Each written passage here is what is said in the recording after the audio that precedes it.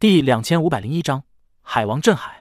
废土战场随着这大陆架的摇晃而不断的剥落下残骸，汽车、钢架、断梁纷纷滚落到水里，气浪与咆哮一同席卷，铺天盖地。那些水雾拍打过来，似一场暴雨横向的倾盆。凛冽之风更轻易的刮走那些厚重的铁块石料。军法师们紧紧的靠在一起，要共同施展防御魔法，形成一个大型结界，才可以抵御得住这样的侵袭。莫凡、玲玲、蒋少旭都站得比较靠后，军法师们等于是组成了钢铁之墙，挡在他们前面，可仍旧感受到这场暴虐之风的恐怖。有那么一瞬间，莫凡以为海王骷髅就在这废土战场的下面，而且相隔不会超出一公里远。可当莫凡在混乱不堪的海天之间目睹海王骷髅从海水中立起时，才意识到那家伙其实还隔着很远很远，却已经将他怒威冲垮了一切。看的都是视频画面，只有画面。现在还有咆哮，还有海与天的阵战，更有一些防御薄弱位置的军法师被打得血肉模糊。似乎海王骷髅的实力需要重新预估，绝对远比之前在厦门遇到的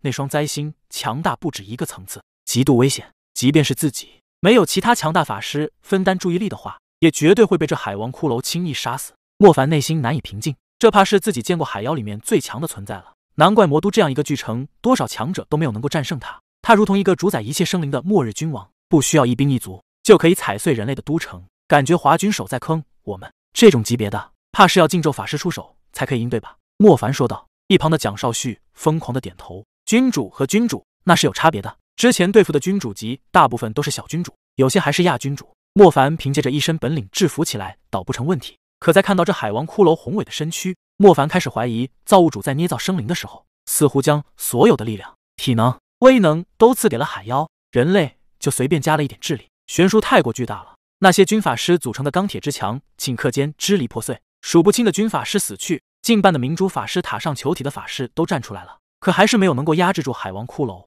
张小厚说道：“上球体是超阶和高阶法师的聚集之所。”他们配合军方猎杀这种至强君主级，可成效非常极微。莫凡此时也苦涩无奈。渡江妖到头来都是海洋里的一些小妖小怪，这海王骷髅才是真正的毁灭者啊！海王骷髅在碾进，他每进一分，那破镜之威就更强势一分。不断有人暴毙，血染在横向打来的暴雨海水上，也不知被冲刷到何处，窒息感越来越强。莫凡作为一个超阶法师，已经有强烈的不适了。再看一眼那些咬着牙支撑着的军法师们，一时间心里更不是滋味。这哪里是在用魔法抵御海王骷髅的侵袭，分明是在用一个个血肉之躯。这个家伙就是在故意戏弄我们，我们不能再放任下去了。一名大军将愤怒无比的吼道：“原地待命，阻挡海王骷髅的步伐！为什么不杀了他？难不成就让那些低阶的军法师一个接一个的死去吗？”大将军，如果集合上各位将领联手明珠塔上位法师，就算不能杀死海王骷髅，也有希望将他重创。一名军策说道。正说话的这几人都是废土战场的领头人物，他们双目通红。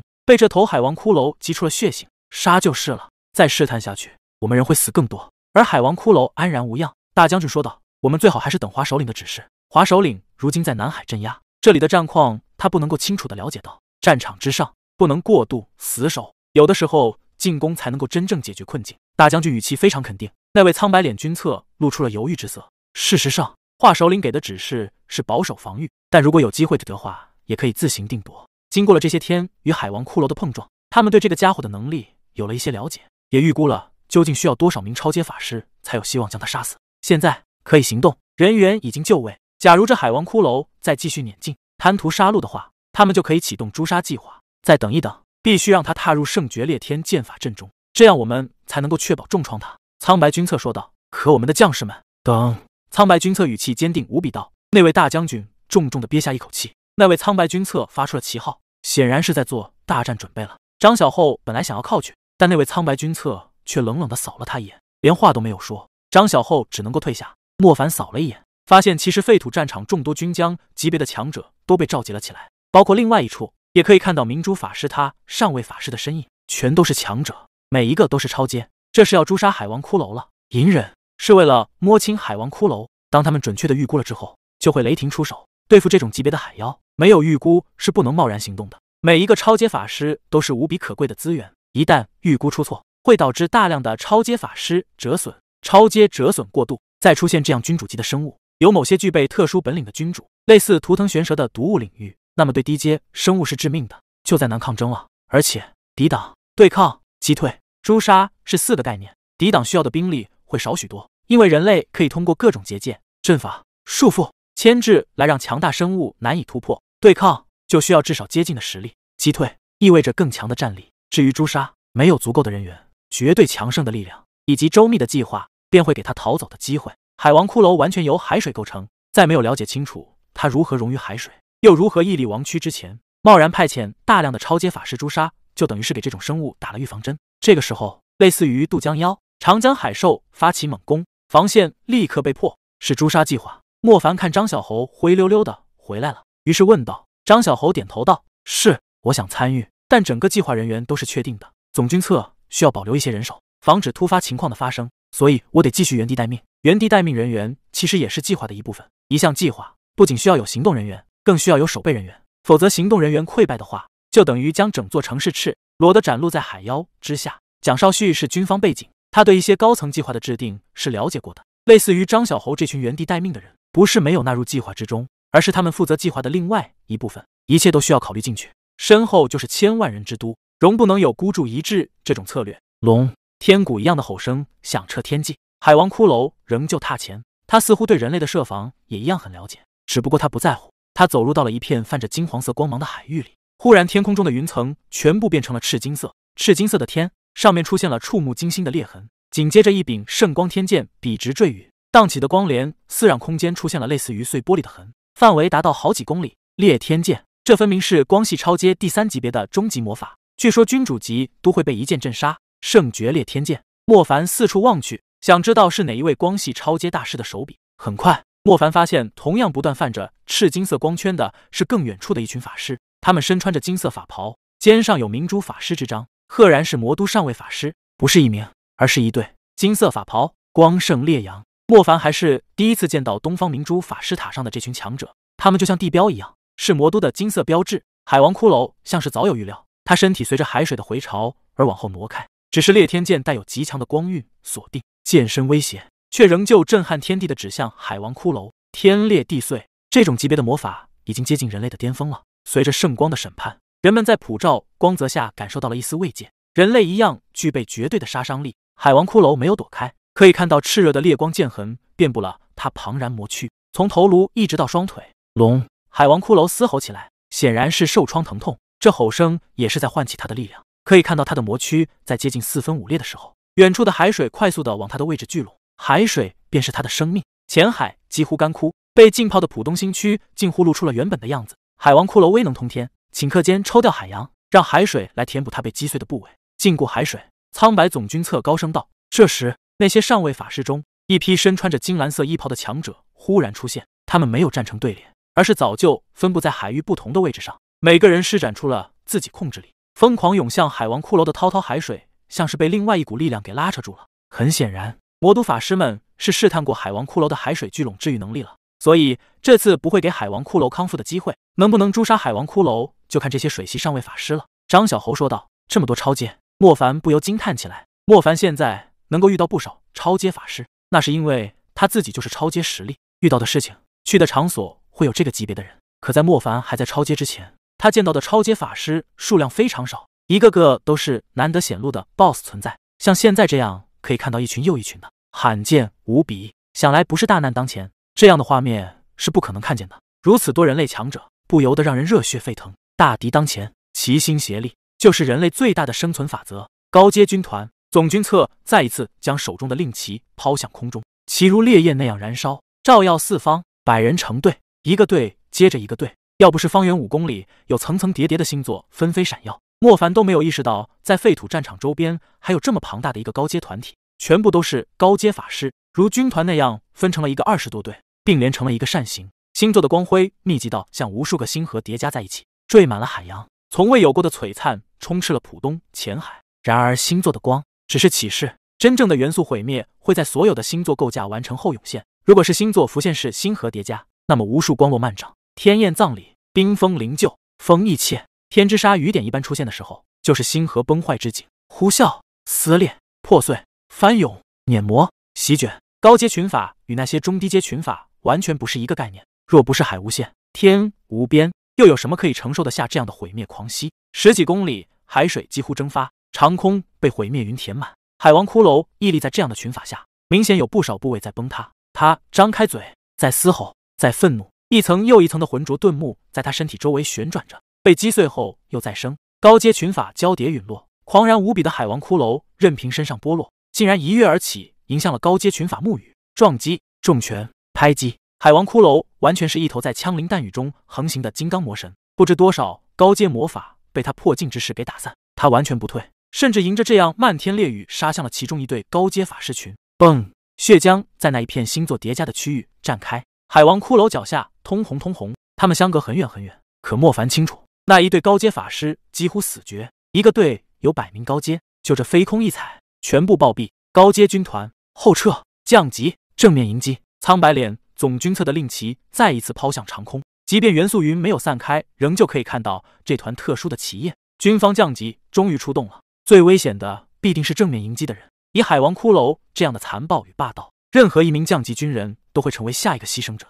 可别无选择，要诛杀就要得付出代价。没有正面迎击的人，海王骷髅来去自如。第两千五百零二章诛杀海王骷髅是诛杀计划。莫凡看张小猴灰溜溜的回来了，于是问道：“张小猴点头道。”是，我想参与，但整个计划人员都是确定的。总军策需要保留一些人手，防止突发情况的发生，所以我得继续原地待命。原地待命人员其实也是计划的一部分。一项计划不仅需要有行动人员，更需要有守备人员，否则行动人员溃败的话，就等于将整座城市赤裸的展露在海妖之下。蒋少旭是军方背景，他对一些高层计划的制定是了解过的。类似于张小厚这群原地待命的人，不是没有纳入计划之中，而是他们负责计划的另外一部分，一切都需要考虑进去。身后就是千万人之都，容不能有孤注一掷这种策略。龙天鼓一样的吼声响彻天际，海王骷髅仍旧踏前。他似乎对人类的设防也一样很了解，只不过他不在乎。他走入到了一片泛着金黄色光芒的海域里，忽然天空中的云层全部变成了赤金色，赤金色的天上面出现了触目惊心的裂痕。紧接着一柄圣光天剑笔直坠雨，荡起的光帘似让空间出现了类似于碎玻璃的痕，范围达到好几公里。裂天剑。这分明是光系超阶第三级别的终极魔法，据说君主级都会被一剑震杀。圣绝裂天剑，莫凡四处望去，想知道是哪一位光系超阶大师的手笔。很快，莫凡发现同样不断泛着赤金色光圈的是更远处的一群法师，他们身穿着金色法袍，肩上有明珠法师之章，赫然是魔都上位法师，不是一名，而是一对。金色法袍，光圣烈阳。莫凡还是第一次见到东方明珠法师塔上的这群强者，他们就像地标一样。是魔都的金色标志，海王骷髅像是早有预料，他身体随着海水的回潮而往后挪开。只是裂天剑带有极强的光晕锁定，剑身威胁，却仍旧震撼天地的指向海王骷髅。天裂地碎，这种级别的魔法已经接近人类的巅峰了。随着圣光的审判，人们在普照光泽下感受到了一丝慰藉。人类一样具备绝对的杀伤力。海王骷髅没有躲开，可以看到炽热的烈光剑痕遍布了他庞然魔躯，从头颅一直到双腿。龙。海王骷髅嘶吼起来，显然是受创疼痛，这吼声也是在唤起他的力量。可以看到他的魔躯在接近四分五裂的时候，远处的海水快速的往他的位置聚拢，海水便是他的生命。浅海几乎干枯，被浸泡的浦东新区近乎露出了原本的样子。海王骷髅威能通天，顷刻间抽掉海洋，让海水来填补他被击碎的部位，禁锢海水。苍白总军策高声道。这时，那些上位法师中，一批身穿着金蓝色衣袍的强者忽然出现，他们没有站成队列。而是早就分布在海域不同的位置上，每个人施展出了自己控制力，疯狂涌向海王骷髅的滔滔海水，像是被另外一股力量给拉扯住了。很显然，魔都法师们是试探过海王骷髅的海水聚拢治愈能力了，所以这次不会给海王骷髅康复的机会。能不能诛杀海王骷髅，就看这些水系上位法师了。张小猴说道：“这么多超阶，莫凡不由惊叹起来。莫凡现在能够遇到不少超阶法师，那是因为他自己就是超阶实力，遇到的事情，去的场所。”会有这个级别的人，可在莫凡还在超阶之前，他见到的超阶法师数量非常少，一个个都是难得显露的 BOSS 存在。像现在这样可以看到一群又一群的，罕见无比。想来不是大难当前，这样的画面是不可能看见的。如此多人类强者，不由得让人热血沸腾。大敌当前，齐心协力就是人类最大的生存法则。高阶军团总军策再一次将手中的令旗抛向空中，旗如烈焰那样燃烧。照耀四方，百人成队，一个队接着一个队。要不是方圆五公里有层层叠叠的星座纷飞闪耀，莫凡都没有意识到，在废土战场周边还有这么庞大的一个高阶团体，全部都是高阶法师，如军团那样分成了一个二十多队，并连成了一个扇形。星座的光辉密集到像无数个星河叠加在一起，缀满了海洋，从未有过的璀璨充斥了浦东浅海。然而，星座的光只是启示，真正的元素毁灭会在所有的星座构架完成后涌现。如果是星座浮现式星河叠加，那么无数光落漫涨，天宴葬礼，冰封灵柩，风意切，天之沙雨点一般出现的时候，就是星河崩坏之景，呼啸、撕裂、破碎、翻涌、碾磨、席卷。高阶群法与那些中低阶群法完全不是一个概念。若不是海无限，天无边，又有什么可以承受得下这样的毁灭狂袭？十几公里，海水几乎蒸发，长空被毁灭云填满。海王骷髅屹立在这样的群法下，明显有不少部位在崩塌。他张开嘴，在嘶吼，在愤怒，一层又一层的浑浊钝木在他身体周围旋转着，被击碎后又再生。高阶群法交叠陨落，狂然无比的海王骷髅任凭身上剥落，竟然一跃而起，迎向了高阶群法木羽，撞击、重拳、拍击。海王骷髅完全是一头在枪林弹雨中横行的金刚魔神，不知多少高阶魔法被他破镜之势给打散，他完全不退，甚至迎着这样漫天烈雨杀向了其中一队高阶法师群。嘣！血浆在那一片星座叠加的区域绽开，海王骷髅脚下通红通红。他们相隔很远很远，可莫凡清楚，那一队高阶法师几乎死绝，一个队有百名高阶，就这飞空一踩，全部暴毙。高阶军团后撤，降级，正面迎击。苍白脸总军策的令旗再一次抛向长空，即便元素云没有散开，仍旧可以看到这团特殊的旗焰。军方降级终于出动了，最危险的必定是正面迎击的人。以海王骷髅这样的残暴与霸道，任何一名降级军人都会成为下一个牺牲者。可别无选择，要诛杀就要得付出代价。没有正面迎击的人，海王骷髅来去自如。第两千五百零三章枯骨海啸。降级法师从四面不同的方向出现，他们每个人身上都有璀璨。耀眼无比的星宫在连续的浮现，海王骷髅试图继续虐杀高阶军团，降级法师及时出现，抵挡住了海王骷髅挥击出来的海水巨拳。海水巨拳拥有极强的破坏力，可以轻易的在浅海的位置上砸出一个深坑来。高阶法师们为了能够将他们的高阶群法达到叠加效果，站的都比较集中。若没有一位空间系的降级法师及时使用瞬息移动将他们所有人转移，怕又是一大片血花。扇形分布的高阶军团开始纷纷后撤。他们每个人脸上都带着恐惧，这样一片辽阔的海，又有这么多的高强魔法师，到头来仍旧无法阻挡得了这海王骷髅的横行，当真可怕至极。海王骷髅明显拥有非常高的智慧，他明知道有很多超阶法师围了上来，却对那些超阶星宫不予理会。凭借着强横无比的魔躯，他竟然继续追着扇形的高阶军团，以他的毁灭之能，绝对可以让更多的高阶者横尸海面。嗡，云空再一次荡开一大片赤金色的光辉。犹如天际裂痕一般的圣光天剑再一次坠雨，裂天剑狠狠地劈在了海王骷髅的身上。这个终极光系法阵的力量才有显著的效果，逼退创伤了海王骷髅。如此，高阶军团才得以逃脱。是一个圣光阵，每隔一定的时间就会产生一柄巨型裂天剑，对阵内的魔物进行毁灭攻击。难怪总军策刚才必须让海王骷髅踏入里面。别看这裂天剑每一次只能够对海王骷髅造成一次小伤，随着战斗长久持续下去，这裂天剑法阵。很可能成为最有威胁性的武器。蒋少旭看着被逼退的海王骷髅说道：“莫凡早已经忘记说话了。无论是人类这边展开的豪华阵容，还是海王骷髅表现出来的真实实力，都强的颠覆以往的认知。哪怕是自己进入到这样的战斗中，怕也只是很渺小的个体。莫凡这家伙可能比图腾玄蛇还强一些。”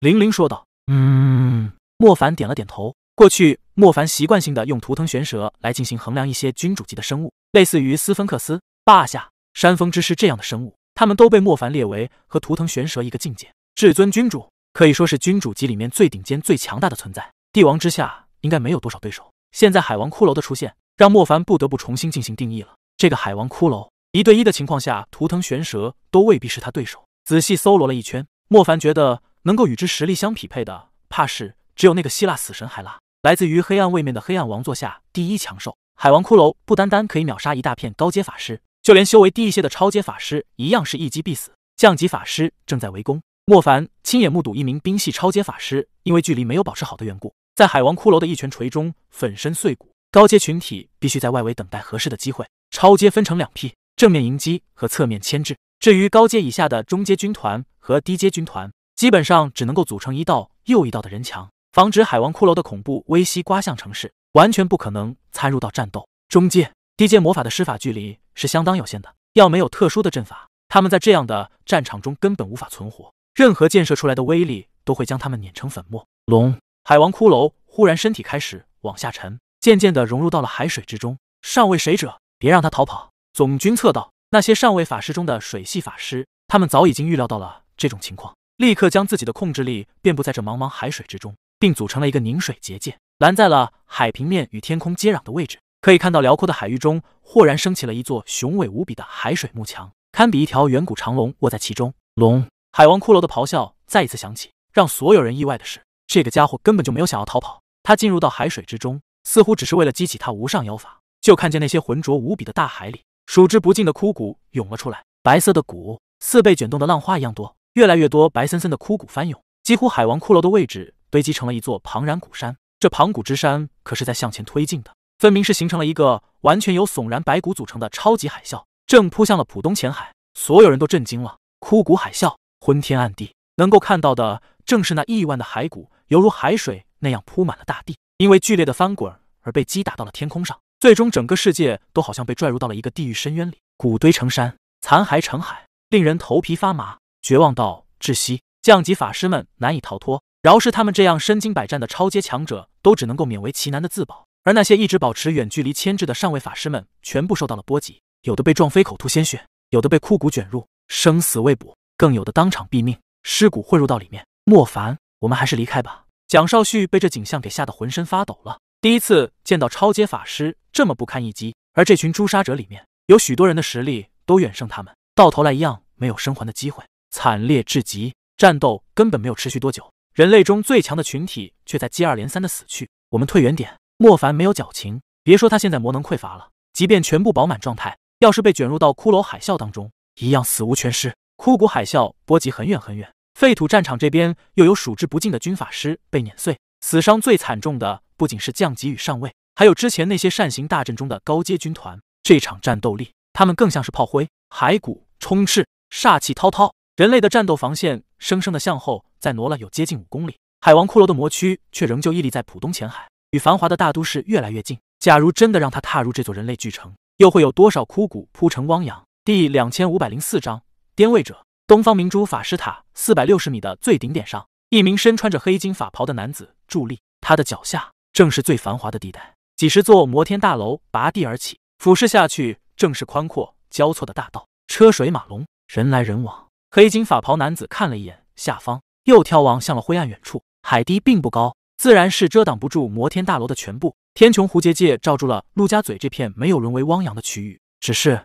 那个魔影已经可以在视线最远端看得清晰无比了。有无数破镜之风在那片低沉的天空与浑浊的海面搅动，偶尔闪耀出来的一些魔法圣光，总如同黑夜里被吞噬彻底的暗星，转眼即逝。当断则断，再等下去，怕会丢了我们最宝贵的东西。黑金法袍者说道：“确实，我们在海妖面前不断的失去强者的尊严。曾几何时。”踏入安界的妖魔，无论什么级别，都会被我们斩杀，又怎么会像今天这样被人踏临城市？另外一个身影几乎藏于阴影中，勉强可以看到他踏空的轮廓。那就出手吧，让这个猖狂无比的妖物见识一下我们真正的强大。更高空又有一个云幻身影，一共三人，他们都在明珠塔的最顶端，这个高度近乎触云，同时可以俯瞰城市与浅海。黑金法袍者、踏空人、云幻身影，他们达成了共识之后，竟然同时消失了。能够勉强看清的。就只有黑金法袍者，他化为了一道黑金色的光，惊艳的在昏暗天幕中划过一道破开黑云的气痕。苍白脸总军策兀然抬头，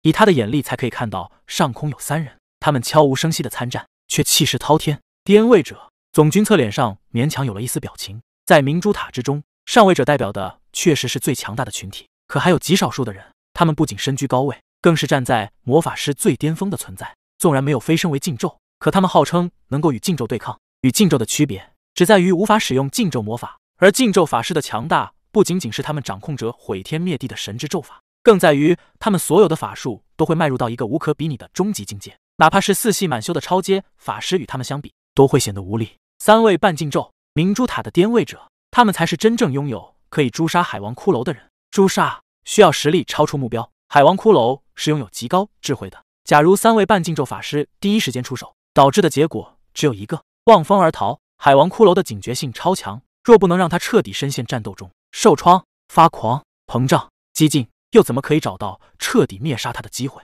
只要能够杀死海王骷髅这个巨大威胁，牺牲都是值得的。颠位者，他们出手了，那可是半禁咒，蒋少旭惊呼道：“在前往秦皇岛之前，莫凡所见识到的最强法师，应该就是月娥皇的上一任守护者严氏。他的土系魔法真正震撼莫凡内心，与天官子断神术的那一场厮杀，更是天崩地裂。海王骷髅的实力绝对在天官子断神术之上。为了达到将他杀死的目的，魔都更不惜出动三位与严氏同级别的颠位者。这场战役确实太过壮观了。”在安第斯山的联邦之战，都反而显得小打小闹。当然，莫凡见识过更惊天动地的战争，正是两大冥王在北疆上的厮杀。八方王军大战斯芬克斯，蛇蝎美杜莎之王，木乃伊之主。可如此庞大数量人类强者出战的景象，却绝对是第一次目睹。每一名颠位者似乎都拥有可以与至尊君主单打独斗的能力。三名颠位者介入，立刻展现出了惊人的统治力。他们对魔法的运用，完全超脱了最常规的心痕轨迹，哪怕是毁灭超然的超阶之力。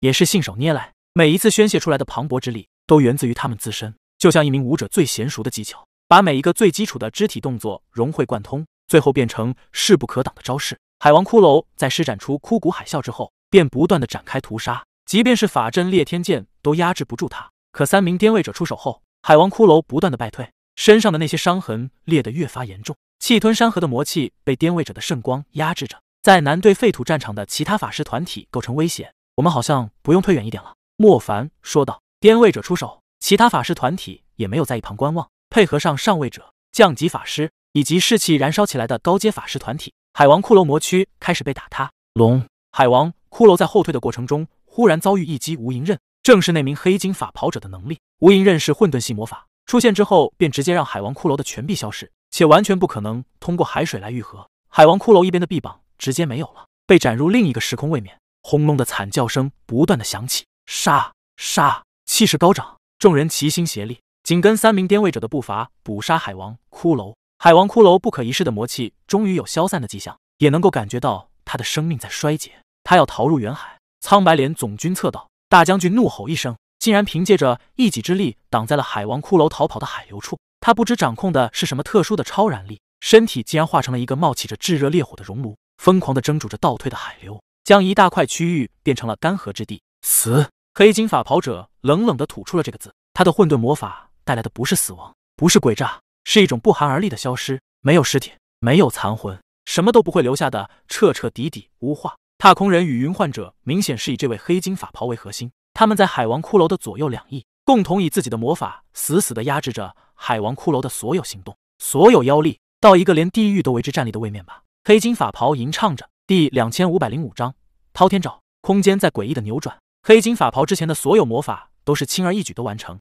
威力还远超那些四系满修的法师。这一次，他有了魔法的起手式，更有酝酿与蓄积，可见他的下一个魔法将是真正泯灭海王骷髅的杀招。不远处，大将军站在一片一地海水都没有的地带，他让海流蒸发，意味着海王骷髅无法顺着海流逃走了。他看到黑金法袍的魔法启示，勉强咧开了一个笑容，终于能够狠狠地舒一口气了。海妖至强君主又如何？一样斩于城下。呼呼呼呼呼呼！大将军是在海王骷髅身后大概三公里的距离，不知为何，他听到了海洋更远端有非常古怪的声音。他困惑的转过头去，却被眼前的这一幕几乎吓昏过去了。一只爪子由整片海域凝成，完全像是海洋有了自己的生命，并伸出了一只滔天之爪。它何时出现的？大将军根本没有察觉到，而滔海之爪却恐怖的悬于那三名颠位者的头顶上。更恐怖的是。三名颠位者竟然没有察觉，幻觉吗？不是幻觉，汪洋真的化为了一爪，无穷无尽，广袤如天。拍阶下，世界寂静，在这极致浩瀚巨响所导致的寂静里，三名颠位者彻底化为红色的齑粉。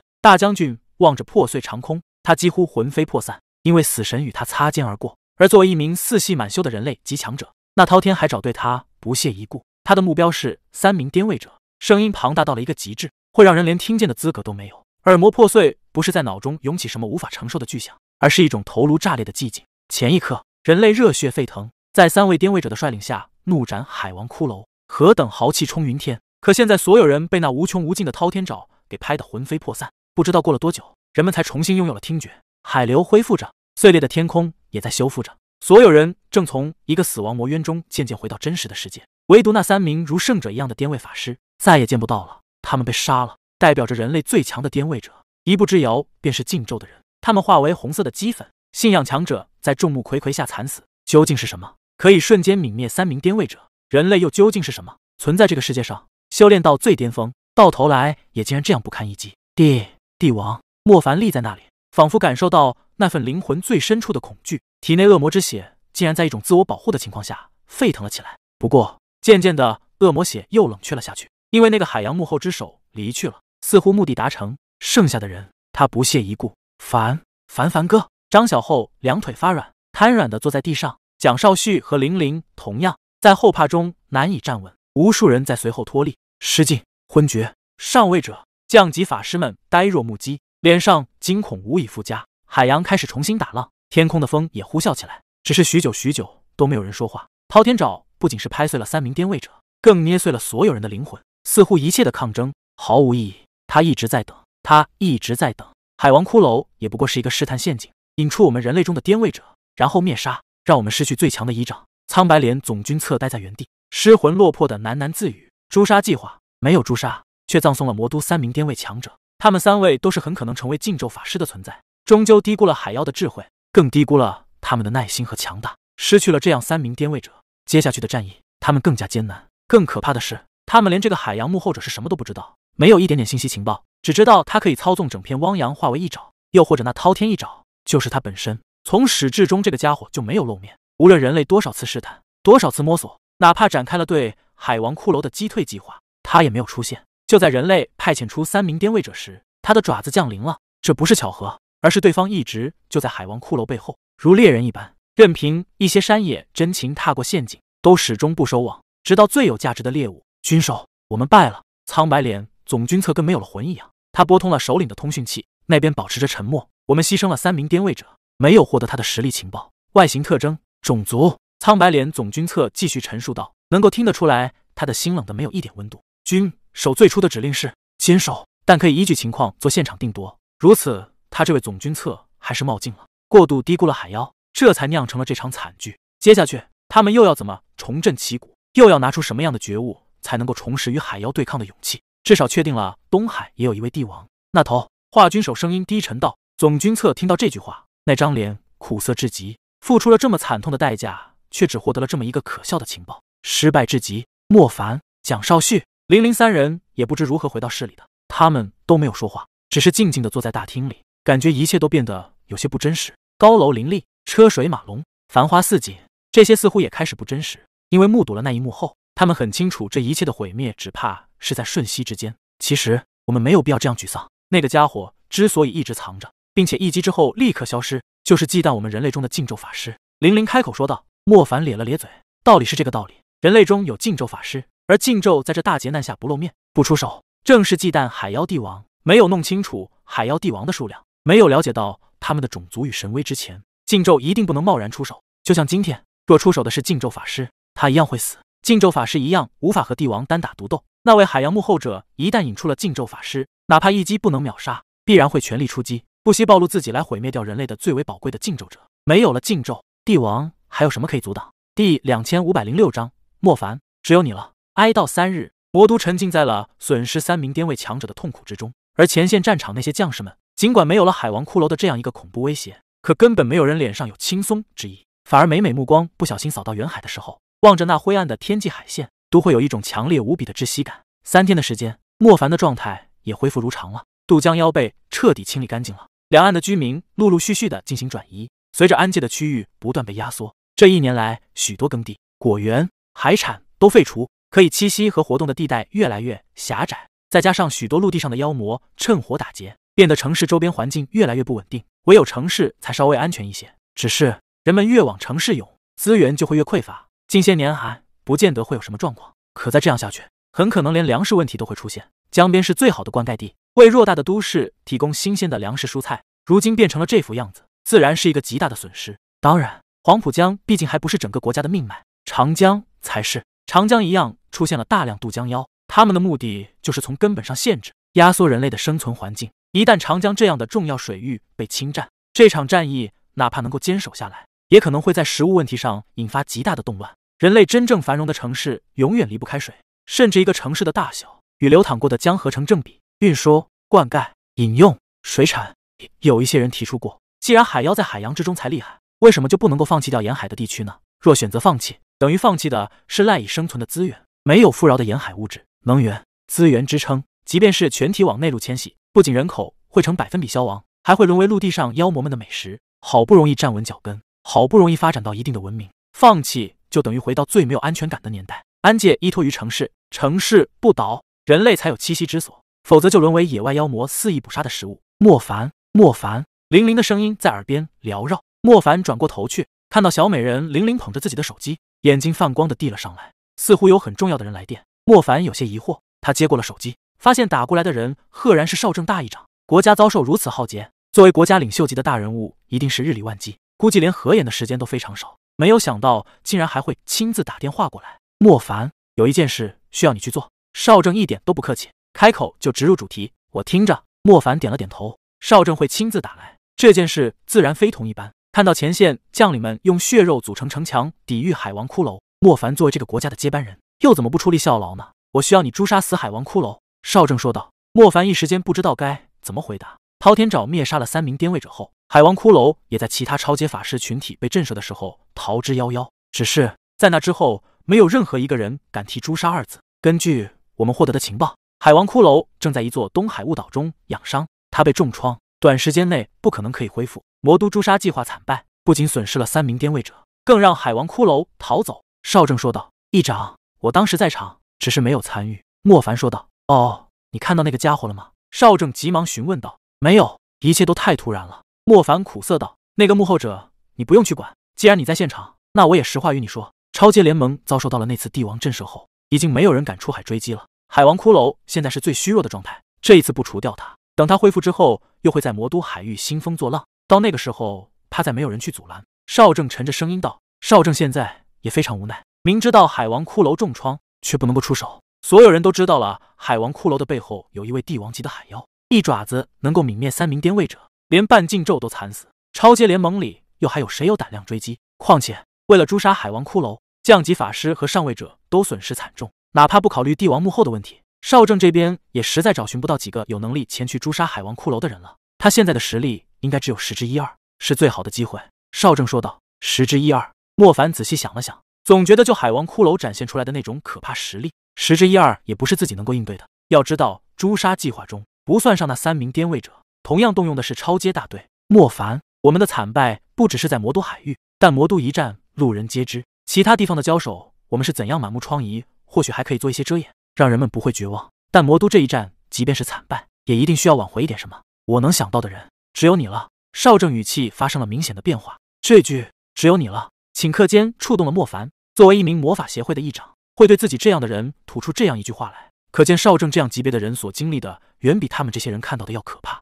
人们可以沮丧、痛苦，甚至绝望，但他这样的人不能有这样的情绪。议长，您不用说了，我明白。莫凡说道：“没有人敢去诛杀海王骷髅，哪怕他是处在一个重伤状态，哪怕锁定了他养伤的具体位置，原因只有一个：幕后帝王。”那位幕后帝王是否还在海王骷髅背后？假如在，无论派遣多少人去诛杀重伤的海王骷髅，都是有去无回，并且即便军方里面有不惧生死的人，可经历过幕后帝王的那一爪，上头也绝不会再鲁莽的将强者往帝王的爪下送。只有莫凡，是因为莫凡具备一项绝世无双的能力——恶魔，哪怕这又是一个陷阱，莫凡也可以化身恶魔抵抗一二，不至于在完全没有捕捉到幕后帝王任何信息的情况下被杀死。第两千五百零七章。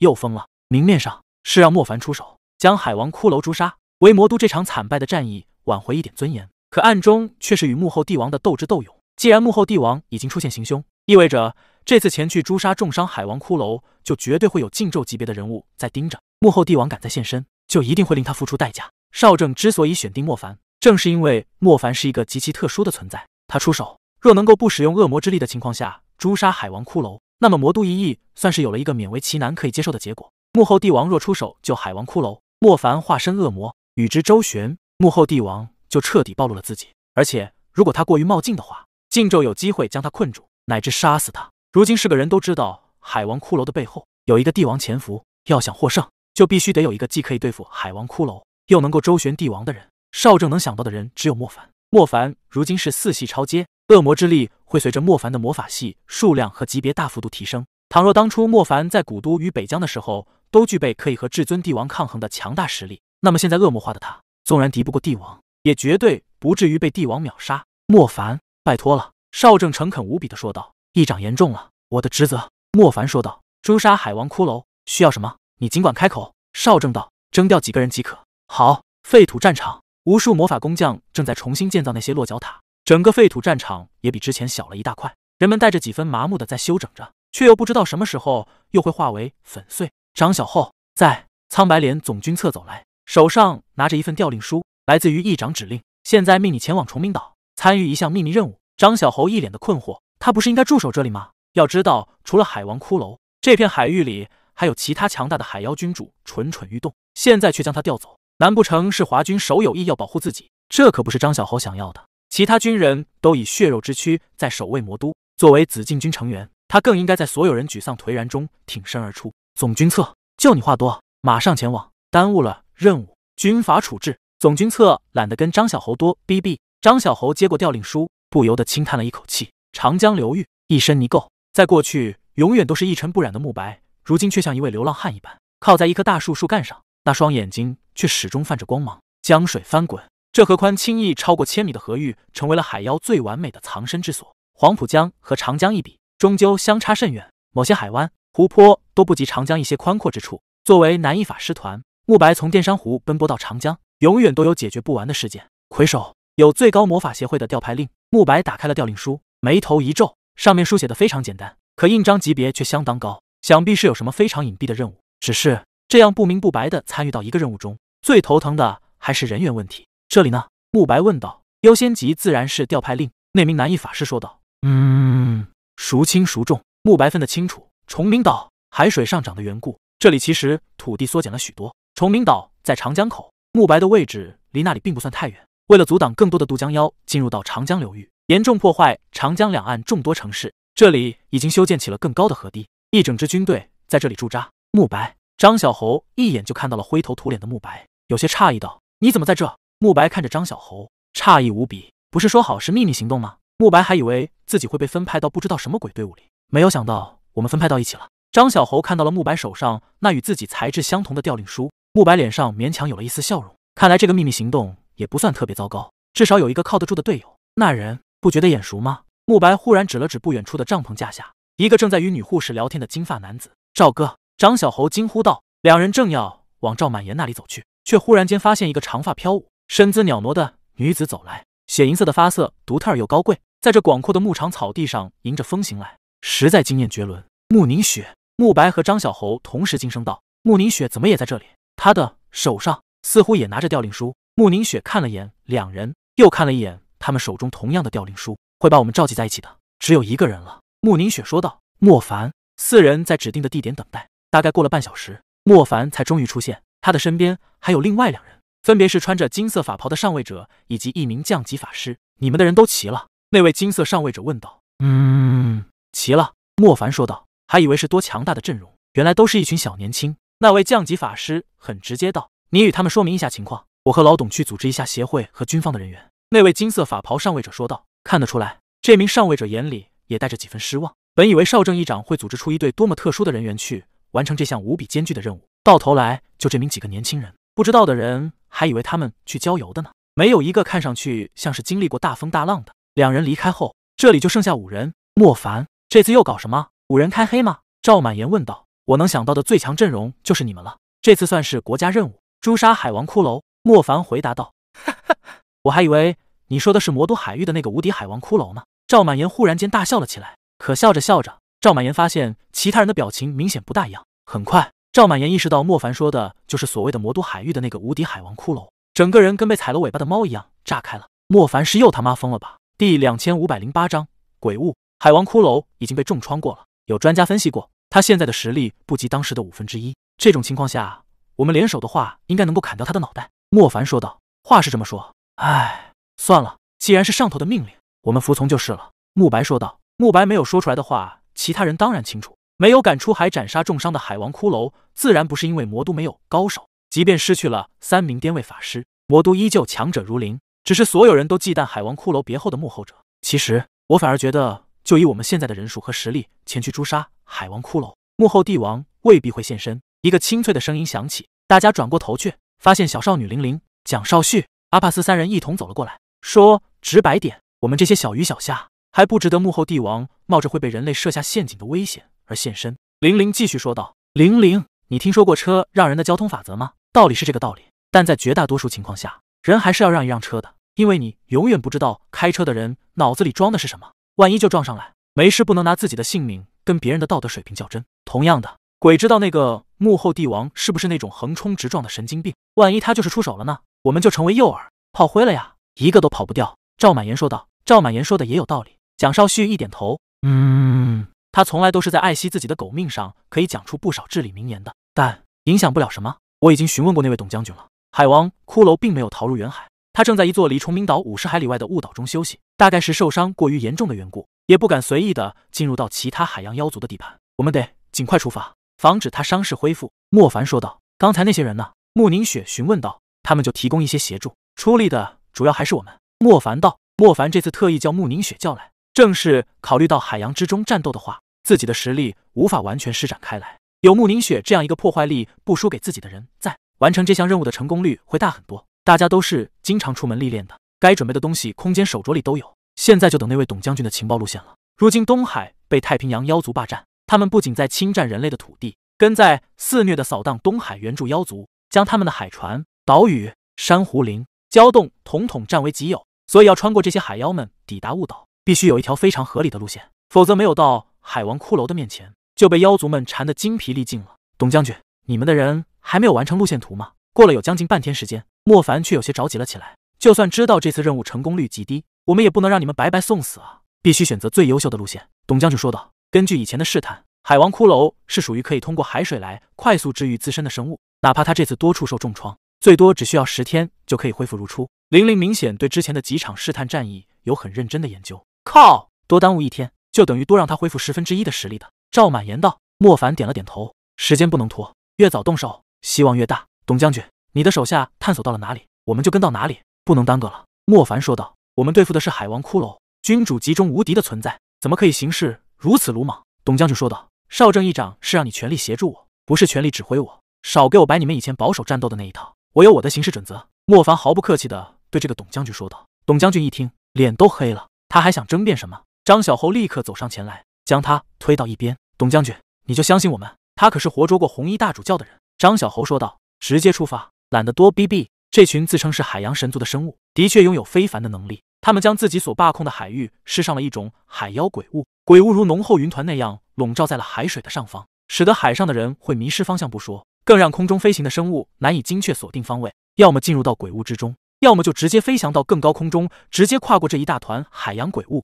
不然强行穿梭到了这一大片海洋浓雾之中里，就等于坠入到了一个迷宫最中央里，连最基础的参考物都没有了。海妖真是有手段，我们好不容易拥有了飞龙这样的特殊生物，可以横跨一切，可以飞翔其他妖魔领空，到头来被这个鬼雾一折腾，又得小心翼翼的探路。赵满言抱怨道：“他们得进入到海洋鬼雾里，依靠着沿途相连的标记来识别雾岛的真实位置。”所以，军方所谓的锁定海王骷髅的具体位置，其实就相当于准确的知道对方在海洋迷雾宫中某个地方罢了。我已经跟你们说过了，没有完整的路线就出发，只会浪费更多的时间。董将军没好气的说道。说来也是奇怪，当你进入到海洋的鬼雾中的时间，雾气根本就不浓，甚至可以看到很远的碧蓝色海与纯净无比的天空，除了海面上时不时会飘起的白色气体，完全就不像是在一团巨大的迷界里。只是他们在行走到了一大半的时候，开始兜圈子了。董将军探索到的路线就到这里，再往前是大一片宁静如湖泊的静海，看不见礁石，见不到阳光，更无法从海流的运动来辨别方向。所以那座雾岛究竟在什么地方，变得更令人着急。那里飘着一个人。突然，阿帕斯指了指很远很远的地方，语气轻描淡写道：“大家都一脸疑惑。等到靠近之后，发现真有一个浮在平静海水上的人后，大家都很诧异。阿帕斯究竟是怎么看到的？这里怎么会飘着一个人？是寻路的法师遭遇不测。”第两千五百零九章突发状况。幸好还活着，董将军，您认识他吗？是我们这次行动的人员。张小猴急忙询问道。这里就慕白稍微懂一些治愈，不过他的治愈是靠那些奇奇怪怪的虫子。慕白将他弄醒了，那人在水里浸泡了有一些时间，嘴唇却干得快要裂开，不停的索要清水。不是我们的人，董将军很肯定的回答道。兄台，你怎么会在这片海上飘着？莫凡上前询问道。这里是哪？我到陆地了吗？我到陆地了吗？落难男子紧张无比的问道，他的神情非常怪异。也不知道是受了什么刺激，这里是鬼雾地带，离陆地还很远。莫凡说道：“送我回去，送我回去，快送我回去！”落难男子说道。莫凡给这家伙解释了一通，他们没有杀死海王骷髅前是不会回去的。可此人神志不清，时不时会发出一些古怪的惨叫声，完全没有办法好好的沟通。叹了一口气，莫凡给阿帕斯递了一个眼神，阿帕斯点了点头，一个眼神就让落难男子直接昏睡过去了。等男子不挣扎了，阿帕斯这才将自己的巧手悬在男子的额头上。他的思维非常混乱，我能够读取到的信息也会减少很多。阿帕斯对莫凡说道：“没关系，要只是一个路人，就把他扔回到海里。”去泡着，莫凡说道。穆宁雪瞪了莫凡一眼，莫凡讪笑，往这个方向。他脑子里有误导的记忆。阿帕斯忽然指着后方道：“这不是回去的，不会吧？我们方向迷失的这么严重吗？”大家开始往后行进，没有几分钟时间，平静如湖一样的海里终于出现了一个黑色的凸起。是的，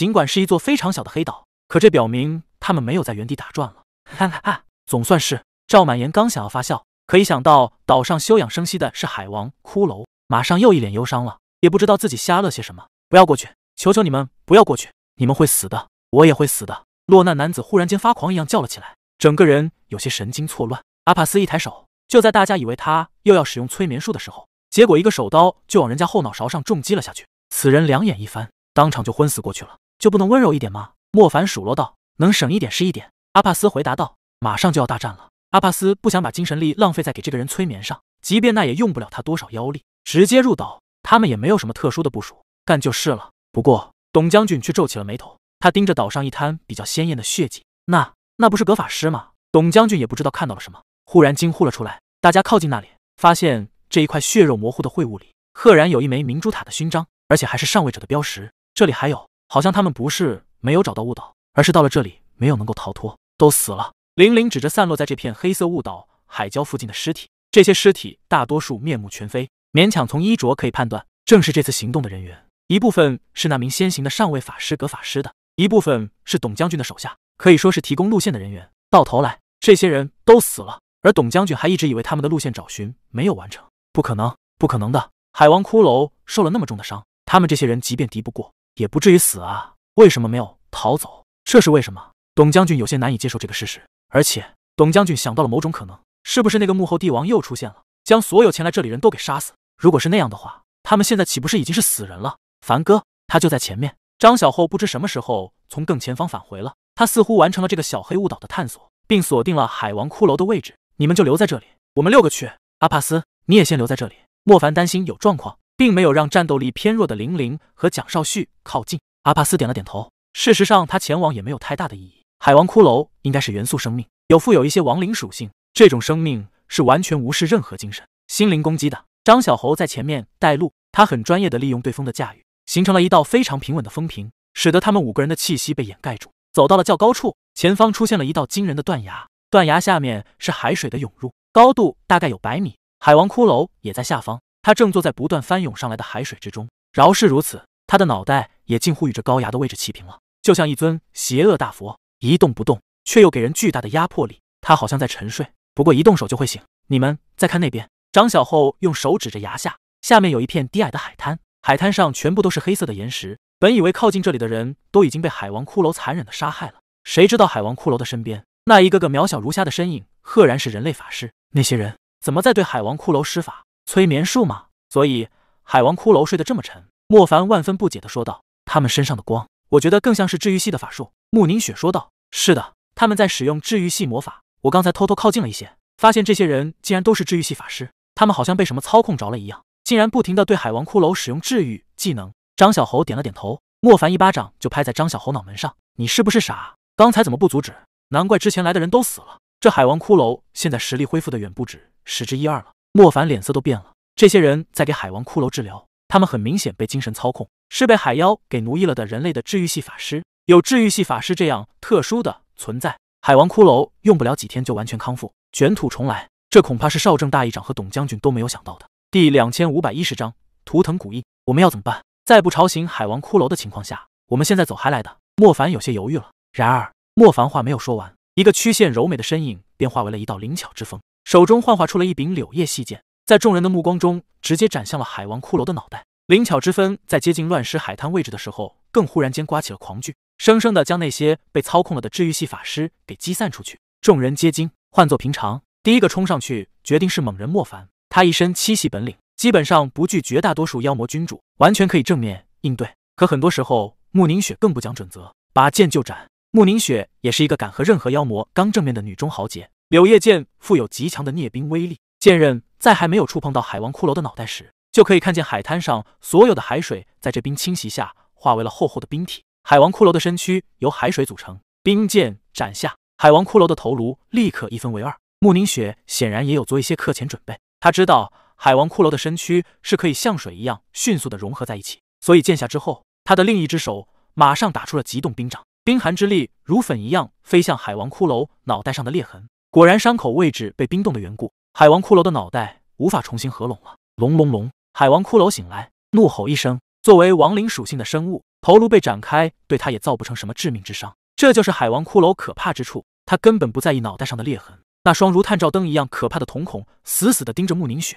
穆宁雪在他眼中，如一只白色的小飞蛾，那般渺小不堪。海王骷髅愤怒中更带着几分困惑：就这样一个人类，竟然也敢挑衅他！在深海之中，多少远古海兽、邪恶海妖都要绕行他的地盘，多少强大的部落都臣服于他。海王骷髅挥舞起另外一只完好的臂膀，朝着穆宁雪的位置就是一拳轰杀。这一拳直接让海滩上的所有冻结冰晶粉碎，更将远处几公里的海水。统统卷了进来，在这黑色的海岛上化为了一个庞大无比的漩涡，吞噬一切不说，力量浩瀚。穆宁雪太过渺小，漩涡里甚至看不见她的娇柔身影。只是她并没有看上去那么柔弱，甚至当漩涡冲来时，穆宁雪竟然用剑劈开一条浩瀚漩涡裂缝，这裂缝布满了冰晶，犹如滔滔翻滚的海洋中忽然出现的冰之峡谷。立于峡谷之中，剑气与冰晶同时组成了一块不受距离威胁的区域，让他立于空中不再后退。万痕。穆宁雪手中的柳叶冰剑剑尖朝着前方华丽一指，霎时剑尖位置出现了一个万形风痕。它由剑尖那么小，一直扩大到了几百米的宽度。剑舞出，那数百米的万风痕也化为了一道恐怖的绞杀风痕利器，凌厉的破开海王骷髅的拳涛气浪，再一次斩向的海王骷髅的身躯。海王骷髅躯体如山，却仍旧在这袭来的风痕下后退了几步，重重的撞在海崖上，险些将海崖给压塌。好生猛的姑娘，董将军忍不住呼出一声来。之所以一开始觉得这几小年轻是跑来游山玩水的，主要还是穆宁雪长得太美了。这样的姑娘，多数已经在歌坛娱乐圈风华绝代般，又怎么可能在随时都会流血牺牲的战场之中厮杀呢？可此时看到穆宁雪一人出手，就已经两次创伤海王骷髅，更在海王骷髅的强势攻击下屹立不退，强大的让许多降级法师都汗颜啊！莫凡，你管一管你家女人啊，就不能等大家商讨一下计划再动手吗？赵满言苦着一个脸叫道：“他多半是嫌你们婆婆妈妈像个娘们。”蒋少旭从后面走来，带着几分嘲笑之意道：“不是不让你们过来吗？”莫凡没好气的道，顺带瞪了眼玲玲：“这附近没什么危险，就这头海王骷髅。”玲玲说道：“你们还等什么呀？穆宁雪都和那大骷髅斗几个回合了。”蒋少旭没好气的骂道：“在国府队伍里的时候，莫凡便发现了队伍里有穆宁雪这样女武神级别的存在，就是特别舒心。莫凡本来是一名毁灭法师，这种法师在团队里的定位一般都是比较靠后，主要是负责冗长的魔法吟唱。”并在关键时候给予敌人毁灭性打击，可有太多时候，莫凡都需要冲在第一线，不仅要正面应对，更要负责毁灭打击，完全是多功能型的法师。没有急着上，自然是因为有穆宁雪在正面对抗，莫凡可以安安心心的酝酿大魔法。无论是雷系的终究毁灭龙尾，还是火系的天火淬炼，都需要一些准备时间的。海王骷髅注意力都在穆宁雪身上的时候，莫凡正好完成了毁灭龙尾、雷龙尾，天空雷电密密麻麻交织，犹如一条雷神龙的尾巴。从乌云浓密的地方露出，更带着对这片海面陆地的愤怒，猛然拍落，海水全部炸到空中，雷电击碎了这黑色的雾岛。海王骷髅被这雷龙尾拍得半跪在海水里，身体都弓了下去，成吨成吨的海水肉鸡从他身上瓦解，一种很浓稠的古怪液体也顺着一些受伤的地方溢了出来，也不知是不是海王骷髅的血液。根根粗壮如铁索一样的雷电在海王骷髅的海水身躯里穿梭，似乎映出了这位君主内部的骨形。此时，愤怒无比的海王骷髅是背对着海悬崖的。玲玲特意靠近了一些，盯着雷电密布的海王骷髅背脊处，雷光闪耀之时，让海王骷髅背脊的地方呈现出了另外一种奇怪的骨状，有些畸形扭曲。可在敏感无比的玲玲眼里，却更像是一种古老的藤纹，是图腾古印。玲玲惊喜无比的说道：“她几乎下意识的要往前。”海王骷髅那强大的破镜之风险些刮在了娇弱无比的玲玲身上。阿帕斯眼疾手快的将玲玲给提了回来，不要命了。阿帕斯瞪了玲玲一眼，去告诉莫凡，海王骷髅脊椎顶部有图腾印记。玲玲急忙道：“第两千五百一十一章话术冰川天线，背脊部位。”莫凡自己还真没有注意到海王骷髅后面有这样一个特殊的印记。可是这家伙真的是图腾吗？看上去完全不像，从来也没有听说过有亡灵系的图腾生物啊！隆隆隆，海王骷髅暴怒中带着几分憋屈，换作全盛状态之下，他绝对可以轻轻松松的将这几个人给干掉。正是本源生命的流失，使得他使用一些妖术威力都大打折扣。不过，无敌君主终究是有强大威能的，他身体莫名的沉陷到了摇动的海洋之中。紧接着，天空阴沉昏暗，就看到黑色的海水里竟然不断的涌起了那些白森森的骨头，骨骸如浪翻打到天空，而整片海里也充斥着那一根根恐怖的骸骨。随着海王骷髅的咆哮响起，骸骨海啸豁然席卷过来，地狱之景真实呈现。当初莫凡站在很远的地方。就感受到了这骸骨海啸的可怕，现在身临其中，便有一种随时都会粉身碎骨的压迫感。竟然一身的本领无法施展出来，压迫力，哪怕是这个无敌君主身受重伤，但他施展出自己的强大威能时，一样会对敌人造成绝对压迫力。莫凡和穆宁雪几乎被吞噬在了骨骸海啸里，身体轻飘飘的随之翻滚，两人都在这狂猛剧烈的冲击中受了伤。只是骸骨海啸威力还没有到达鼎盛，越来越高的骸骨堆积起来，似一座巨大的骨头山峰，轰然倒塌。强行压落在渺小如蚁的人身上，噗！莫凡以天门抵挡，但还是被震得口吐鲜血。穆宁雪在莫凡身后，他知道莫凡这是为他受的伤，奈何即便他使用自己的风系超燃力，仍旧没法减轻这骸骨巨浪的打击。到我后面去！赵满言忽然现身，全身有无数泛着淡金色光芒的水珠在绕行，你可能顶不住这家伙的威能。莫凡捂着胸口说道：“少废话，就没有我赵满言扛不住的。”赵满言身上的水珠越来越密集。莫凡和穆宁雪退到后面，莫凡这才留意到赵满言身上的这些水佛珠，竟然与五苦主教的本领非常相似。看来赵满言是彻底炼化了五苦的水佛珠，成为自己的强悍坚不可摧的能力。你能让你赵爷爷后退一步，就算我输。赵满言难得姿态傲然，他左手上木鱼器皿祭出，可以看到古老的霸下印记遍布了那些密集的水佛珠，泛出来的也正好是淡金色。而他的右手水佛珠若隐若现。圣洁之辉如一件袈裟那样笼罩在天地间，广阔无比。而那些泛着金光的水珠，更似袈裟上的珍宝，琳琅满目，金光闪耀，岿然不动。赵满言大有罗汉金身之威严，那恐怖的骸骨在这佛性肩膀下，竟然难以再推进半分。牛逼！赵哥，张小猴在边缘疯狂助威。作为一名不是那么擅长厮杀的刺客法师，他更多时候是在游走附近，寻找一个合适的一击致命机会。莫凡和穆宁雪得以喘息，可惜没有治愈系法师。不然可以很快就让他们伤势恢复过来，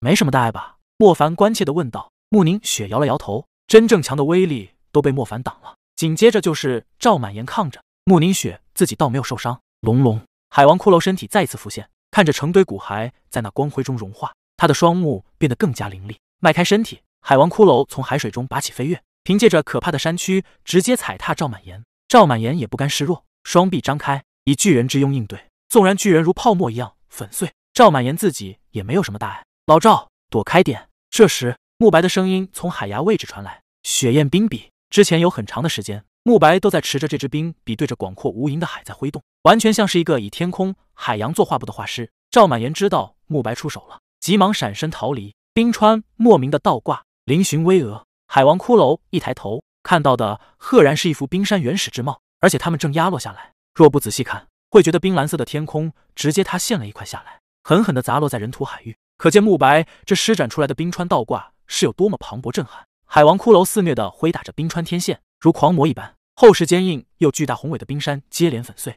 只是这冰川天线完全就是千年万年形成的冰脉，它再力大无穷，也不可能在短时间内将它们全部击碎。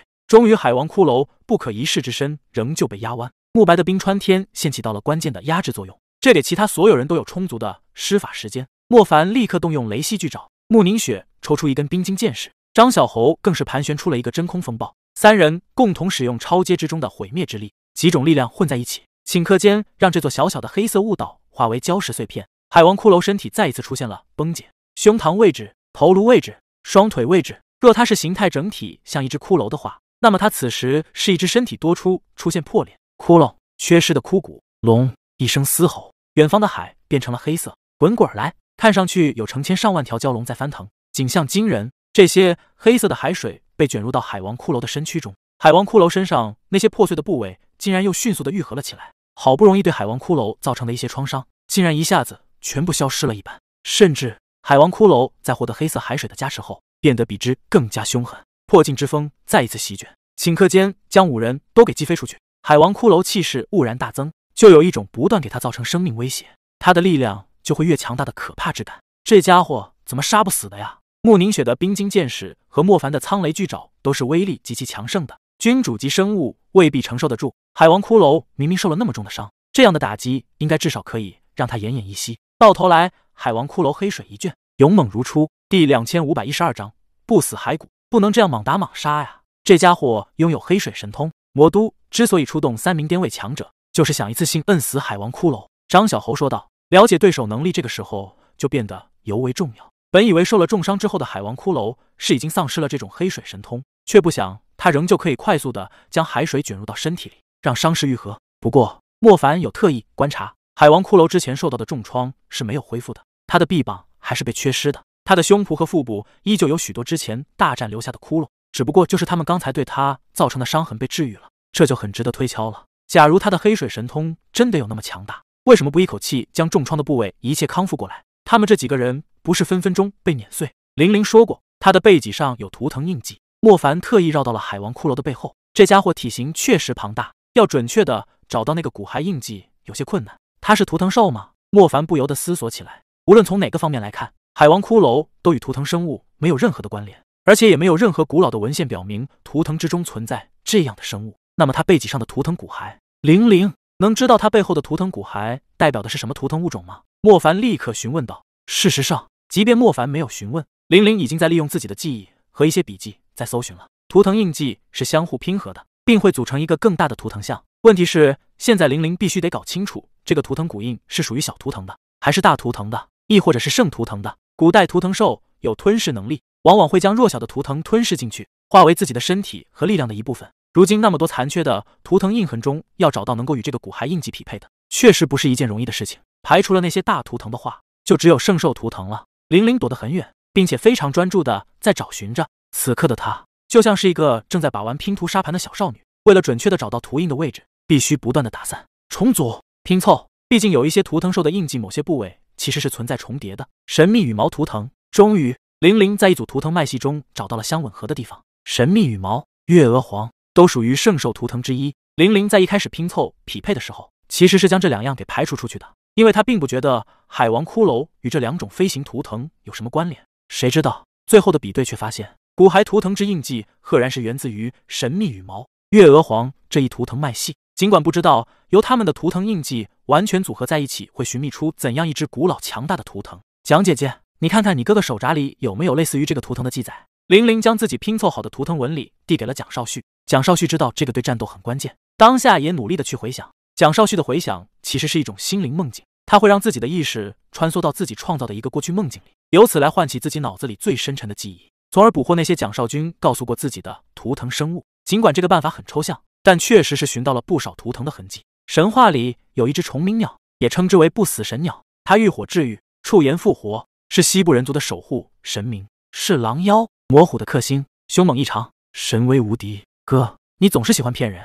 假如这个世界上真有这样不死的神鸟存在，为什么它现在消失了呢？很小的时候，蒋少旭身边几乎没有爸妈，他们都忙于国家大事，最多陪伴的反而是哥哥蒋少军。但蒋少旭又时常会出远门，一等到他安心在家。蒋少军就会非常热切与沉醉的给自己妹妹讲述探索的经历。那个时候，蒋少旭纯粹当故事来听的。事实上，很多都彻底忘记了。还好他是心灵系法师，而人的记忆其实并不会永久消失，只是藏在大脑的最深处，需要一些标志性的东西去唤醒。图腾印记，这是最好的标识了。所以啊，没有人能够杀死他，除非他自己心灰意冷。他遇火治愈，哪怕是一些光的温暖，都可能让他化为灰烬的身躯重生过来。所以，当他要选择自我灭亡。唯一的办法就是藏于黑暗冰冷的深海，唯有将自己埋葬在那里，他才可以彻彻底底的死去。不过那也只是时间的封印。如果有一天海洋枯竭了，阳光照耀在干涸的海底，亦或者正好有熔浆从他骸骨上流淌而过，他仍旧会苏醒过来，光明重现，烈焰冲天。话音刚落，一声轰隆传来，蒋少旭沉浸在自己的梦中，兀然醒来，是虫鸣神鸟。蒋少旭睁开了眼睛，立刻对玲玲说道：“虫鸣神鸟浴火治愈，触炎重生。”这个海王骷髅拥有的正是类似的能力，可他是遇水治愈啊！蒋少旭仔细一想，又重重的一拍，立刻明白了什么。当下，他将自己的心灵之声传递给每一个人，确保他们都可以听见。这个具有亡灵属性，我想他一定是强行炼化了崇明神鸟葬于海底的骸骨，并以此演化出了这种可以遇水治愈、近乎重生的神通。蒋少旭激动地对他们说道：“姐呀，你说这些有什么用啊？我们需要的是怎么杀死他。”赵满言苦笑道：“瘦死的骆驼比马大。”海王骷髅当真狂猛，几个人合力下来，竟然没有给他造成任何伤害，反倒是他们几个开始频频受伤，有些坚持不住了。虫鸣神鸟玉龙将会重生，哪怕是剩下一具骸骨，你们想办法让海王骷髅的有图腾印记的那块脊骨触碰到烈焰啊！蒋少旭说道：“海王骷髅如此强悍，与他拥有不死神鸟的一块骸骨有极大的关系。也正是这块特殊的图腾骸骨，赐予了他治愈不死的神通啊！”第两千五百一十三章红骨涅槃，你确定？赵满言对蒋少旭说的这些带着很深的怀疑。暂且不说这种骨骸封藏于海洋数千年之久，崇明鸟的传说是否真得能够应验？就是海王骷髅这全身包裹着厚厚的一层黑色海水，也基本上不可能用火焰触碰到他的脊骨啊！他的脊骨是非常完好的，当初在那么多超阶法师的轰炸中，他依然可以屹立不倒，就足以表明他的防御厚度远超寻常君主。你们想办法让他把后背露出来，我凿开他的黑水外壳，把熔浆灌进去。莫凡选择相信蒋少旭，我来定住他的双腿。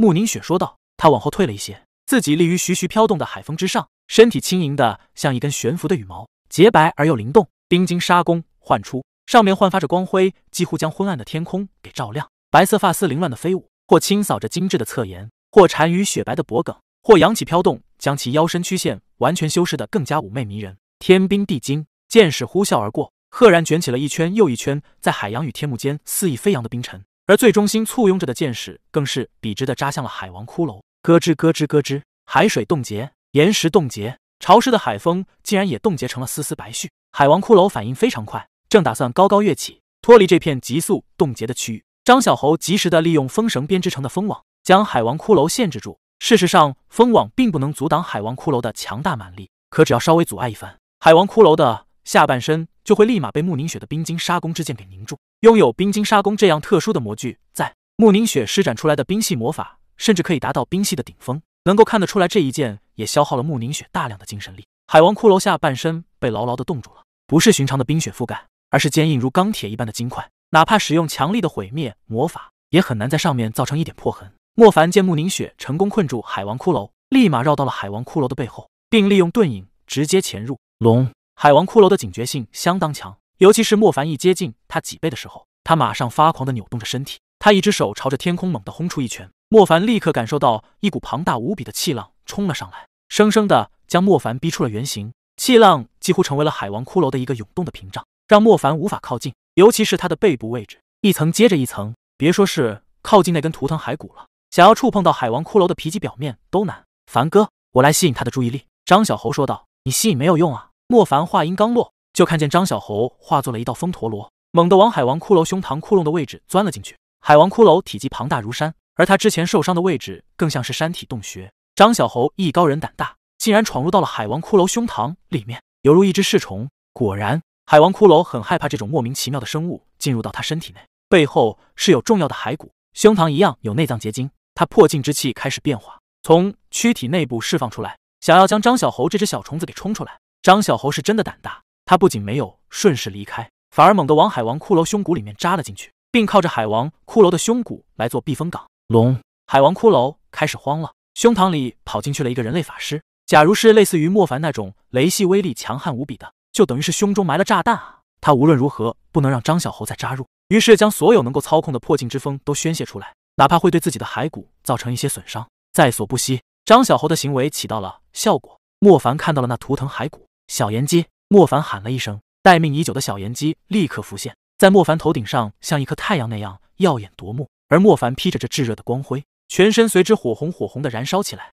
从血管。根骨到肌肉、皮肤，莫凡全部都由熔浆烈焰化成，宛如太阳之子，透着无穷无尽的炽热威严。几乎在莫凡化身火阎王的这瞬间，海王骷髅背脊上的图腾骸骨发出了红光，似乎滚烫发热了起来。海王骷髅是海水之身，魔气附体，破镜之风为势，哪怕是骨骸也沾满了亡灵的死气。偏偏脊背上的一根骨，此刻如熔炉中取出来的铁块一般，烧红烧红。如此更证明了蒋少旭的那番话。莫凡没有再犹豫，他索性跟张小猴一样。直接一头栽入海王骷髅的魔躯中。在平常，天火融不开海王骷髅这黑色的海水肌肤，但像莫凡这样直接化身为一块太阳烙铁，强行融化，气虚极弱的海王骷髅也未必可以一直招架。海王骷髅已经感觉到了背部发烫疼痛，他将手臂往后抓去，要把莫凡给死死的握住。这时，慕白和赵满言果断出手，他们强行挡住海王骷髅那魔武之臂，给莫凡更多的时间。厚厚的黑水背脊终于融开了，莫凡感觉自己都快要被天火被焚灭了。过去很少会用如此高的温度熔浆全合，莫凡一拳打向图腾骸骨的位置，黑水粘稠的海水肌肉阻挡住了。砰！莫凡并不气馁，再往同一个位置猛力轰出最具威力的熔浆全合。砰！第三拳，砰！第四拳，熔浆早已经溅洒到了四处。触碰到空气的岩浆之液，更是烧成了一串又一串火藤。四拳没有凿开，莫凡吸了一口气，又继续轰击。可以看到那图腾骸骨越来越烫了。它原本跟一块冰冷骨铁，没有生命，也没有活力，甚至带着几分邪性。可随着高温越来越近，这红色的骸骨仿佛自己就在释放热量，自己就在燃烧。海王骷髅的魔躯巨大，旗骨有上千块，唯有这带有图腾之印的骸骨，火红炽热，它几乎要脱离这死亡。冰冷邪恶的躯体，自我涅槃，自我飞天。第两千五百一十四章小白虎之威。之前溅洒到空气中的熔浆，烧成了一串串火焰长藤。此刻，这些火焰长藤统统被吸入到了那颗发红的骨骸里。图腾骨骸变成了烈焰包裹的蛹，烈火蛹膨胀，几乎从海王骷髅的背脊里面破出。昏暗的天空莫名的通红，浓稠的云化为了地狱岩浆之色，缓慢的搅动着，破蛹而出，赫然是一只全身赤色、头冠、尾尖、翅下全部为紫色羽毛的神鸟。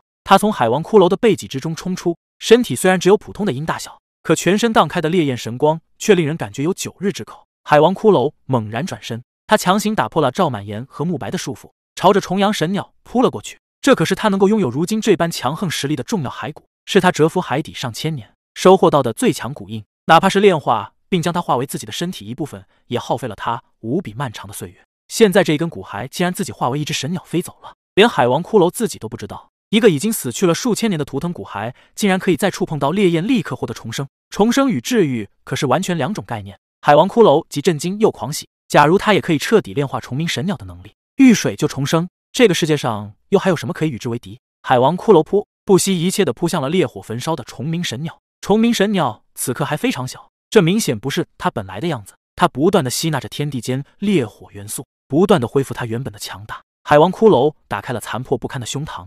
竟然将重鸣神鸟给完全包裹在了他黑色的海水身躯里，不然重鸣神鸟飞走，这家伙难道想将重鸣神鸟硬塞回到脊背？莫凡感受到了海王骷髅的癫狂。海王骷髅之前根本不知道这个骸骨还有千年重生的强大能力，给予他更多的时间，他绝对可以将这种神通也吞噬。这种情况下，海王骷髅如何不发狂？烈火或许很多地方不会拥有，可水却不一样，只要在海洋，就不可能没有冰冷的海水。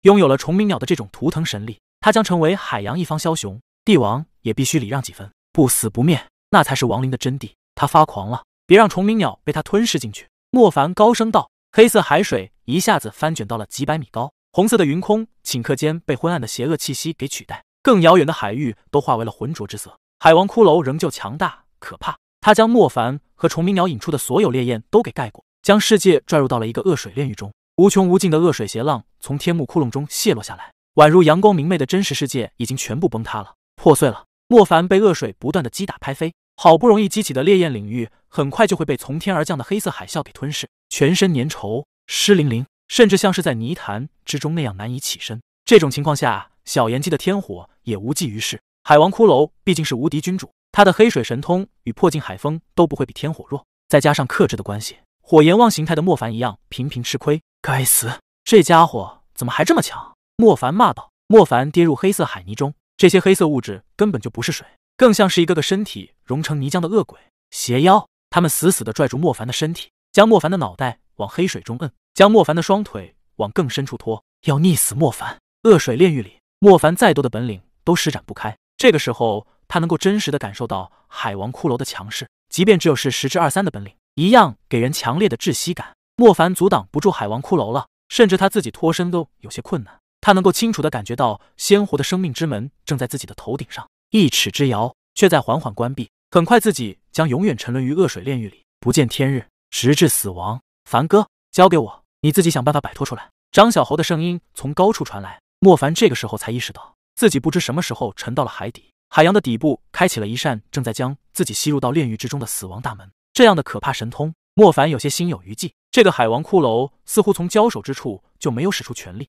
此时发力，要不是他的心思全在刚刚复活过来的虫鸣鸟身上，自己已经是个死人了。这种级别的生物，往后还是不要轻易挑战，太可怕了。莫凡现在自身难保，虫鸣鸟刚刚苏醒，力量明显没有恢复，就是一只雏鸟。张小厚离虫鸣鸟最近，他其实就在海王骷髅的胸骨位置搞破坏。见到海王骷髅强拥虫鸣鸟，立刻驾驭着风灵絮雨窜出。张小猴速度快，他竟然在海王骷髅裹住众鸣神鸟的时候，抓住了虫鸣神鸟。黑水翻卷，张小猴踩着化为大剑状的风铃絮雨，紧贴着那些黑色大浪的曲面急速滑行，堪比一名极限运动者挑战风暴之中的滔天海浪。海王骷髅愤怒无比，他的手掌高高抬起，赫然变成了遮天魔掌。轰！魔掌就是从天而降的黑色海啸，无论是重量还是力量。都足以撼动天地。海王骷髅此时更是毫无保留的使用魔力，要尽快消灭掉这些如苍蝇一样纠缠着自己的人类。张小厚在遮天魔掌下渺小无比，魔掌落下的速度却快得惊人。无论他逃向何处，都始终在海王骷髅魔掌的掌心。虫鸣鸟被张小厚抱在怀里，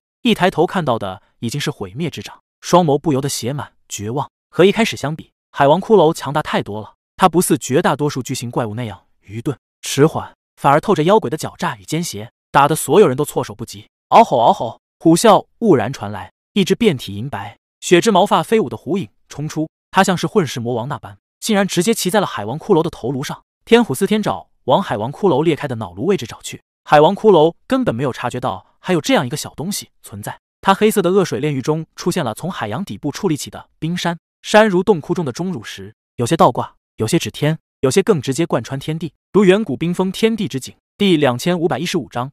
引向火山，小白虎穆宁雪有些讶异，这个家伙什么时候跟来的？明明是让他留在风山上。小白虎自从和穆宁雪签订了契约，其实也和之前没有什么区别，都是放养着的。他喜欢在风山中和月娥皇作伴，漫山遍野的搞破坏。穆宁雪也懒得过问一句，他若是出现在反雪山，鬼鬼祟祟被巡逻的人抓到，穆宁雪顶多就是让他到后院子里自己玩耍。只是这次穆宁雪明确交代小白虎在风山中逮着，谁知道他偷偷摸摸的跟了过来。现在也不是责怪小白虎的时候。况且现在确实出现危机，莫凡和张小猴都有生命危险，而穆宁雪自己却很难再拨剑。小白虎展现出了与平日截然不同个的风采，威风凛凛，神圣庄严。那双爪赫然破开了海王骷髅的脑袋，让他的面孔一分为二。海底的冰封就是他呼唤出来的一根根天地长矛，狠狠地刺穿海王骷髅巨型身躯。不可一世的海王骷髅忽然遭到重创，那本可以碾碎张小猴的魔掌出现了明显的崩解。张小猴找到了机会。抱着滚烫的虫鸣神鸟冲了出去，并迅速的升空远遁，防止海王骷髅再发狂。海王骷髅惨叫声如雷轰，他摇晃着身体，震断那些冰封，用破镜之风去攻击小白虎。小白虎一击之后，果然退去，狡猾而又灵巧。这家伙速度极快，就见到一缕白光飞射，紧接着小白虎已经落到了那一团黑漆漆的恶水炼狱位置。海王骷髅愤怒归愤怒，却没有去追小白虎，而是迈开步子朝着张小猴那里冲去。大海摇晃，张小。猴不愧是速度法师，这种时候展现出了他的优势。只要一心想跑，即便是无敌君主也未必可以将他留下。而小白虎抵达了莫凡的恶水炼狱，他扬起前肢，狠狠地践踏入黑色恶水中。很快，恶水开始结冰，从表面一直冻结到了海底。那些层层将莫凡包裹的黑色恶水终于停歇了，静止了，让莫凡有了一些喘息的机会。嗷吼！小白虎站在炼狱渊口，那虎脸俯视着底部的莫凡，似乎在说：“要不要虎爷拉你一把？”莫凡窜了起来。回归到了暖和明亮的世界，身上的天火这才又焚起。小白虎仰着头，一脸神气，宛如救世主那般等待着其他人的膜拜。你拽个屁！有本事给我把那个家伙给宰了！你是圣图腾的直系啊，海洋神族的克星！我们大家都拼杀成这样了，你才跑出来收割！莫凡毫不客气的骂道。咿呀呀！小白虎气的胡须都绷直了，成天混吃混喝，还不赶紧追上去灭了他！莫凡用手戳着小白虎肥嘟嘟的脸，呵斥道。小白虎狂摇头，那意思是。虎大王才不做出头鸟，要上大家一起上，你简直给圣图腾丢脸！别的圣图腾都是一人单挑这种货色的。莫凡道：“咿呀呀！”小白虎没脸没皮，根本不介意莫凡的讽刺，他就是一头小奶虎，不需要承担不符合自己年龄的责任。那你载我追上去。”莫凡说道。怎么尽是一些有自己小算盘的幻兽啊？阿帕斯是，小白虎也是。一听不要自己正面迎敌，小白虎这才答应。他幻化出了本体。赫然是一头看上去如天山冰雕一般威风凛凛的天痕圣虎，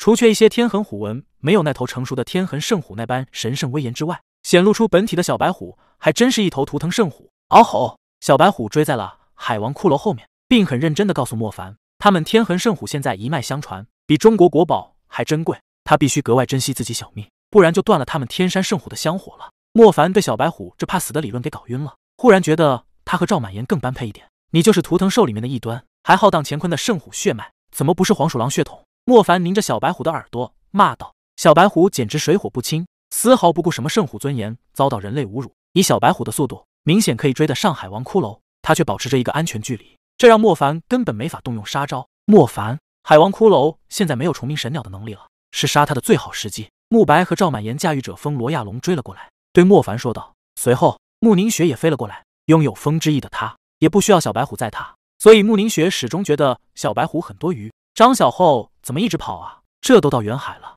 赵满言说道：“跑是好事，被海王骷髅抓回了重鸣神鸟，我们辛苦又白费了。就这样拉扯战斗，让海王骷髅追，我们在后面打。”莫凡说道：“可是现在的海王骷髅太危险了，假如他专注于杀死我们，我们根本顶不住。”赵满言有些害怕了。莫凡此时也异常头疼。火焰汪最强形态面对海王骷髅这样水元素生灵，真的起不了太大的作用。要想真的杀死海王骷髅，没有大杀招又不行。其他系的本领必须尽快跟上啊，不然面对海洋生物，自己很多时候都会像这样吃亏。引他去陆地，这样他的神威可以减弱大半。慕白说道。莫凡一拍脑子，对啊，在陆地上自己的能力就不会受到限制，而海王骷髅那个恶水炼狱也会大打折扣。猴子，引他去陆地。莫凡急忙用通讯器对在前面很远的张小猴说道。张小猴现在也很艰难，他根本不敢减速，甚至稍微改变方向都有些心惊胆战。后方海王骷髅简直就是一座张牙舞爪的海洋，庞大的身躯遮天蔽日，稍有停顿就会被吞没。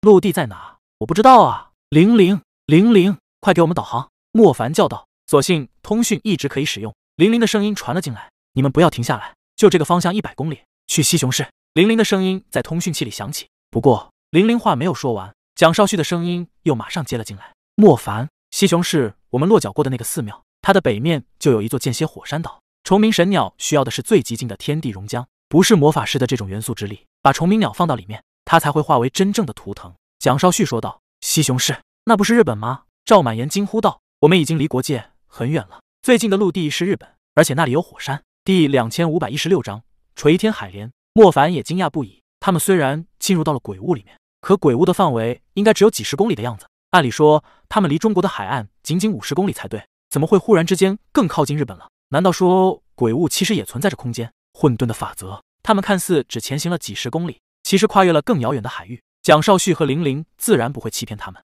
既然一路向东可以更快抵达陆地，就管不了是哪个国家了。西雄市在海平面上升后就被淹没了大半，那里的居民基本上迁徙到了更高的海拔陆地，所以不用担心会牵连那里的居民。玲玲特意提醒了几人，西雄市这个地方对莫凡、蒋少旭、穆宁雪、赵满言来说并不陌生。他们进行国府游历各国时。抵达的第一个日本城市就是这里。海洋看似无边无际，可他们这群人的速度都非常快，这场追逐战也没有停歇过。海王骷髅处在一种为众鸣神鸟痴狂的程度，他绝对不允许这原本属于自己的力量被这些人类给夺走。这个时候，海王骷髅受重创就体现出来了，他用尽全部力量，无论怎样翻浪倒海，都始终追不上最前面的张小猴。张小猴躲避能力又极强，海王骷髅挥打过来的力量大多数能够被他避开，即便实在闪躲不了。其他人也会相继出手，给张小猴一些可以摆脱的空间。且战且停，几人即便负伤，也必须咬着牙坚持，不让海王骷髅靠近众鸣神鸟。赵哥，接着，张小猴发现自己被破镜之风阻拦住了去路，急中生智下，将众鸣神鸟抛向了赵满言那里。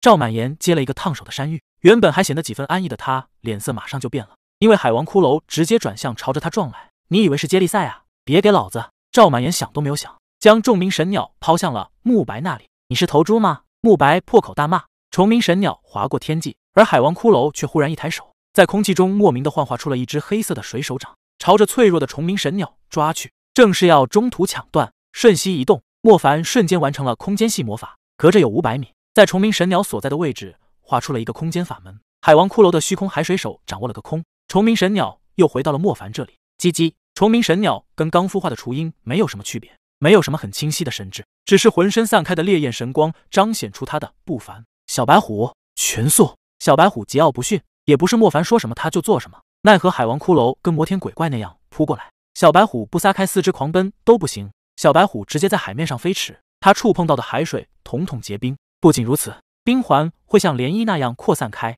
让后面的海水全部都冻结。从高空俯视下去，小白虎像是凛冬神兽降临大地，奔逐的过程在辽阔无疆的大海上拉开凛冬降临大地的舞台幕帘，而这些冰冻海域正好成为了海王骷髅这种驾水生物的阻碍。海王骷髅有些威能施展不开，压制力便没有那么可怕。小白虎在海面上如一束白光那样飞驰，它的耐力倒是相当惊人。莫凡在小白虎的背上，还能够时不时的往海王骷髅的身上来几道苍雷爪，尽管只能够给海王骷髅带来很轻微的伤痕。海王骷髅现在是无法再使用黑水治愈能力，这样磨的话是有一定效果的。还有多远啊？莫凡抬头望向远处，发现前方仍旧是波涛汹涌的海，完全没有陆地的迹象，这让莫凡有些头疼。海王骷髅的攻势不容小觑，稍有不慎都可能惨死。还有三十公里，马上就可以看到了。张小厚在海王骷髅的侧面牵制，不然海王骷髅靠近小白虎，海王骷髅还是过于霸道。他手臂往张小厚那里重重的一扫，威力骇然。生生的将张小厚给扫飞出了几公里远，张小厚跌入到海水里，激起了无数的浪花，身上的铠模具全部碎了，两只胳膊几乎抬不起来，稍稍一动就传来剧痛。猴子，你没死吧？莫凡的声音在通讯器里响起。没，没死，但胳膊可能废了。你们继续，暂时不用管我。张小猴说道。海王骷髅开始再度发力，他目标正是赵满言、慕白、慕宁雪三人。他似乎意识到，不将这几只绕在周围的苍蝇给捏死。很难可以追得上莫凡和小白虎。下一个遭到重创的正是慕白，他在防御的本领上确实要逊色。赵满岩是最为坚挺的，他接二连三的抵挡下海王骷髅的拳头重击。可海王骷髅也相当狡猾，他发现短时间内无法废掉赵满岩，于是直接袭击风罗亚龙。风罗亚龙虽然也勉强算是君主，可实力和海王骷髅根本不是一个级别。海王骷髅直接折断了风罗亚龙的翅膀，并将它狠狠地摁入到海水深处。没有了风罗亚龙。赵满岩在速度上就根本无法和海王骷髅相比了。海王骷髅一掌推出垂天海莲，直接将赵满言和慕宁雪一起挡在了后面，然后全力追击莫凡和小白。你追过去，我应该跟不上了。赵满言立刻对慕宁雪说道。慕宁雪背后整整有八只风之翼，面对垂天海莲，他只能够不断的升空，尝试着从垂天海莲的最上方越过去。可很快，慕宁雪就发现这垂天海莲拥有某种特殊的压制助力，越往上飞，反而觉得这垂天海莲越高。根本触及不到最顶峰，慕宁雪感到无比困惑。但他往下望去的时候，结果发现自己飞了身高上千米的情况下，竟然仍旧没有脱离海平面多远，犹如一座海洋天平会无限的拔高扩大，无论如何都难以跨越。无奈下，慕宁雪只能够强行击穿这垂天海莲，可这样就可能让莫凡一个人应对海王骷髅了。他的本领面对这样水元素生物，仍旧太勉强了些。第两千五百一十七章，毫无骨气。莫凡苦恼无比，明明不久前还是一个完整的团队。这会只剩下孤儿一般的自己了。海王骷髅穷追不舍，为了得到重鸣神鸟不朽的神力，他已经彻底沦为了一个癫狂的怪物。他双目死死地盯着莫凡，无时无刻不想将莫凡碾为粉尘。小白虎看到那座山了没有？莫凡说道。小白虎顺着莫凡指的方向狂奔，终于抵达陆地了。只是这里的陆地被海水浸泡了很大面积，许多参天大树的树冠都在水流中摆动。显然，这里原来是一片森林。小白虎身轻如燕，几乎是踏着叶片在。行走，海王骷髅暴怒，他忽然施展起了强大的妖力，身边的 所有海水赫然化为了一根根粗壮无比的手臂，这些手臂将淹没在水里的参天大树统统拔了起来，并一口气朝着莫凡和小白虎这里抛掷过来。一时间，漫天飞浪。更夸张的是，一座森林全部在空中高速砸来，树木带着泥土的根部都清晰可见。小白虎灵巧至极，它左躲右闪，不管古树砸击下来的力量有多大，古树数量有多密，它总能够寻找到一个完好的缝隙。从中穿梭，就好像所有的抛掷物在它的面前都是行动无比迟缓的。他在前行的过程中，完全可以找到最合适的路线。莫凡发现，这头小白虎一直在隐藏着实力，要没有他，想必自己也会像张小猴、慕白、慕宁雪、赵满言那样被海王骷髅给阻击下。马上到了，穿过了森林，地势开始明显升高，可以看到一座呈烟囱状的山峰就在五公里外。那些缭绕在附近的海雾一散，便看得格外清楚。龙，莫凡抵达这里的时候。原本是阳光普照，顶多一些潮湿的雾霭会遮住更远处的视线。可随着海王骷髅这么一声长啸，不知道又动用了什么可怕的力量，竟然生生的让西雄市的天空变得阴沉昏暗。黑云从莫凡前方直接涌了过来，可以清楚的看到云层如海浪那样翻滚着，带给人一种窒息感。轰轰轰，雷电劈落，几道片状的闪电完全就似天地之间飞舞的蛟龙，灵光闪耀，夺目无比。雷后马上就是倾盆大雨，莫凡眼前灰蒙蒙一片。那恐怖的雨水倾倒之景，甚至令人觉得自己不是步入到一座火山附近，而是踏入到了庞大无比的瀑布群中。天光被隐藏，水声震天，落下来的雨都带着强烈的冲击力，让人直不起身来。海王骷髅让晴空万里化为了暴雨浇灌，整个西雄市的天气随意这个无敌君主操控。幸好西雄市的人已经迁走了，不然这暴雨狂灾就会给普通人带来可怕的灾难。能不能把雨全冻了？莫凡问道。雨势太猛了，猛得让莫凡连西雄火山都看不见了。咿呀！小白虎扭过头来叫了一声，用一种非常怪异的眼神回答莫凡：“你骂谁呢？”莫凡没好气道。不过仔细一想，莫凡觉得自己也确实有点脑残了。要将这种雨势冻成冰，那岂不是漫天冰雹，一颗颗跟大鱼丸的冰雹这样不要钱的落下来？还是下雨好一点。莫凡转过头想看一看海王骷髅的位置，这一看却把他吓了一大跳。本以为海王骷髅只是在利用雨水的激烈来做阻拦，谁知道海王骷髅竟然在暴雨中凌空。他的身躯不再是由地面上的那些海水组成，正是源自于这狂烈之雨。背后没有了天空大地，唯有这样一个通天彻地的狂魔，不死不休的追逐着莫凡。倒吸一口气。海中王者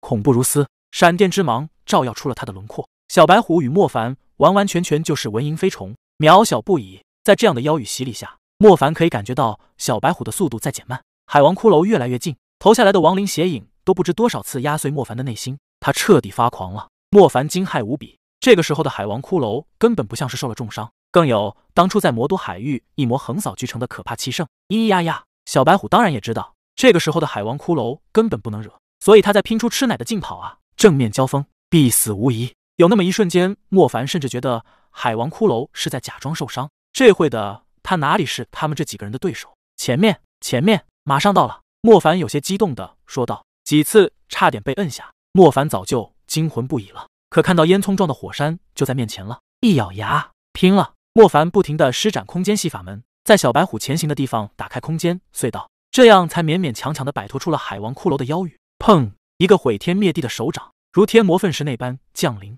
莫凡的开启的空间隧道，竟然被这股可怕的掌力给击碎了。小白虎发出了一声怒吼，被逼急了的他身上忽然间沐浴上了一层如烈焰一般灼烧的赤红之光。紧接着，小白虎撕开了毁天灭地的魔掌，冲出了海王骷髅这可怕一击。莫凡惊喜，小白虎也很猛啊！刚才他都以为自己死定了，顺着陡峭的山峦直奔。小白虎本身就是山与冰栖息的圣灵，在这样的高处，它反而不再受到妖雨的限制了。全身泛起的那古老图腾翅芒，使得它威风凛凛、神圣尊傲。他来了，莫凡身上就有伤，现在要他去硬抗海王骷髅是不现实的。吼吼！小白虎估计是彻底生气了，他面朝着从妖雨中横渡过来的海王骷髅，一副要迎敌的凛然架势。行，你帮我挡一下，我去火山里面。莫凡不敢犹豫，莫凡往山面上一指，岩石粉碎后重组。立刻化为了一只岩舟，踩在岩舟上，莫凡倒冲向火山山口，接近是飞驰。那些巨大的雨泉密密麻麻的砸了过来，每每击打在山面上，都会留下一个可怕的窟窿。莫凡一边用意念在阻挡，一边以岩舟 S 型闪躲上滑。密在莫凡怀里的虫鸣鸟似乎感受到了最纯净的火息，发出了兴奋的叫声。第两千五百一十八章引言复生。抵达山口，莫凡往下望去，却满脸的失望，没有火红火红的熔浆。里面是一个黑漆漆的大窟，尽管周围有很多火山岩，可那都不知道是多少年前遗留下来的了。不仅没有热量，反而带着几分冰冷，不会是个死火山吧？莫凡心里打鼓了，他现在可是一点增援都没有了。假如不能够唤醒真正的虫鸣神鸟，真不知道拿什么和不可一世的海王骷髅抗衡。但愿小白虎能够再多撑。莫凡正这样想着，忽然瞥见另外一个方向上，一头白色俊逸的虎影正以潇洒无比的奔跑身姿远遁而去。莫凡再一抬头。发现海王骷髅就在离自己不到一两公里的雨幕上，摩罗降临的既视感。这头没有一点节操的虎崽子，刚才还威风凛凛，圣王之气外泄，结果海王骷髅正面迎来时，他直接就一溜烟跑了。还天山圣痕白虎，简直是胆小如驴。这下最后的强援也没有了。莫凡看着枯竭的火山，有一种被逼到了绝境山崖的感觉。打那是不可能打得赢的。现在的海王骷髅真不比当初在魔都海域的时候弱。或许他无法维持这种暴君模型多长时间，可只要在这个时间里。把自己灭了便足够了。哗！天空一声巨响，海王骷髅似乎真的害怕虫鸣神鸟触碰到火山中的纯净熔浆，居然撕裂了黑云天，将一条白色瀑布龙给灌向火山口。别的火山那都是一泻如注，熔浆飞溅，火山灰弥漫世界，任何飞禽走兽不逃散都得化为灰烬。可西雄市的火山不仅没有如此气魄，反而还被倒灌瀑布，死炉里灌水，这是休想再有一点点星火复燃了。妈的，赌一把了！莫凡看到白色的瀑布龙马上就要冲入到火山口了，索性抱紧了众鸣神鸟，直接往下面黑漆漆的窟窿中跳了下去。黑暗里，莫凡坠落的速度很快，可怕的是他的脚跟位置正是瀑布龙的头。莫凡开始后悔了，自己这不是往一个死胡同里钻吗？海王骷髅有一万种办法可以弄死自己。密虫鸣神鸟却越发的兴奋，他甚至想要挥动着自己的小翅膀，可扬起小脸看了一眼莫凡，觉得还是坐莫凡这个黑暗跑车会快一些。背后刺骨寒意，更带着毁灭级的冲击力量。莫凡意识到，不管下面有什么，自己都会被打得粉身碎骨。火山窟窿很深，明明它的海拔不过两千米左右，可莫凡感觉自己下坠了不止这么点距离了。山的周围其实就是海。莫凡意识到自己很可能已经到地平线下面了。秘密，众鸣神鸟再也按耐不住了，他挣脱出了莫凡的怀抱，自己往一侧栽了进去。莫凡刚想要把他抓回来，可忽然触到了底部，没有及时止住的他直接摔了一个鼻梁骨折。更可怕的是，力量惊人的瀑布龙也打落了下来，顿时剧痛从全身传来，撞得他觉得自己每一根骨头都要碎了。寻常的猛烈撞击，那是一次震荡，可瀑布龙却是持续的宣泄。即便有恶魔体质的莫凡，也根本承受不住这样的瀑布酷刑，意识开始模糊。莫凡感觉身体已经不再属于自己可以支配的了，痛苦也再不相关。密密，众鸣神鸟的啼叫声若隐若现。瀑布冲击了很久，才终于放过了莫凡。众鸣神鸟扑打着翅膀，停落在莫凡几乎扁了的胸膛上。水填满了火山内部，几乎成为了一个窟窿湖泊。莫凡几乎没有生命征兆的漂浮在水面上，有些部位看上去就只剩下一张皮了。众鸣神鸟转过头看了一眼岩石壁上那因为碎裂开而溢出来的熔浆，滚烫滚烫，甚至在触碰到那些冰冷的水的时候，都剧烈的燃烧了起来。这种火红熔浆对虫鸣神鸟是一种巨大的诱惑。它现在飞过去，凿开那块厚厚的岩石，就可以立刻沐浴到最纯净的天然熔岩。神鸟复生，可他在犹豫。他此时更像一只红色的小麻雀，踌躇着。终于，他目光从那些火红鲜艳的熔浆中移，注视着莫凡几乎胸骨尽碎的胸膛。他轻轻一跃，原地蹦跶，然后往莫凡的心脏位置钻了进去。莫凡早就不成人形了，海王骷髅是带着杀意的，根本不给莫凡半点活路。胸骨碎裂，心脏破烂，这种情况下已经是一个彻头彻尾的死人，还是凄惨无比的那种。咚！可随着虫鸣神鸟钻入，莫凡破烂的心脏却跳动了一下，那声音在洞窟里格外清晰。咚咚！很快，莫凡的心脏又跳动了。不仅如此，他身体也轻微的挪了一下。渐渐的，莫凡身体开始有了行动。只不过他的动作看上去很古怪，不像是苏醒了过来，更像是一具没有灵魂的行尸走肉。也不知道是什么，正拖着这个残躯，一点一点的朝着岩浆溢出来的地方挪挪，缓慢的挪动。这要是被其他人看到，定然惊悚万分，以为是洞穴里的王尸在寻找肉食。偏偏他身体都烂成那个样子，继续在水中滑挪。终于，行尸一样的莫凡抵达了熔浆溢出的地方。他的手指头断了许多，手臂更几乎剩下一张皮，可还是伸了出来。犹如一个沙漠走干瘪至极的人用手山石中溢出的清泉。问题是，他现在接的熔浆滚烫、火红、泛着烈光的熔浆浇在他的手上，被艰难的捧起时，还从破烂不堪的手掌上溢出了大半。低头引入喉咙，滚烫的熔浆穿过喉咙，直接在莫凡的身体里炙热的焚烧起来。寻常人直接就焚成灰了，可是引入身体里的熔浆却宛如是莫凡的生命鲜血，炙热狂燃中，他的心脏在复苏，咚咚咚咚咚。心脏蓬勃剧烈的跳动着，是旺盛的生命旋律。与此同时，鲜红的熔浆液体凝固，重塑出了他的骨骼来：胸骨、脊骨、肩骨、腿骨，再到更细致的骨骼。第两千五百一十九章虫鸣神火，就像是一个钢铁熔炉，将那些粉碎掉的金属物质全部融成了炙热的液体，随后又倒入到一个完美的骸具中，重新锻造出来的，赫然是一具极具力量感的人形骨骼，宛如圣光烈日下被神辉笼罩着的艺术神像，透出至高尊贵。无尽阳刚。很快，那些冷却在莫凡身体里的熔岩，又渐渐的化作了血与肉，让这具烈焰神形身躯变得更加丰满，更具生命力。最后就是那双眼眸，从之前那死一般的无神空洞，到现在如火珠一般释放着耀眼夺目的光芒。千锤百炼之后才具备的无坚不摧的神韵，强大与自信不加掩饰的流露。皮肤火红，血管鲜红之液流淌，清晰可见的由心脏输送到全身，而每一寸肌肤都像是拥有成百上千个火山气孔。只需要稍稍一紧绷肌肉，便会有赤火从中涌出，流淌成一件堪称完美的鲜红铠衣，紧紧的贴在皮肤上。又或者这滚烫、烈红、光滑、坚毅的赤绒，便是他的新肌肤，焕发着孤傲如火焰神明的威严气息，尊贵的令人不敢亵渎。莫凡从一种懵懂的状态中醒来，只是全身的这种充盈着磅礴炽热之力的感觉从未有过，真实无比，却又相当突兀，难以理解。龙忽然，头顶上方大概有一千米的高度。一颗全部由黑色血水的骷髅脑袋朝着这个火山内部发出了一声咆哮，愤怒、残暴，充满邪力。莫凡这才慢慢回想起来，自己为什么会在这里？可他意识还清醒的那一刻，就是无穷无尽的瀑布冲击，不仅打散了自己的身体，还击散了自己的灵魂。为什么忽然间自己像做了一场梦那样完好无损的从这个洞窟中醒来？虫鸣神鸟呢？莫凡忽然间想起这个问题，可不知是自然反应，还是有特别的呼唤，心脏在此时剧烈的跳动了一下。莫凡隐约听到了一声之前在耳边缭绕的清脆啼叫声。莫凡猛然捂着自己心脏，那股热量强大到像有一个庞大的神圣火炉，不停的在自己胸腔之中燃烧，释放着无穷无尽的烈焰炽力。原来那种强大不是心里的一种暗示，是他的确来自于心脏。虫鸣神鸟，他化为了自己的心脏。莫凡有些不敢相信，他看了一眼自己面前裂开的石缝，看着里面如泉水一样冒出来的熔岩。为什么？明明他可以沐浴熔浆，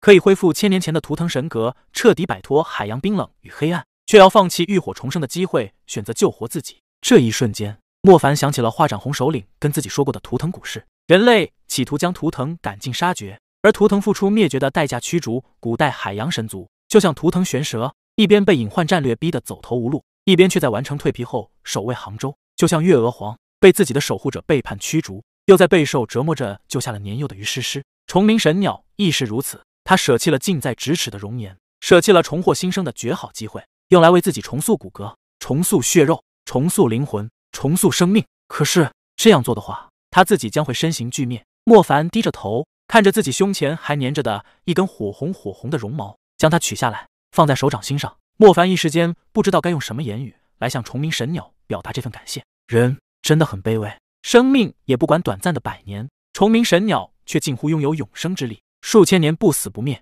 触火治愈，预言重生。他以神格换来自己这肉体凡胎，这或许就是人永远是人，神明便是神明吧。当然，莫凡非常清楚，虫鸣神鸟要救的不单单是自己，他要救的是那个勇于与海王骷髅抗衡，期望着用自己力量换取魔都平安无事的人。所以，这份遗愿，莫凡无论如何都会为众鸣神鸟实现。莫凡仰头目视着头顶上方那颗巨大狰狞的血水骷髅头，贪婪、残暴、冷血而又野心勃勃。无论古代海洋神族背后还有多少阴谋。今天就先斩了这无敌君王，祭奠那些死在海妖手上的古代图腾和前些日子战死海域的勇士们。虫明神火赤之力神之火，这是莫凡第一次没有炼化的情况下获得天级火焰。可莫凡可以清晰的感受到众明神火的强大，心脏就是一个磅礴生机的神炉，只要心脏不死，源源不断的烈火天芒便会输送给自己这双手。正如踏入超阶时的另一种境界，力量源自于自身，不再是媒介，不再是呼唤什么元素精灵。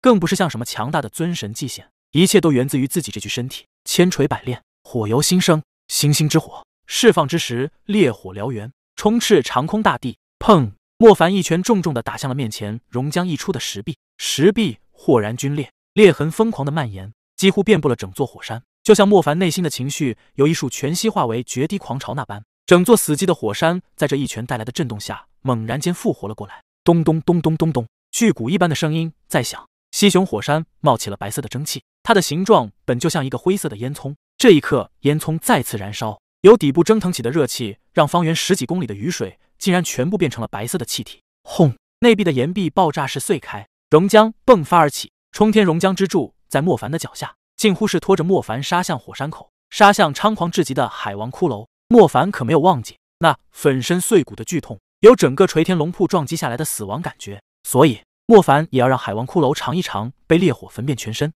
然后一点一点化为灰烬的滋味。给我去死！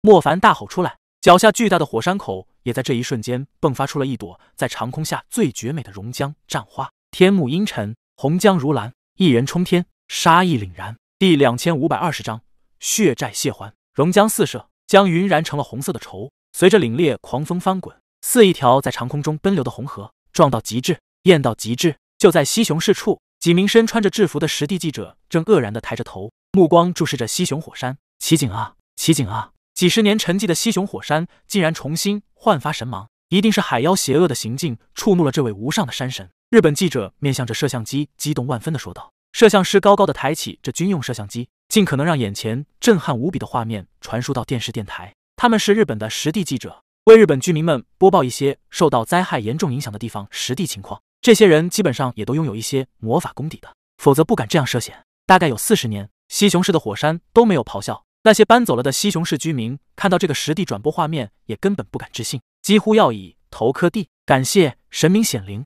伟大的西雄山山神，请无论如何都要保佑天皇子民。网络上陆陆续续有人开始跟随着这个危险的实地转播发出言论。喂，你们大家难道没有注意到高处的云雨上有个阴影，很像骷髅吗？还真是，那云骷髅，天哪，好巨大的骷髅！那是什么妖魔啊？从没有见过。很快，转播画面一些眼尖的人注意到了海王骷髅。记者离得过远的缘故，起初日本民众都没有意识到云雨中竟然有一个狰狞魔物。这让那些还在祈求山神保护的日本民众吓得浑身发冷。你们看，那里是不是有一个人？再近一点，麻烦再靠近一点。我们看到了一个人，那一定是西雄火山山神的化身啊！火山口处，熔浆狂涌，几乎感觉不到它停歇的迹象。熔浆火幕与漫天妖雨激烈的在空中碰撞，天地不断震动，白昼在轮换，一个是至邪，一个是至阳，一个是水，一个是火。骷髅与人凌空激战。这画面一直被日本记者的摄像机传输到电视台和网络上，而日本那边终于有人认出那骷髅是在魔都海域上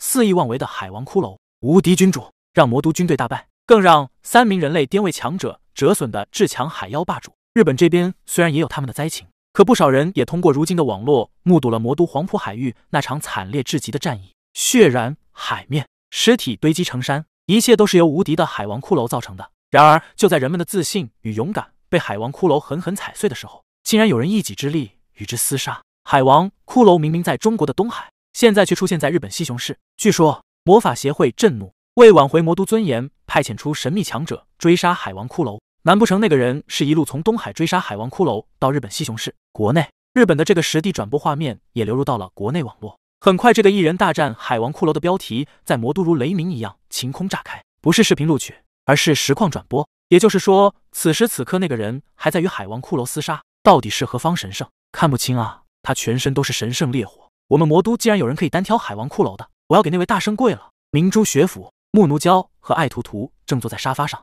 他们两个无数次定格，就为了捕捉那长空中快如红色闪电的人影。过了半天，爱图图合上了嘴，用一种自己都很怀疑的语调问木奴娇：“大魔王的体格，你应该是最熟悉的吧？你说那个人是不是他？肯定是他。”木奴娇极其肯定的道。但说完之后，他忽然间意识到艾图图的话里带着别的意思，脸一下子就通红了，含羞的瞪了一眼艾图图。自己和莫凡清清白白的，只是那个烈火狂人真的很有莫凡的神韵。议长，合适？看这个，秘书递来一个平板电脑，让少正议长观看这个画面。少正议长眉头起初是紧锁着的，可当他仔细看清其中的情景后，神情渐渐变化了，眼睛里甚至闪烁起了光泽来。是他，是莫凡。少正议长道。他的火系修为何时到了这种地步？秘书惊讶至极道：“他从来不会让人失望。”少正议长脸上露出了笑容。不过，少正议长此时也心有余悸，因为从画面中可以看出，海王骷髅身上的伤并没有想象的那么严重。说他只有十之一二的能力，绝对是错误的估算。而在这种情况下，莫凡竟然可以与他正面厮杀。莫凡这个家伙究竟又获得了什么机缘？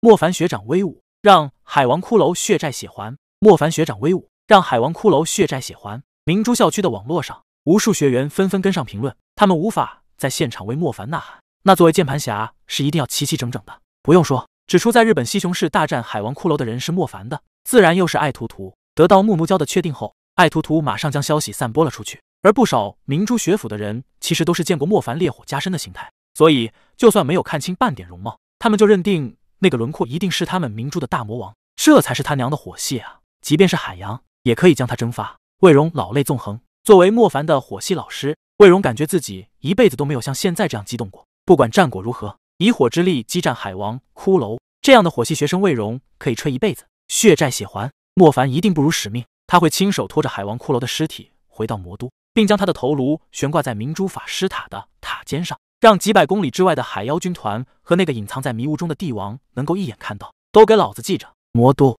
不是你们的牧场，敢来进犯就必定付出代价。无论是无敌君主。还是深海帝王第两千五百二十一章尊严宣战。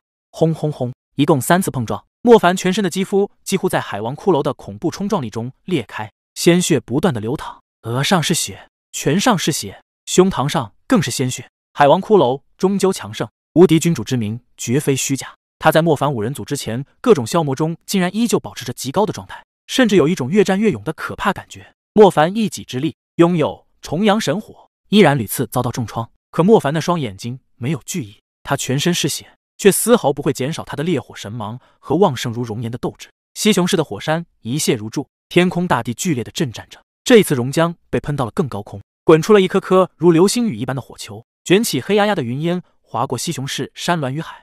莫凡就立于这样的熔浆烈雨中，一滴没有化火的熔浆液体正好落在了莫凡的额前，破开几条痕的额头，在触碰到这样的岩液后，立刻以肉眼可见的速度在愈合。莫凡的心脏也随之剧烈的跳动，朝着他的头部输送出更加旺盛的生命之血。余火浇灌在莫凡的身上，溢在手臂上的血液瞬间变成了染料，炽热至极的焚烧起来。可这个焚烧的过程却让他的手臂骨骼迅速的恢复原状，胸膛烈焰几乎燃烧成了一件鲜艳的铠甲。衬托着格外平静的莫凡，妖雨遮天又如何？不减神火狂浇。现在我有浴火治愈，而你失去了血水重来的本领，还怎么和我斗？莫凡恢复如初，海王骷髅胸腹的巨大窟窿却再也无法填补。他虚空一踏，如霞光穿梭过雾霭，直取海王骷髅的内脏结晶。海王骷髅再一次重重推动海洋，形成了一道垂天海帘。在看到莫凡浴火治愈的那瞬间，海王骷髅便彻底癫狂了。他绝不会想到自己的宝藏最后落到了这个蝼蚁一般的人类身上。那是属于他的神通，这个卑微弱小的人类又有什么资格窃取？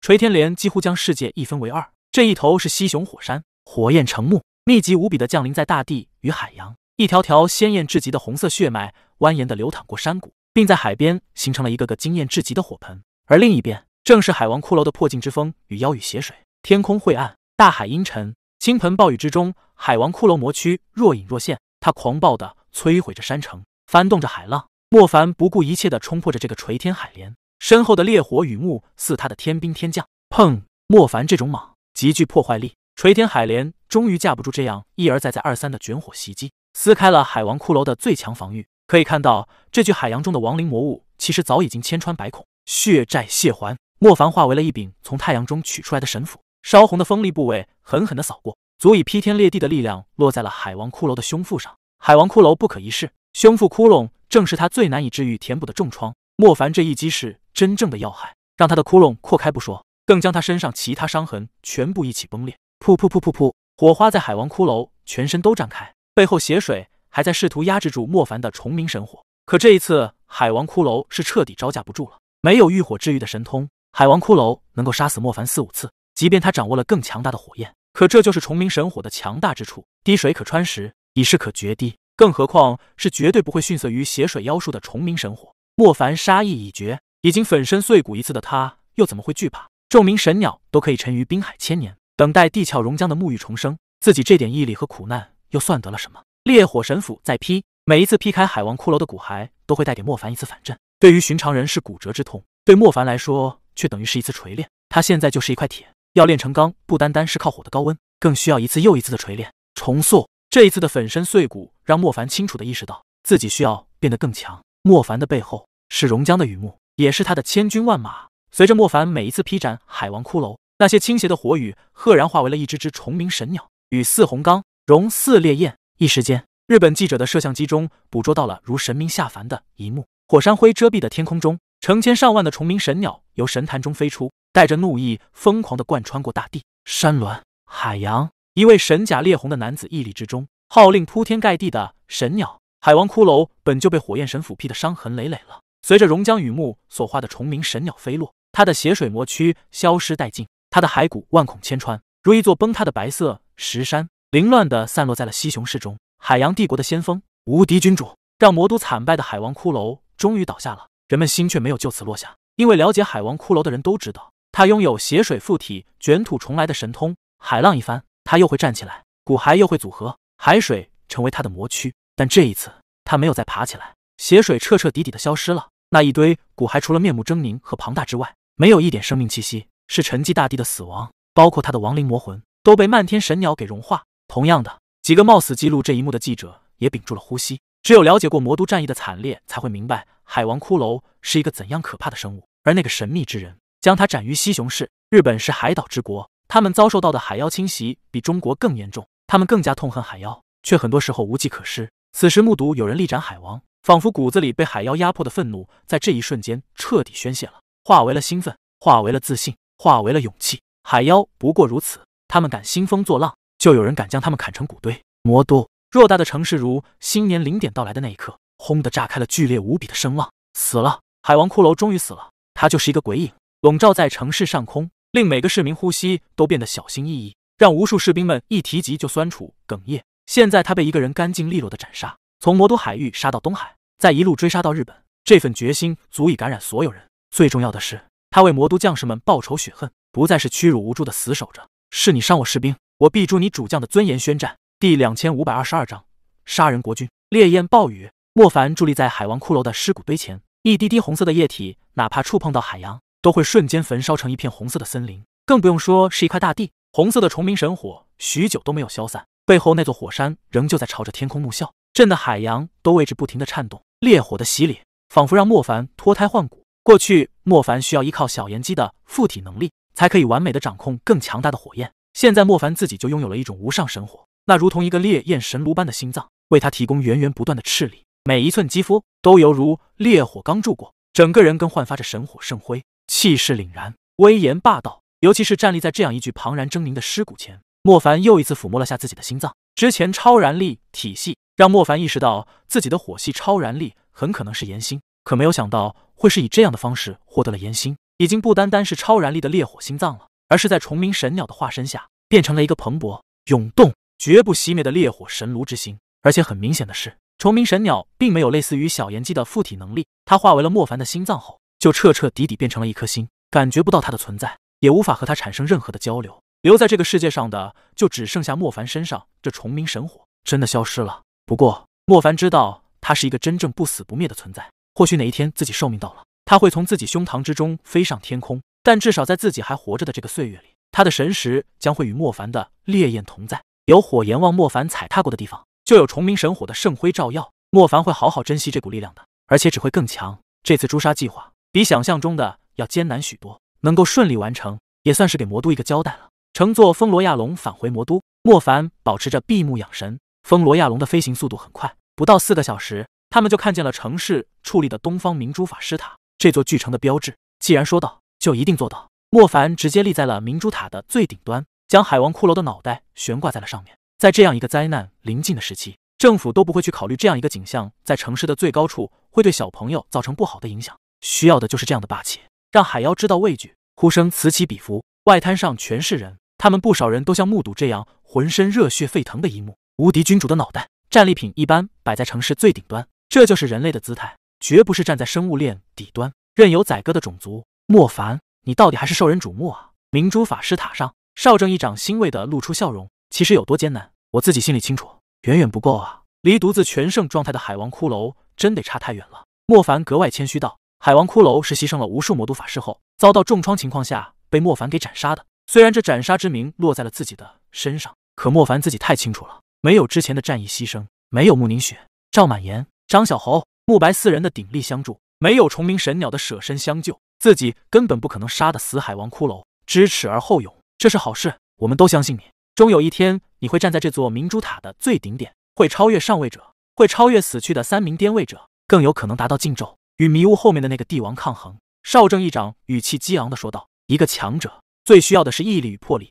莫凡拥有坚韧不拔的毅力，更具备很多强者缺少的魄力。不是所有强者都敢去斩海王骷髅，哪怕他们有些人实力并不逊色。所以这份荣耀属于莫凡。”少正更加坚定的相信自己这一次没有选错人，他没有让自己失望，更没有让魔都失望。有些荣耀，在你真正获得它的时候，往往带来的不是如浪一般冲撞过来的欣喜与激动。这次斩杀海王骷髅。得到了魔都的众人拥戴，莫凡内心却非常的平静。毕竟荣耀从来不是唾手可得，也不是幸运随机。每一个所达到的成就与荣耀，都注定要付出只有当事人自己才清楚的艰辛与磨难。而且这一次等于是站在巨人的肩膀上砍下了海王骷髅的脑袋，他要将自己实力再度提升，提升到可以凭借着自己的力量将全胜的海王骷髅斩杀。不知道为什么，拥有了重明神火之后，莫凡觉得自己离这个目标并不会太远了。这悬挂起来的骷髅头颅对海妖军团产生了极强的震慑作用。首先就是长江的渡江妖，完全不敢在长江两岸作乱了。其次，东海海妖的侵略步伐也明显变缓一些。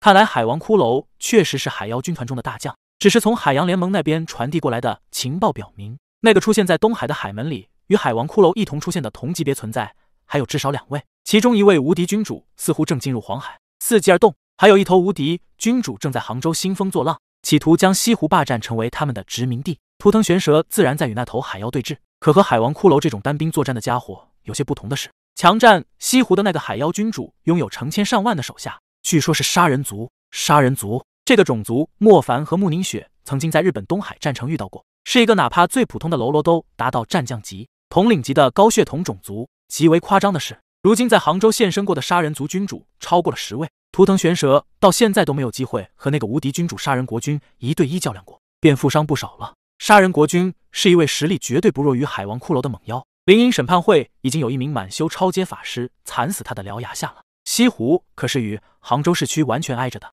根本就没有任何防御堤坝。若西湖真的被攻占，杭州城才是真正的人间炼狱了。第两千五百二十三章圣徒系列，莫凡的五人小组经历了这次对抗海王骷髅，每个人都意识到了自己的实力不足。大难当前，暂且不说挺身而出的这个问题了，能不能自保都需要足够硬的实力。连赵满言这种懒惰成性的，竟然都开始发狠的修炼。寻找变强的方式，穆宁雪没有在魔都逗留太长的时间。无论是飞鸟基地市还是反雪山，情形都非常不乐观。不如我先和你回反雪山。莫凡还是担心穆宁雪，怕他们顶不住海妖带来的巨大压力。穆宁雪却摇了摇头。飞鸟基地市海域中出现了一种生魔海妖，暂时没有多少人看清他们的真面目。但除了起初整个城市陷入一种过度沉睡的状态后，并没有发现这些海妖有大举进攻的迹象。看得出来，这些海妖还在试探，还在等待。反雪山拥有那些月娥皇这样特殊的存在，其实是蛮克制这种催眠海妖的，所以他们可以顶得住这次袭击。穆宁雪打一开始就没有期望将莫凡捆绑在反雪山，他本来就是一个不喜欢拘束的人，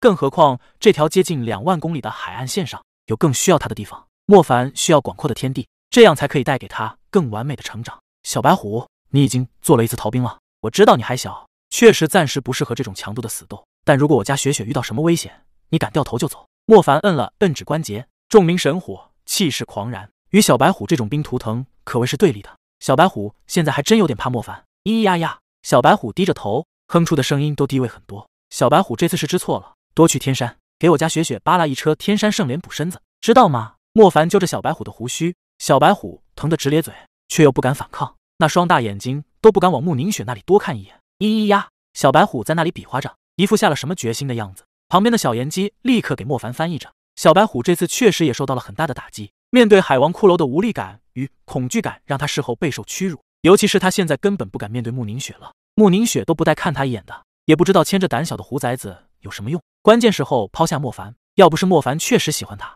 穆宁雪已经想解除契约了，灵魂受创也无所谓。你要回天山修行两个月，一定会修成正果，然后带着一车天山宝贝回来谢罪。行了，行了，我们都知道你年纪小。海王骷髅这种级别的把你吓跑了，很正常，就不要咿呀呀呀！小白虎自尊心受到打击了，很严肃的叫了起来。小白虎表示，他之所以不敢和海王骷髅较量，是因为他还有一道天痕考验没有完成。等完成了那项天痕考验，他绝对回来报答海王骷髅。行，那等你强势回归，莫凡准了。小白虎确实和真正的图腾圣兽还有一些差距，莫凡也看得出来。想来正是贪玩、懒惰、逃避那项天痕考验。才溜出了天山，跑到人类的城市里玩耍，不愿意回去。可这一次，小白虎是主动回山，接受真正的白虎圣兽的考验。如果他能够完成，相信真正的图腾圣兽之威便会展现。对抗海妖需要图腾的力量，尤其是图腾圣兽血脉的。莫凡并不觉得小白虎的逃跑是坏事，就像一个贪玩的男孩子，从来就不爱学习，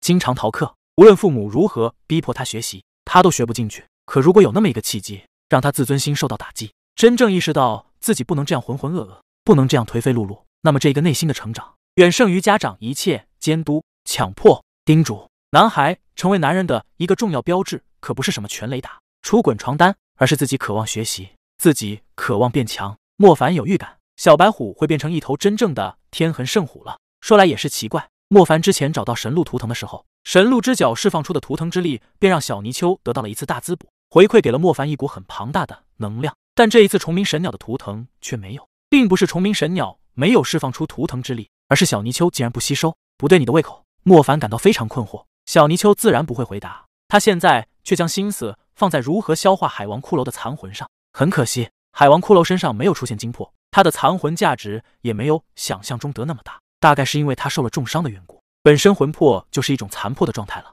看来还是得手刃啊，像这样残血收割，很难爆精魄的。莫凡特意去询问了玲玲。现在要想让其他系也陆续成为超阶，最直接有效的办法就是像上次寻找神鹿之角那样，直接从神鹿之角这里获得那股图腾之力。土系、混沌系、召唤系都没有达到超阶，我觉得是圣兽血脉的缘故。玲玲很认真的分析道：“现在我们整理出了几个圣图腾系列，第一个是霸下玄蛇敖父这个圣图腾系列的，所以赵满言在找到敖父的时候获得了图腾之力，而你没有。第二个月娥皇神秘羽毛虫鸣神鸟这个图腾系列的，这三个图腾，除非像虫鸣神鸟这样直接成为了你的心脏。”不然你的半生器皿是无法吸纳他们的图腾之力，从而解开封印。第三个是天痕圣虎昆仑族虎系列的，第四个神鹿之角系列的。很明显了，你的半生器皿是属于神鹿之角系列的。玲玲盯着莫凡的胸膛，和莫凡相处这么久了，玲玲现在大概也能够猜测到莫凡身上有这么一件相当神秘的器皿。这是莫凡在多修炼那么多系的情况下，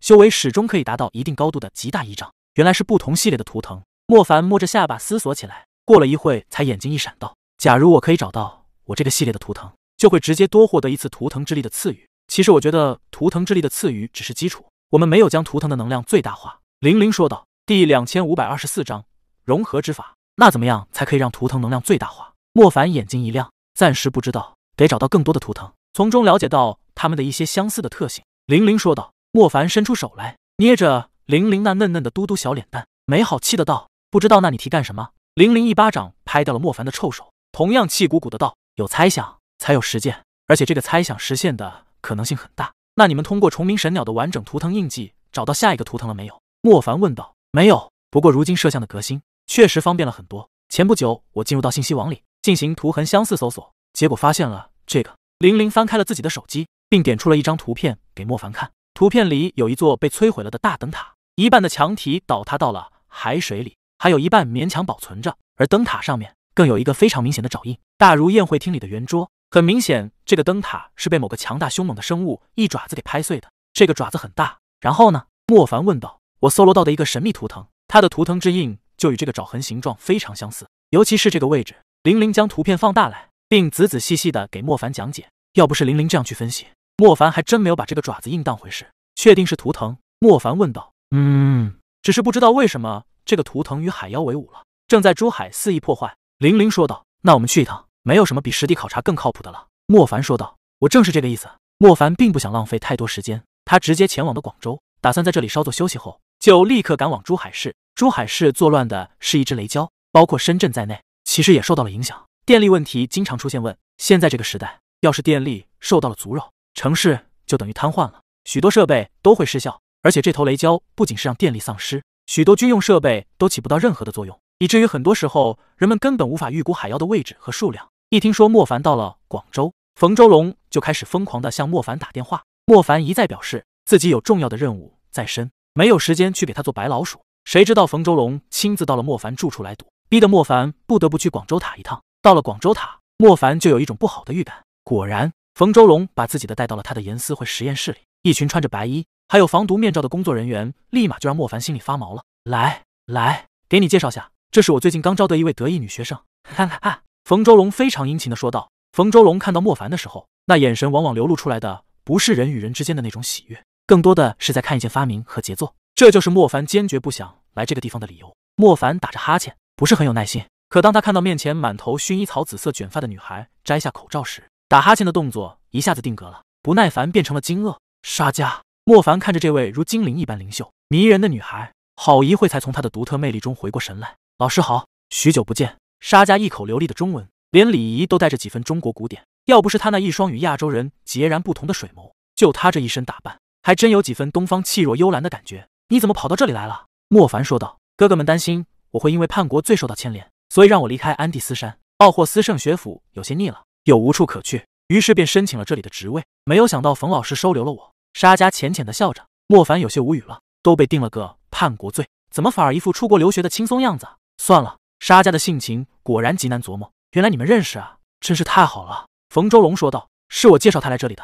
本来当时随口一说，没有想到他真来了。”莫凡伸出手摸了摸沙家的小脑袋，沙家也不躲，一副很乖巧的样子。只是他那双平静中透着睿智的眸子，却可以明显的感觉到，一点都不像是个正常的女学生。原来是这样，那我更应该好好感谢你了，莫凡。你知道吗？上天赐予了我两件非常宝贵的东西，一个是沙家的大胆智慧，还有。海妖的降临，冯周龙激动的说道。莫凡满脑子的问号。嗨嗨，前一个我可以理解，毕竟沙家确实是个天才。他在奥霍斯圣学府学识超过了一些所谓的教授，但后面那个我没懂。莫凡说道：“资源啊，过去很漫长的岁月里，我们都是在陆地，几乎想尽一切办法将陆地上能够利用的资源都开垦了，到最后也只达到了现在的魔法文明。可海妖的到来虽然是一场大灾害，但同时也向我们人类魔法领域开启了一扇新的大门。因为稀有的海洋物质，使得过去我们无法尝试的魔法研究现在可以实现了。”冯周龙说道。莫凡使劲的点了点头。然后淡淡的道：“行行，这些东西你们可以多聊聊。我是一名战斗人员，更关心的怎么提升自己的战斗力。我还有别的事情，先走了。沙家同学，你要乖乖听话，多向冯周龙同志学习。喂喂，你能不能听我把话说完？”冯周龙气的不行，有一种满脑子里面想法无法倾诉的憋屈。我真的很忙，不出意外，我可能要去涂胶。莫凡很豪气的说道：“可你是他对手吗？试一试就知道了呀。”莫凡边走边说道：“我有办法成倍的提升你的实力。”冯周龙对莫凡说道。莫凡马上停住了脚步，但没有走回去。莫一凡导师，经过我们的共同努力，融合魔法已经不是单纯的理论了，但需要一个尝试者。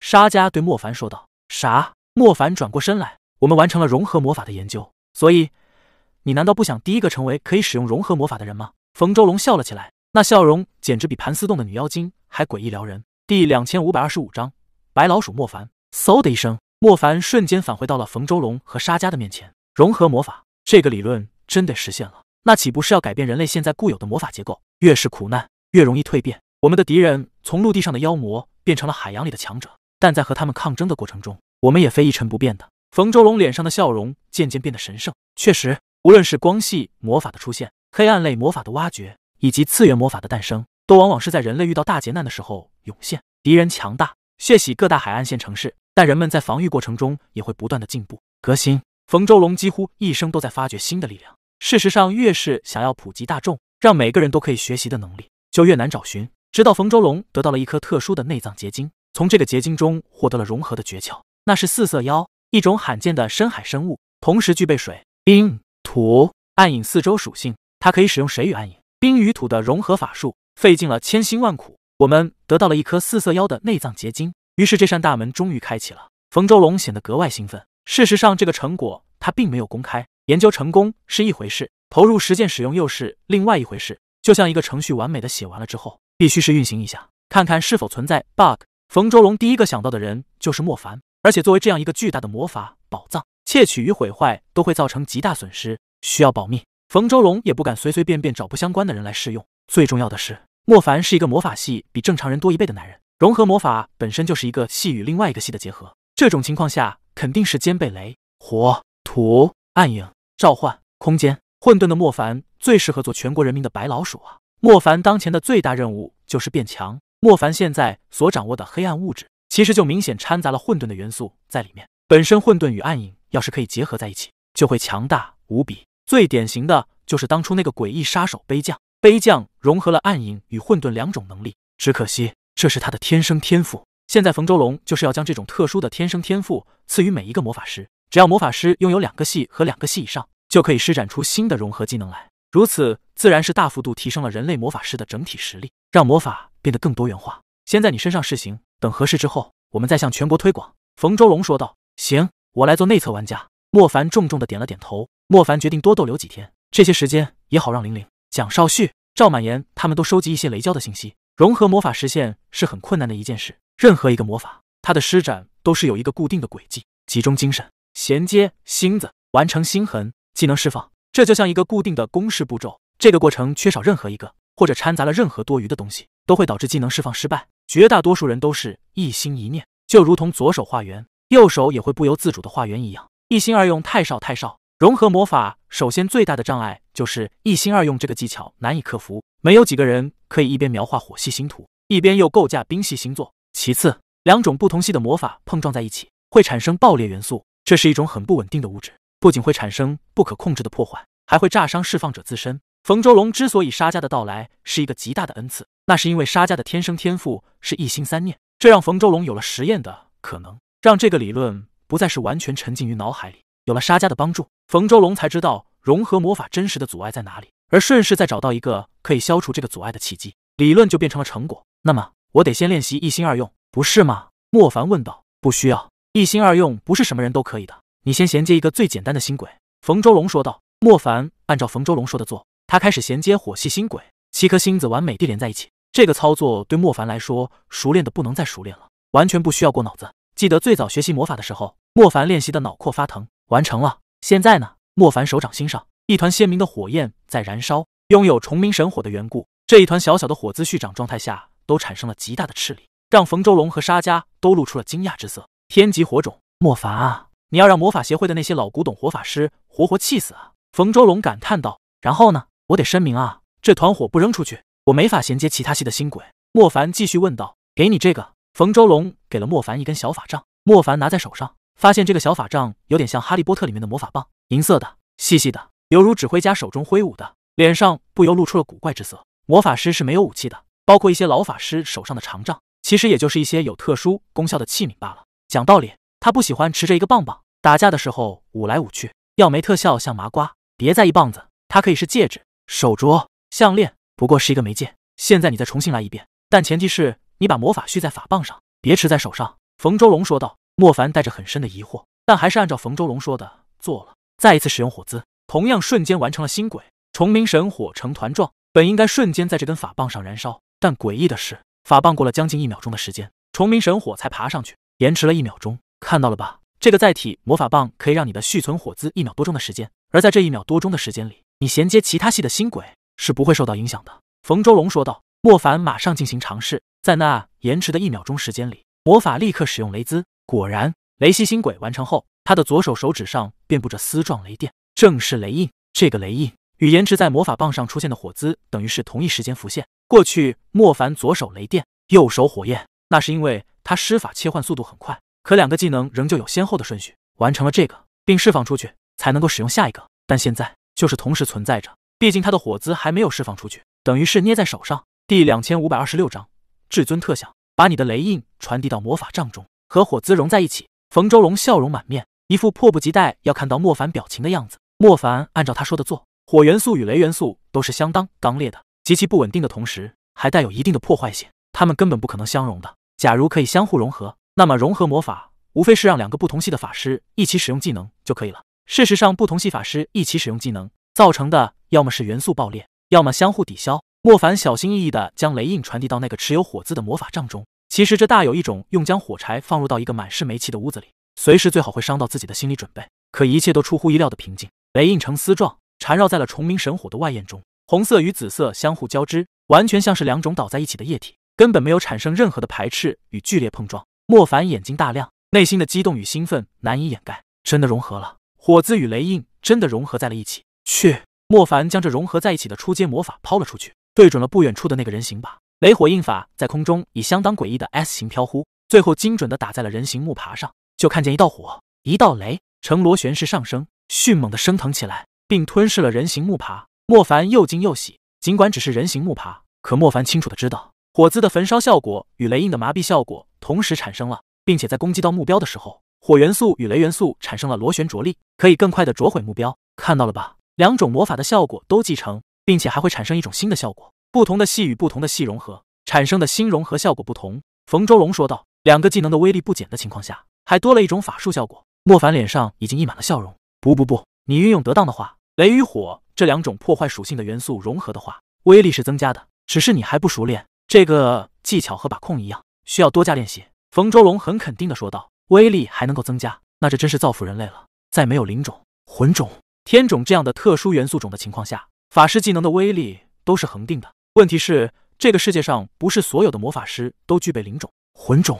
融合魔法。一旦普及，所有中阶以上的法师都变强，还是不占用任何资源的前提下，了不起！这绝对是最了不起的研究了。难怪冯周龙说他将会让这个稳固的魔法时代再向前迈出一步。我知道你不喜欢法杖，回头我帮你把它变成一副手套。冯周龙笑着用手抚摸着莫凡身体，看待那个心爱白老鼠的慈爱眼神又出现了。设计的帅一点，不过。你这个融合载体会贵吗？假如造价昂贵，不是所有人都买得起，那还是很难普及。莫凡说出了自己的担心，就像修魂器皿，这是每一个法师都想要的宝贝，可以成倍的提升修炼速度。可修魂器皿贵啊，要造出一件修魂器皿，需要稀有精魄，需要完美器皿，需要成熟技术。你放心，我是造福人类的，不是靠这个发财的。相信我，再给我一些时间，我会让所有魔法师不花费一分钱的掌握这个融合技巧。冯周龙如一位伟人那样，双手叉腰。莫凡老师，其实不管是手套、法杖，亦或者戒指，融合魔法需要的只是一个载体。这个载体，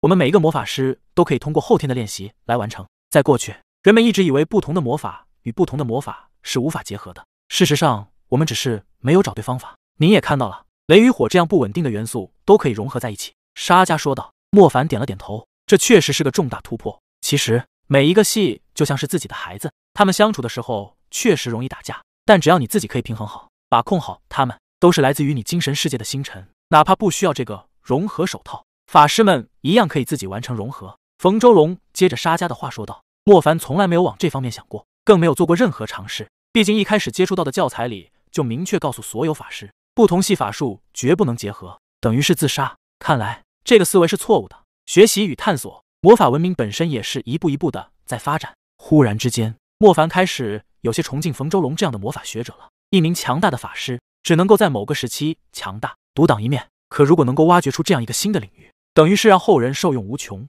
当然，莫凡也很荣幸成为第一个拥有融合魔法的人。莫凡也相信，过不了太久，会有更多人掌握这个能力。冯周龙说到做到，他连夜进行改造。将那个莫凡一点都不趁手的法杖给变成了手套，应该是有沙家做把关。这个手套还不是那种丑而老旧的皮手套，是那种非常有格斗风、时尚感的半截手套，材质非常舒服，基本上一直戴着也不会觉得有什么不适。老冯，还有吗？我送给我身边的朋友。莫凡露出了笑容。本来拥有了众明神火，莫凡的自信心增长了许多，现在又具备了融合法术，顿时有种天下任我行的感脚。没有了，本来我们就没有打算用载体，等我们完善了所有的流程后。就会开始推广一种融合修炼方法。现在这个融合手套等于是给你先使用，尽管不可能出问题，可既然要交给祖国花朵的技巧，总得有人先把一些地雷 bug 给排了。冯周龙说道。莫凡汗颜，到头来还是白老鼠，而非内测至尊 VIP 特享待遇。对了，你可以用融合魔法，但为了防止黑教廷那样的残渣前来破坏，融合法门是机密，你最好别透露给任何人。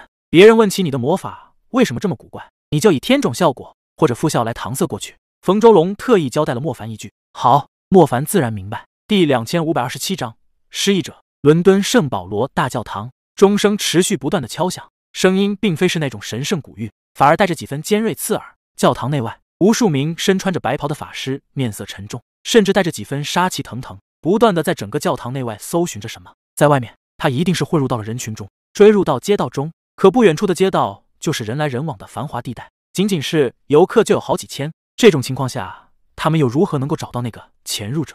一番搜寻，最后白袍法师们只能够作罢。游客群中，一名身穿着旧夹克的中年男子，他有些茫然的往圣保罗大教堂的区域走去。干什么？一名白袍法师质问道。参观，我是来参观的。中年男子露出了平和的笑容。没看见这里已经封锁了吗？再靠近一步，信不信我马上将你逮捕？那名白袍法师愤怒道。中年男子无奈，只能够退到了后面，摇了摇头。本以为英国人是很绅士、很有礼貌的，看样子并非如此啊！莫嘉欣打开了自己的手机，走到了一个人比较少的巷子里，打算寻找下一个旅游地点。他按照穆卓云说的，到国外去逛一逛。谁知道刚到国外没多少天，国内就发生了大事情，许多航班都取消了。无奈之下，莫嘉欣只能够留在英国了，等航空再一次开启才能够回去。好在英国这边，穆卓云也有一个小会所，是用来出口金胶石的，也是反雪山的一个重要宝矿。莫嘉欣自己又不做生意，帮不上什么忙。只好四处溜达。大大大高跟鞋的声音从身后传来。莫嘉欣本来没有太去在意，谁知道那高跟鞋女人直接往自己这里靠了过来。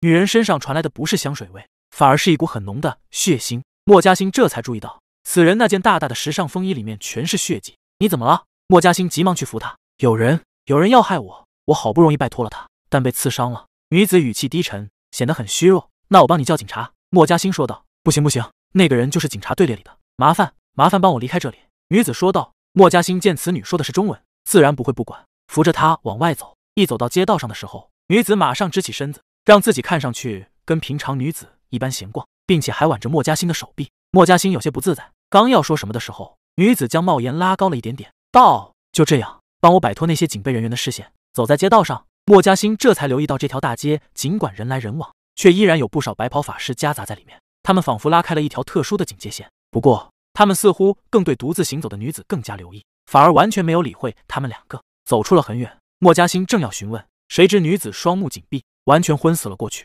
惊人的是，她在昏死的状况下竟然还在平步行走，也不知道是靠什么在支撑着。莫嘉欣一时间很为难，只能够暂且将她带回到了商会住所，找了一名商会的女孩子。莫嘉欣让她去为这个神秘的女子处理伤口，但过了很久，神秘女子都没有醒过来的迹象。第二天一早，莫嘉欣听那个商会女孩说，神秘受伤女子醒了，于是到了房间，女子帽子被取下来了，脸上的一些奇怪的妆容也被洗去。当莫嘉欣看到这张苍白的容颜时，顿时惊得说不出话来。夜长，莫嘉欣看着她，内心波澜翻滚。之前在大街上的时候，她帽檐遮盖。再加上妆容古怪，所以她一直没有看清女子的长相。可此时见到褪尽所有妆容的他时，又怎么会想到自己救的竟然是一个很多年都不愿意提起的人？被叫做夜长的女子眼角有些许鱼尾纹，显然并非是最初看上去那么年轻。她有些茫然懵懂的看着莫嘉欣：“你认识我？”夜长指着自己问道：“当然，你是我。哦哦，都过去了，都过去了。其实我并不怪你的，毕竟我那个时候没有什么本事，也给不了你什么。对了，星夏已经长大了。”他和你有不少相似的对方。你走之后，博城发生了很多的事情，我也不知道该从哪里和你说起。都那么多年了，唉，总之没有想到会在国外遇见你。哦哦，这些年你过得怎么样？莫嘉欣有些语无伦次，甚至带着几分结巴。确实，他也不知道该如何面对这样一个特殊的人。我记不得了。叶长双眼有些无神，他一脸的茫然，仿佛连自己是谁都不记得了。我只记得我在街上看到了你，然后就跟在你后面。你给我一种熟悉的感觉，可我不记得你是谁了。莫嘉欣惊讶地看着女子，难道是电视里经常出现的失忆？他是不愿意面对自己，还是真的记不得所有的事情了？可能，可能你伤还没有痊愈，你先躺着休息，你先躺着休息。莫嘉欣仔细观察，并不觉得对方是伪装的，或许吧。叶长点了点头，我去找人给你治愈，可以让你恢复的快一点。莫嘉欣说道。别，叶长马上阻止道，你现在还很虚弱，我我不想接触除你之外的任何人，也请你不要告诉任何人我在这里。叶长说道。莫嘉欣立在原地看着他。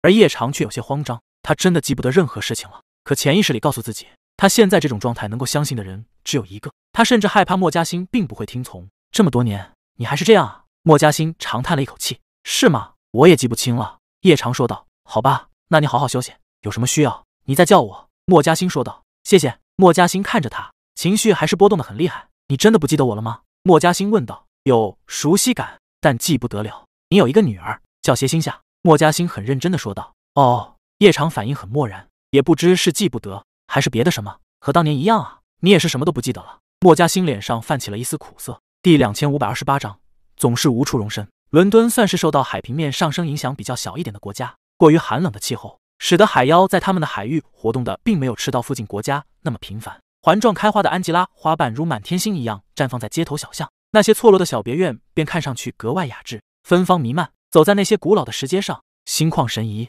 心中的繁杂也随之消散。出来走走，呼吸一下新鲜空气，会对你的伤势恢复有好处的。”莫嘉欣说道。“难得出太阳，阳光下每一簇月季都显得那么鲜艳。”莫嘉欣下意识地拿出手机来，要给叶长拍照。不知道为什么，他觉得叶长并不像是完全的东方血统，尤其是戴着复古羊毛帽，脸庞甚至和一些精致小巧的英国女人很相似。别，叶长马上用帽子遮住了自己的脸。哦，对不起，我又忘记了。你不喜欢拍照的，莫嘉欣急忙收起了手机，继续往阶梯向上。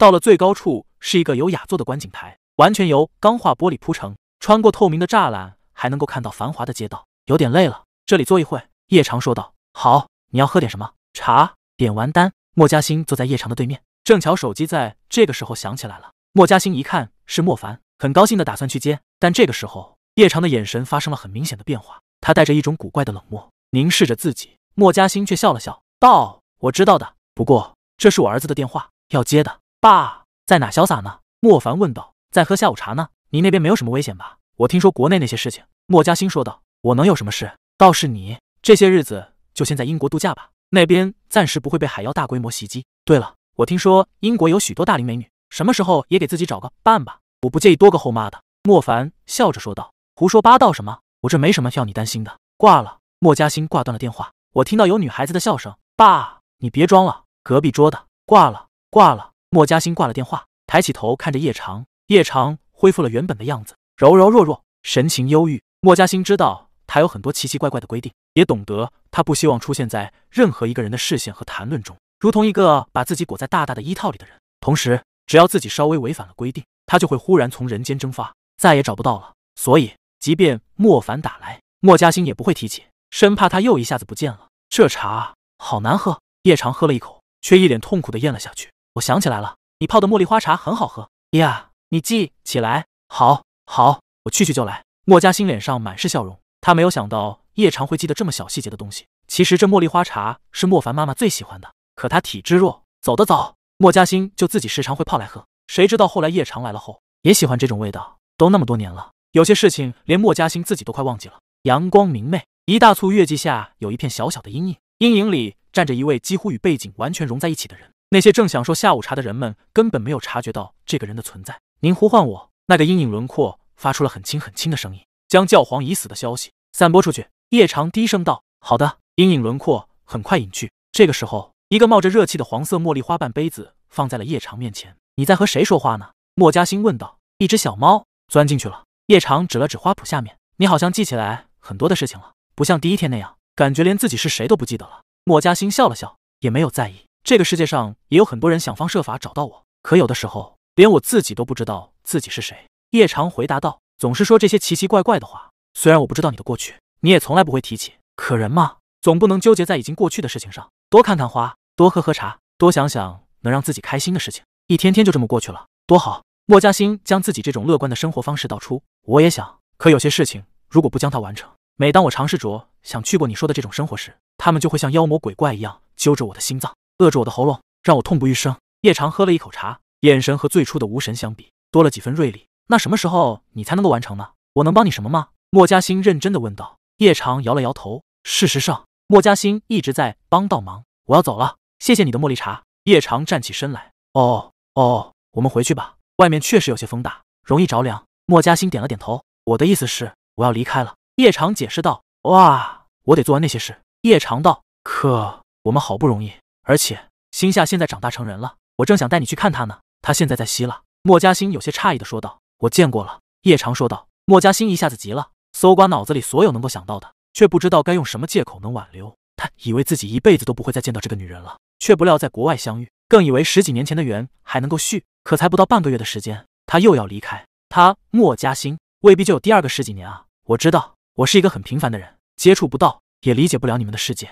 可是，可是。我想说，我不会去打扰你的，也不会出现在我不该出现的地方。如果哪一天你不知道要去哪，或者又忘记了很多事情，可以来找我，我还会继续等你的。莫嘉欣对着他的背影，好，我总是无处容身。第两千五百二十九章，凌驾于悬蛇之上。阳光一旦消失，空气就开始变得阴凉起来。走在街道上，叶长这才注意到自己的身上还披着一件男款的旧夹克，上面带着一些温度。靠近一座昏暗的教堂，他随手扯下了外套，将旧夹克扔到了垃圾桶里。教堂的木门被重重的关上，天正好也完全黑了，看上去带着几分阴怪的烛火在教堂的檐上莫名的点亮，照亮的区域却非常有限。这里几乎没有什么居民，更没有什么游客，沉浸在繁华的伦敦大道旁，仿佛另一个神秘世界。教堂内一排排老旧的木长椅，空无一人。他从中间过道走去，面向耶稣像，将这半个月的事情汇报一遍。他对着空气说道：“门徒日，苏冷意杀死了丁娜，登上了掌教的位置。七日前，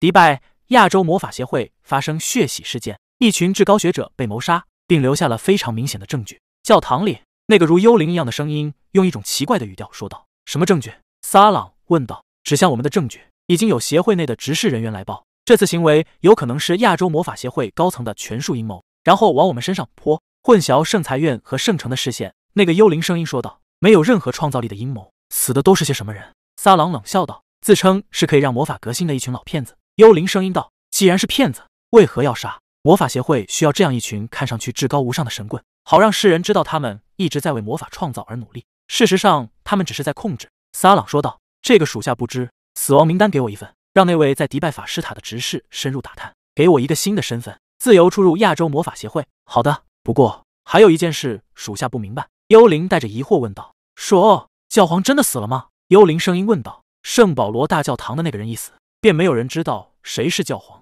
那么我说他死了，他就是死了。可教皇亲自现身呢？那么他又和死了有什么分别？撒朗道：“大人神明。”幽灵道：“一阵怪异的冷风飘过，整个旧教堂顿时寂静了。”撒朗抬起头，凝视着受难耶稣，良久，他才走出了旧教堂，重新锁好了木门。余脚尖正好扫到那件旧夹克，还在垃圾桶上，桶口有些窄，并没有落进去。又是良久，撒朗朝着垃圾桶走去。珠海市波浪翻滚。灰色的海面上，一名男子乘风破浪，宛如一位世外散仙云游归来，怎一个潇洒可以概括？岸上，珠海法师们一阵高呼，已经有很长时间，他们连凝视珠海的勇气都没有了，更不用说像现在这样在岸边迎接一个勇者的归来。前辈，雷蛟杀了。嗯，你们生个火，我请你们吃烤鳗鱼肉。有谁是大厨啊？莫凡笑着道。众人都是惊愕，往莫凡背后看去，一头浑身毛发碧波一般的苍狼皇踏着浪在飞驰，它正咬着一条长长的尾巴，拖拽着什么往岸边来。那尾巴的主人也是庞大惊人，海水都不停的搅动起来。即便变成一具千疮百孔的尸体，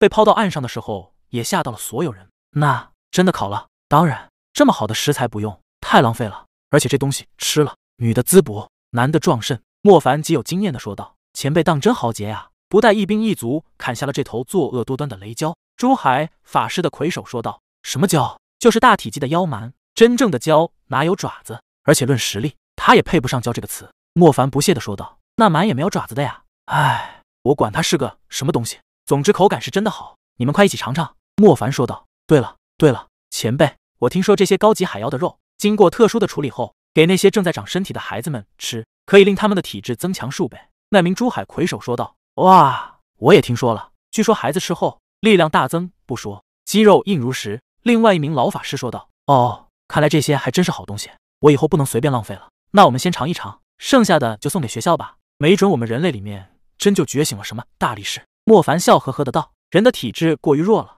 即便是魔法师和那些同等级的妖魔比起来，相差也过于巨大。什么时候人也可以觉醒蛮力，拳打恶海蛟龙，脚踢魔山老妖，那样说不定真的可以迎来另一个盛世。”怎么样？有图腾之印吗？玲玲有些激动的问道。莫凡摇了摇头，开口道：“一头蛮妖而已，倒是他演化出来的爪子有那么一些古怪。你采集的信息足够了，我来分析吧。对了，广州塔那边有留讯息给你，你去一趟，像是什么要紧的事情？”玲玲说道。玲玲非常仔细的观察这雷蛟的爪子，蛟是无爪的，至少传说里是这样。这演化出来的爪子却与某个图腾之印非常相似，能够看到实物和图片，那就是两码事了。因为这爪子上还有皮鳞。毗邻的纹理都非常值得考究。返回到了广州，玲玲一心思钻进了那些繁杂的图文传承、演化、拼印之中了。但是让玲玲非常意外的是，这个蛮蛟虽然不是图腾，却的确和图腾有关。它留下的爪子给了玲玲一个极大的提示。最重要的是，玲玲找到了与之相关的图腾了。杭州湖心岛那座古亭楼里面的画墙上，在图腾玄蛇之上的那条更庞大的蛇，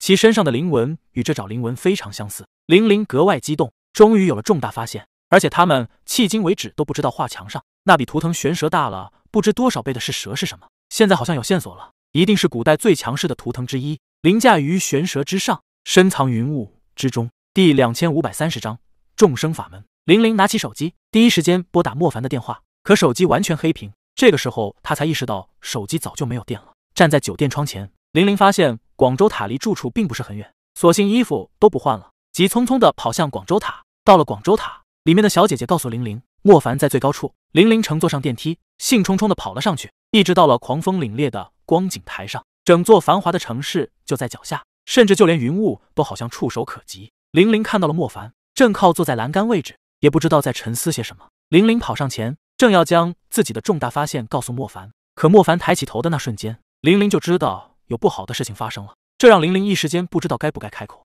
怎怎么了？玲玲有些紧张，因为。和莫凡相处这么久以来，很少会看到莫凡这样的神情。明明可以从他眼中看到怒火要喷发，整个人却冷静的像一块冰那样。老冯死了。莫凡吐出了这四个字，内心却压抑的厉害。不久前，他开心的像个小孩子，向自己炫耀和分享他的研究成果，叉着腰站在落地窗前，瞭望着广州，激动而又平静的说：“他可以带来革新。要说能够改变世界的人，绝不是像自己这样打打杀杀的盲者，而是冯周龙这样的人。”将自己的一生都奉献在了研究上，不为权者贵人服务，是为全人类。可就在他的成果即将公开，即将面向所有人的时候，他横死了。不是死在自己的家中，也不是死在他的工作室，而是死在亚洲魔法协会，死在他前去申请世界法门的地点。每一项法门若没有经过最高魔法协会的审核，都属于禁术。所以冯周龙必须亲自前去亚洲魔法协会总部申请的同时，向最高魔法协会展示自己革新的成果。就是这样一个全世界最安全。最权威的地方竟然会产生非自然死亡，死的人还正好是即将带来魔法革新的魔法学者冯周龙，不合理的让人怒发冲冠，巧合的让人恨不得撕碎那个腐朽无能的魔法体制。呼呼呼呼，一阵更加猛烈的狂风扑面打来，云雾中一只翅膀极长的生物悬停在了观景台上方不到十米。它的出现引起了广州塔和广场上的人们一片惊呼。一头亚龙出现在了广州市区，并且正好悬于广州塔上。莫凡站了起来。这个时候，那头风亚龙缓缓地降低了身子，让莫凡正好可以踩着它的尾巴踏到它的背上。你去哪？玲玲说道。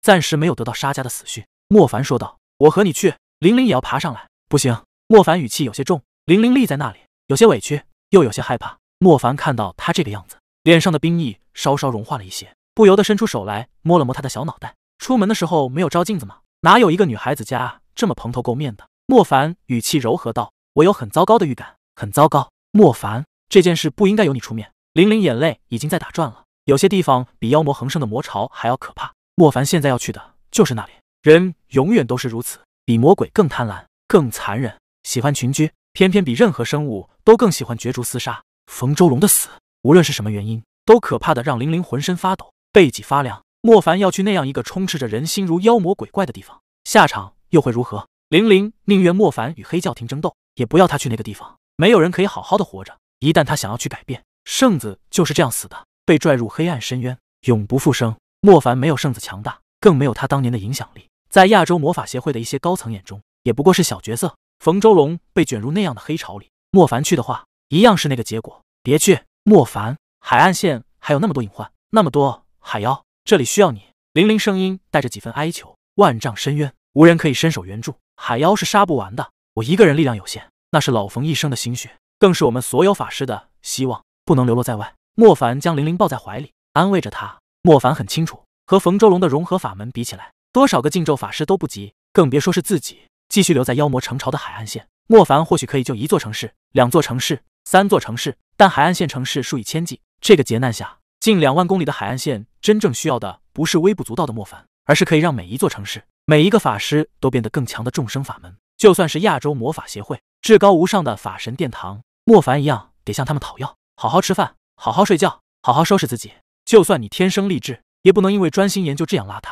还有，别告诉任何人我的去向。莫凡抚摸着玲玲小脑袋，认认真真的说道：“你如果死了，我一定把自己饿得皮包骨，脸上和身上纹满非主流纹身，废穴，早恋，堕胎，过成你最嫌弃、最痛心、最恨不得亲手掐死我的样子，让你在天有灵，不得安宁。”玲玲同样严肃认真的回答道。踏上风罗亚龙的背脊，莫凡都下意识的用手去扶了扶风罗亚龙的背骨，免得不小心打滑摔下去。正好魔法还卡壳了，不知道为什么，莫凡有那么一种预感。玲玲的这句话会绕梁三日。每当自己有那么一点小冲动、小热血的时候，这声音就会像一记冰冷的耳光那样暴甩在自己脸上，时刻提醒着自己要稳，别浪，千万不能送，送一波得尼玛出大事。风龙龙啊，飞慢点，注意别超速，好好飞，别玩花的。莫凡特意叮嘱风罗亚龙道：“没喝酒吧？刚才喝的是汽水，喝酒不上天，上天不喝酒。”第两千五百三十一章硬闯。褐色的沙漠带着绝望无边的气息，干燥。火热，夜幕降临，却又寒冷凛冽。沙漠里可贵的是一片绿洲，但更为珍贵的却是一座繁华、奢华、金光闪闪的时尚巨城。它们可以没有绿色，却可以遍地黄金。古代阿拉伯是一直被这样向往着：金沙成丘，金沙流淌，不需要翠绿色的植物来衬托，它们也是如此生机勃勃。金色的世界，银色的都市，亚洲魔法协会便屹立于此。至高的银色塔尖如一柄锋利的古代长剑。刺向了蔚蓝色的天穹，一群巡逻的漆黑沙鹰有序的摆成空中长阵，萦绕在银色的神塔附近的天空。迪拜是一个规矩众多却又不存在什么限制的城市。和国内绝大多数都城不同的是，这里完全允许空中飞行。不管你拥有怎样金石坐骑，你都可以随心所欲的在迪拜上空游玩，让脚底下的芸芸众生尽情的羡慕，尽情的收获每个人的仰慕。一旦拥有足够高的地位，在这里会享受到极致的尊敬，不需要伪装那份对凡人谦逊礼貌。更可以肆意妄为的将那份不屑流露在表面。随着英国驯龙世家的飞龙发售，最先将飞龙军团给大规模垄断的正是迪拜这座城市。他们不仅与驯龙世家签订了百分之九十的买断协议，更以高价收购其他人手上的飞龙。所以时常可以看到迪拜法师，他们驾驭着一对飞龙盘旋在城市顶空。身穿着漆黑衣甲的他们，就是王室的专属龙骑法师。哈哈，如果非要说速度的话，我胯下的布里利一定可以将你们甩出几千米。我们现在就从城外飞回到神塔，最快的人便拿走其他人这个星期的俸禄，如何？一名拥有两撇八字胡须的男子笑着说道：“队长，我们可不能玩忽职守啊！怕什么？难道还有人敢在亚洲魔法协会的眼皮底子下搅事情不成？而且你们忘了我是谁？出什么事情也由我来顶着。竞技开始了，我数三下，刚数到二，那名八字胡男子就猛地鞭打飞龙的背部。飞龙吟了一声，挥动着满是块状肌肉的翅膀，朝着法师塔冲去。气流在他的后面形成了一股凌乱的风波，让迪拜法师阵型都有些乱了。耍诈呀！快追！我可不想下个星期只能够逛那些街后的小窝。街后的小窝怎么和星级酒店？一杯红酒，一双撩人心魄的美眸，一张靠着落地窗的白色、没有一点瑕疵的大床，来得让人心脏跳动。嗖嗖嗖！十几条飞龙同时窜出，不知道的人还以为他们在做什么特殊的演习。如此训练有素，如此英俊神武，最前面，八字胡队长发出了奸诈的笑声。没有哪条飞龙可以比他的布里力更快。这些家伙辛苦一星期的钱都落入到自己口袋，正好有一位歌谣小天后正摩挲着修长的美腿在等待着自己，前提是自己能够一口气支付他一大笔钱，那不是小数目。呼呼呼呼，风开始强烈起来。一只灵巧周身有白色气流的生灵，它不知何时出现在宝蓝色的天空中。它优雅地挥动着翅膀，轻易地超越了那十几条飞龙队伍，并且正以一种均匀的加速度在赶超八字胡队长。八字胡队长愣住了。手中的鞭子更大力的舞动起来，给我快，给我再快点，摆起你的大翅膀！八字胡队长骂道。飞龙布里利已经使出全力了，他的龙皮都因为过于剧烈的摆动出现了裂痕，可对方还是轻而易举的就超过去了。看着对方的龙屁股，最重要的是还被对方扇出来的气流给打了一脸，这种感觉不亚于吃了一大口别人的汽车尾气，气得布里利直咬牙。同样是飞龙，这家伙的飞龙为什么比自己的更快？而且那飞龙的体型都比自己的飞龙布里利要小上一号。可恶！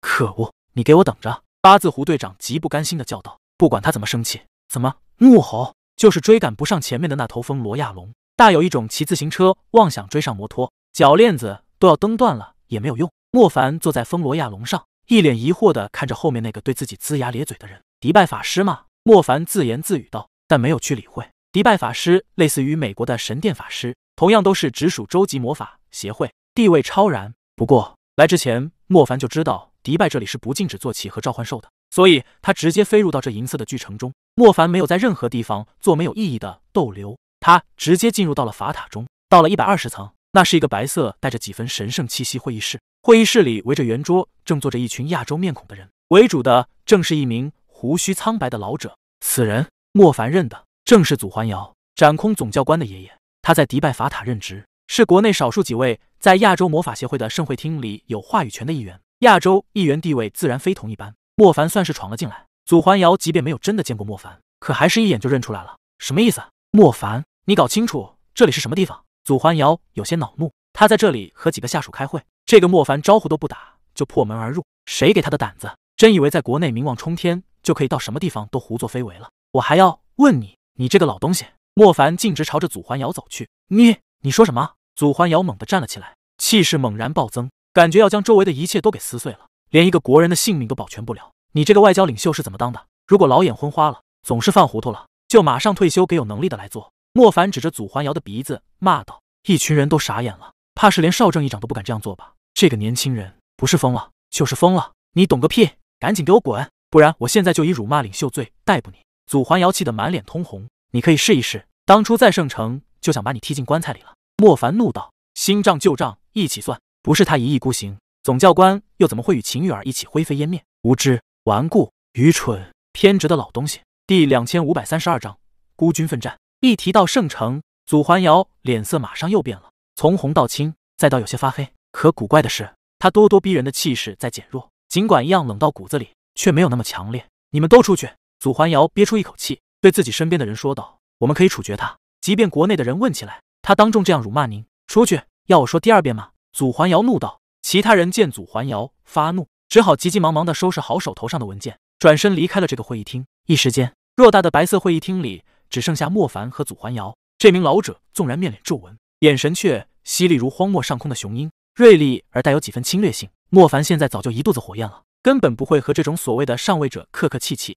有些事情看透了，就没有什么好畏手畏脚的。我知道你为什么而来，你给我坐下。好好听几句人话，像这样跟炸药包一样冲进来，你扮演恐怖分子吗？要和谁自爆？祖环瑶指了指莫凡面前的座椅，强吞下那口气。被人指着鼻子这样骂，还能够沉住气？莫凡倒有些诧异这个老东西的定力了。不过想来这种人物什么大风大浪没有见过，我就想知道谁做的，还有你到底有没有和那班狗东西勾结？莫凡话很直接，是敌人，是朋友，一句话的事情。莫凡现在不想和谁往任何星际权术，他在列一个名单，上名单的全得死，不管你是什么职位、什么身份。莫凡这次不是来查案的，更不是来玩什么阴谋诡计的。忍耐总得有限度，有些事情根本容不得丝毫的退让。如果连冯周龙这样的人被谋杀，都可以在心里安慰自己，这个世界就是这样的，那么自己和那些谋害了冯周龙的凶手有什么分别？跪在地上久了，膝盖就会生根，然后再也站不起来。与亚洲魔法协会的冲突，第一次是在云崖。面对一群害死了无数孩童的上位者，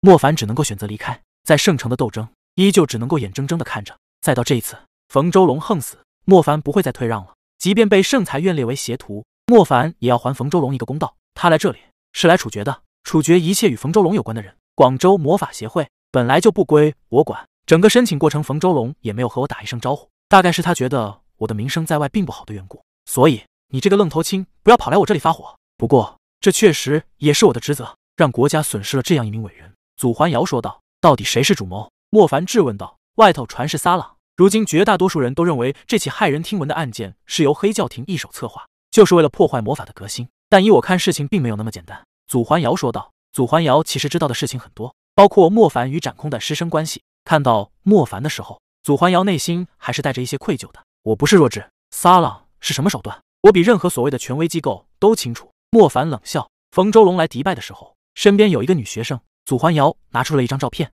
递给莫凡。莫凡来祖环瑶这里，目的就是为了找到沙家。祖环瑶既然是这里的一员，必定拥有他的一些眼线。莫凡初来乍到，对这里的情况完全不了解，正是需要从祖环瑶这里找到有关沙家的信息。我要他的全部线索。莫凡说道。祖环瑶重重的吸了口气，没好气的道：“你把我当什么了？别忘了，你现在还顶着一个辱骂领袖的罪名。别扯这些没用的。少正议长让我来找你。”说，你在面对这样大局问题的时候，绝不会偏袒他人。我知道你们每个人都是有身份、有顾虑，需要一切从大方向考虑和出发，不能够随便摊牌和撕破脸皮。所以这种事情就由我来做。”莫凡毫不客气的说道。“我的确在一直寻找冯周龙身边的学生的线索，暂时就到这边。这里牵扯到了阿联酋的一些权贵。”祖环瑶将资料都递给了莫凡。莫凡拿到手上，你做的任何事情与我们无关。祖环瑶特意交代了一句：“我知道。”也别指望我们会救你，你要抗衡的很可能是魔法金字塔最顶尖的人物。祖环瑶再一次叮嘱道：“没指望过。”莫凡离开，祖环瑶坐在椅子上，望着窗外许久，眼神格外的迷茫。真的老了吗？被气到这个地步，都还在想着怎么去调和。祖环瑶喃喃自语着：“为什么敌人已经猖獗到了这样的地步，还可以跟什么都没有发生一样坐在这里？连莫凡都清楚一个冯周龙意味着什么，祖环瑶又怎么会不明白冯周龙会给国家、会给整个世界带来什么？他死了。”祖环瑶可以说并不是特别意外，可他意外的是，即便这样，他的心也没有多大的波动。这种平静让祖环瑶都开始有些厌恶，可他也只能够继续这样，一边厌恶着，一边融入着。莫凡走出了法师塔，一个身穿着黑色丝绸，并且脸颊都用丝巾包裹着的婀娜女子迎面走来。莫凡往一侧让，女子却也往这一侧。莫凡再往另一侧走，女子竟然也是同步。老子没心情。莫凡极不耐烦地说道：“我有心情呀。”女子朝着莫凡眨了眨眼睛，眉毛颀长。眼眸如碧绿湖泊，宁静中带着迷人。莫凡听这声音，这才意识到面纱女子是谁。女子将莫凡拉到了一个没有什么人的地方，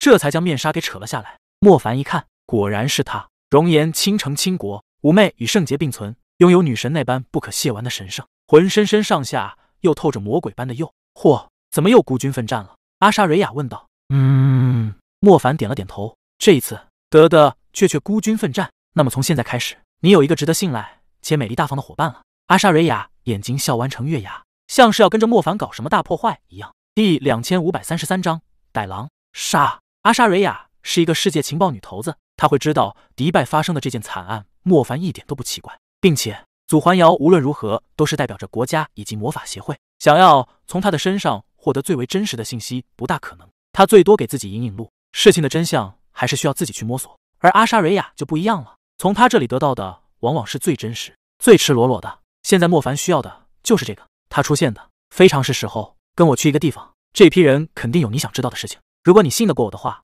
阿莎瑞亚对莫凡说道。说完，阿莎瑞亚已经走在前面了，也不需要等莫凡回答，他似乎认准了莫凡会来。莫凡让风罗亚龙自由在城市外围活动，自己跟随着阿莎瑞亚，同样都是暗影系，两人修为都达到了很高的级别，穿梭在迪拜城郊外的黑夜沙地中。莫凡和阿莎蕊亚像两只在夜幕之中嬉戏的夜精灵，轻易又极快。迎着冷冷的沐风起舞。那是一片金色的帐篷，几头犹如巨象又如骆驼的骆象匍匐在帐篷周围，一群人正围着一团篝火，畅快的饮酒，说着一些淫秽的话语。莫凡大概数了一下，一共有七个人，看到了吗？他们腰间别的饰品，我想你不会不认识。阿莎蕊亚说道。莫凡看到了，所以他迈着英灵之步，悄无声息的走到了那七个人之中满是虬须的头巾男子背后，拇指微弯曲，成一柄极短的纸笔，上面还泛着黑暗浊气，就那样轻轻的触在了这名虬须男子的脖颈上。头，其他六个人猛地站了起来，一脸惊愕的看着如刺客鬼影的莫凡出现在虬须男子背后。莫凡目光注视着另外六人，同一时间，六缕浊气从他的身上分化出去，并化为了六个没有脸庞、只有莫凡轮廓的影子。这六个影子和莫凡保持着一样的动作，用拇指尖锐处顶着他们的喉咙。你们工会会长在哪？莫凡问道。不用问他们，我知道。阿莎瑞亚跟了上来。话音刚落，七个人的脖子全部被抹开，鲜血如泉水里的艺术喷泉，一同朝着中央的篝火位置洒开。篝火一阵摇曳，似乎更加鲜艳。七人同时倒地，连挣扎的余地都没有，每个人脸上都还布满了震惊之色。作为歹狼工会的七雄，每一个都是可以横霸一座小城的黑头目。就这样齐刷刷的被杀死了，你好干脆，不怕打草惊蛇吗？阿莎瑞亚似乎看出了莫凡心中的戾气，说归说，脸上还是带着若有若无的笑意。阿莎瑞亚见多了死人，早就可以在尸体堆中谈笑风生，更何况歹狼工会的人本来就是一群畜生，不是在美洲欺男霸女，就是在欧洲杀人放火。这次是歹狼工会的人做的？莫凡问道。当然不是，一切极端的行为都有缘由，利益或者复仇。歹狼工会。和那些学者又有什么利益和仇恨呢？但他们却是为别人干这种肮脏事情的最完美人选。阿莎瑞亚说道。莫凡点了点头，所以找到了凶器，再通过凶器就比较容易找到凶手了。阿莎瑞亚既然知道歹狼工会的会长在什么地方，事情就更简单了。继续顺着沙地往前行走，莫凡看到了不少金色帐篷的人，很没有意外，他们都是歹狼工会的成员，每个人身上都有标准的歹狼工会饰品。显然，这整件事发生的非常突然，包括那个幕后黑手，他也没有做足准备。如今想要利用歹狼工会来混淆和清理现场，却同样在不停的留线索。阿莎瑞亚的意思就是顺着歹狼工会找下去，一定有莫凡要的信息。莫凡没有任何的手下留情，见到歹狼工会的人就杀。他现在戾气极重，正愁没有泄愤的。这些歹狼工会的人等于是自己撞上来。很快，莫凡在一座旧城中看到了一群驼象，正背着各种物资：水、美酒、美食、水果、毯子以及美女。看样子，歹狼工会的人打算进入到沙漠中一些时间。这个旧城驿站就是歹狼工会的，他们过去就干一些偷劫的勾当，将旅人的物资、妻子扣在这里，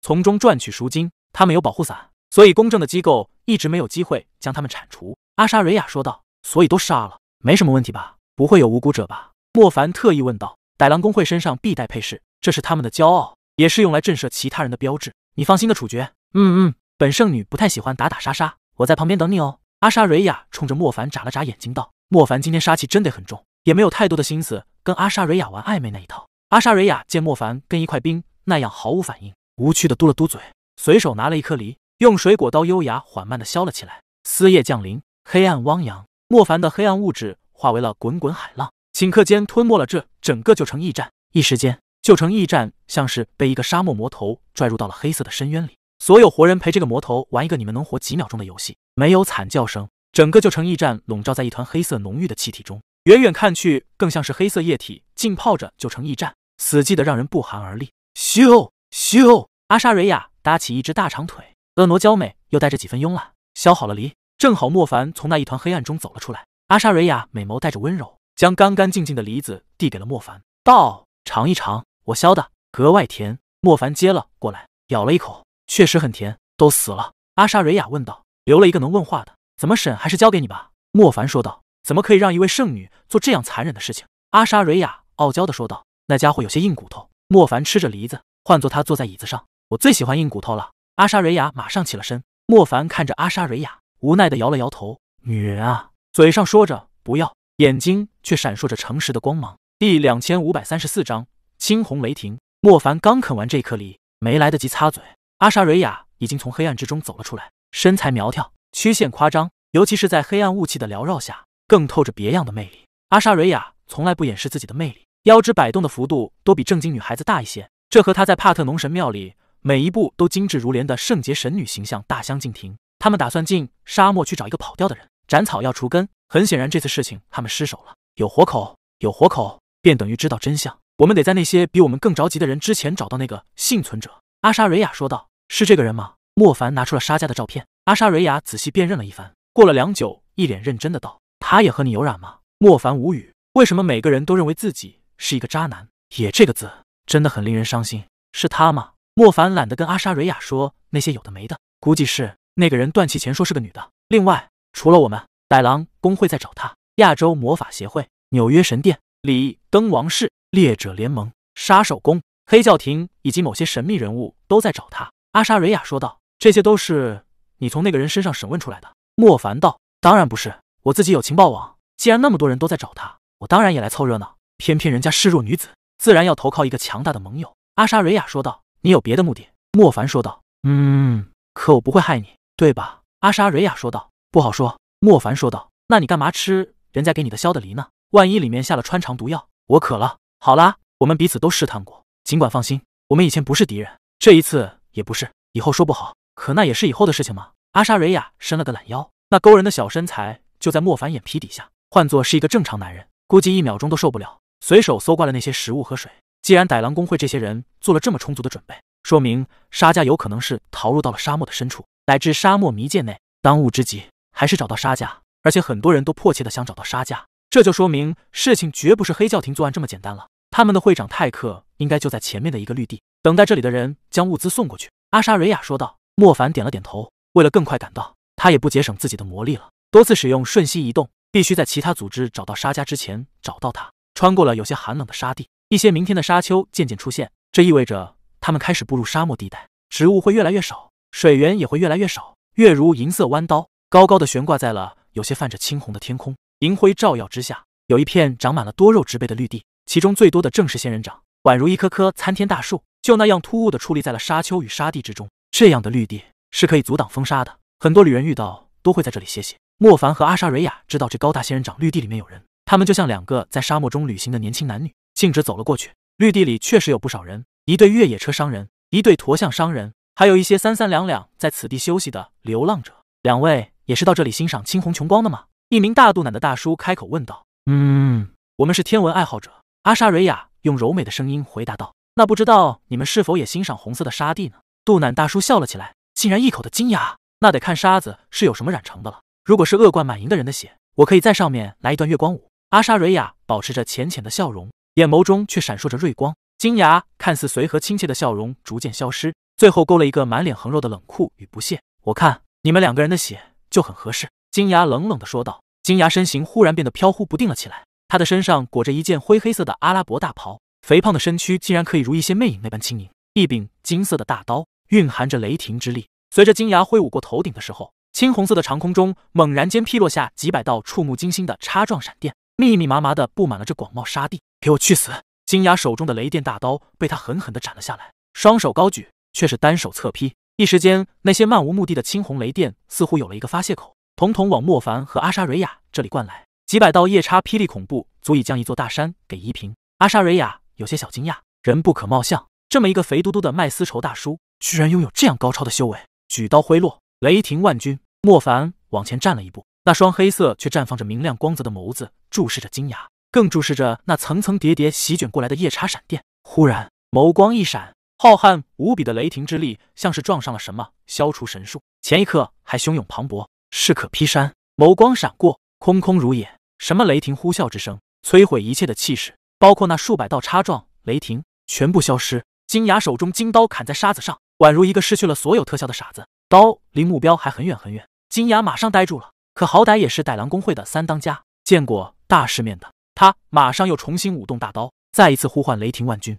你可以在我面前使用一个雷系魔法，便算我说。莫凡凝视着这个肥胖金牙，整个人气势如一座看不见顶部的大沙丘，并且正朝着金牙缓缓移动。金牙舞刀，姿态倒是看上去有模有样，虎虎生风。可每每要有青红色雷电火花窜起来的时候，雷霆之力便吸了下去。你用的是什么妖术？金牙开始慌了，惊恐的道：“自己慢慢品尝吧。”想来你也没有尝过被自己的魔法折磨的滋味。莫凡手掌一翻，第两千五百三十五章法门岩沙尘暴。之前那些莫名消失的青红雷霆，仿佛在莫凡这一翻掌的瞬间，遍布了这整个沙地。偌大的夜幕里，竟是密集交错的雷电球状之躯。他们从高空浮现，顺势劈下，最终都在金牙的头顶汇聚成一个可怕的漏斗口，庞大能量灌输下去，金牙那张满是肥肉的脸布满了震惊与恐惧，同时也在这震惊与恐惧中彻底瓦解，皮肉瓦解，骨骼瓦解，肌肉内脏瓦解，浓浓的焦味弥漫开。这位变脸大叔转瞬间化为了一滩血污，还能够清晰辨认的，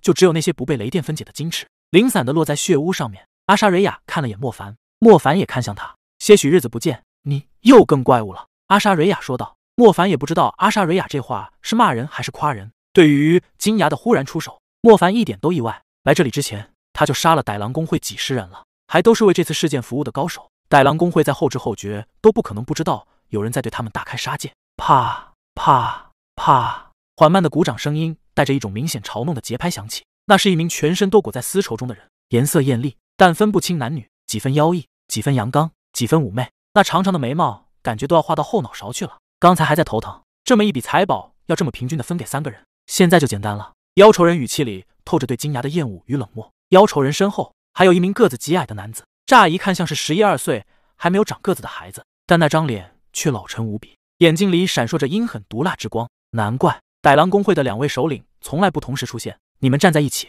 像极了那种街头行骗的母子。阿莎蕊雅姨看到他们，便笑得快直不起腰来。她那魔鬼身材要是颤着，可是能够瞬间让周围的雄性生物血脉喷张。妖愁人与半个男被阿莎蕊雅这一句话直接点燃了心中所有的愤怒与嫉恨。已经很多年，没有人敢取笑他们的形貌了。毕竟那些发出笑声的人，基本上坟头长草了。我解决那些虾兵蟹将，这两个就交给你了。阿莎瑞雅。成功拉起了仇恨，同时退到了后方。莫凡无所谓他这样的小心思，活络了一下脖子。带狼公会早就想将他们一网打尽了，这样的毒瘤留在这个世界上都会脏了新鲜空气。小心一些，这两个人和他们三当家不一样，绝非魔法混子。阿莎瑞亚特意提醒了莫凡一句，莫凡似乎没听进去，已经主动朝着这对行骗母子走了过去。阿莎瑞亚也不知道莫凡哪里来的自信。带狼公会成立多年，在巴拿马、索马里、阿联酋、埃及、希腊。红海都有极大的势力，红市、蓝市、黑市这三个分会的人更是如盗匪一样猖獗于许多小国。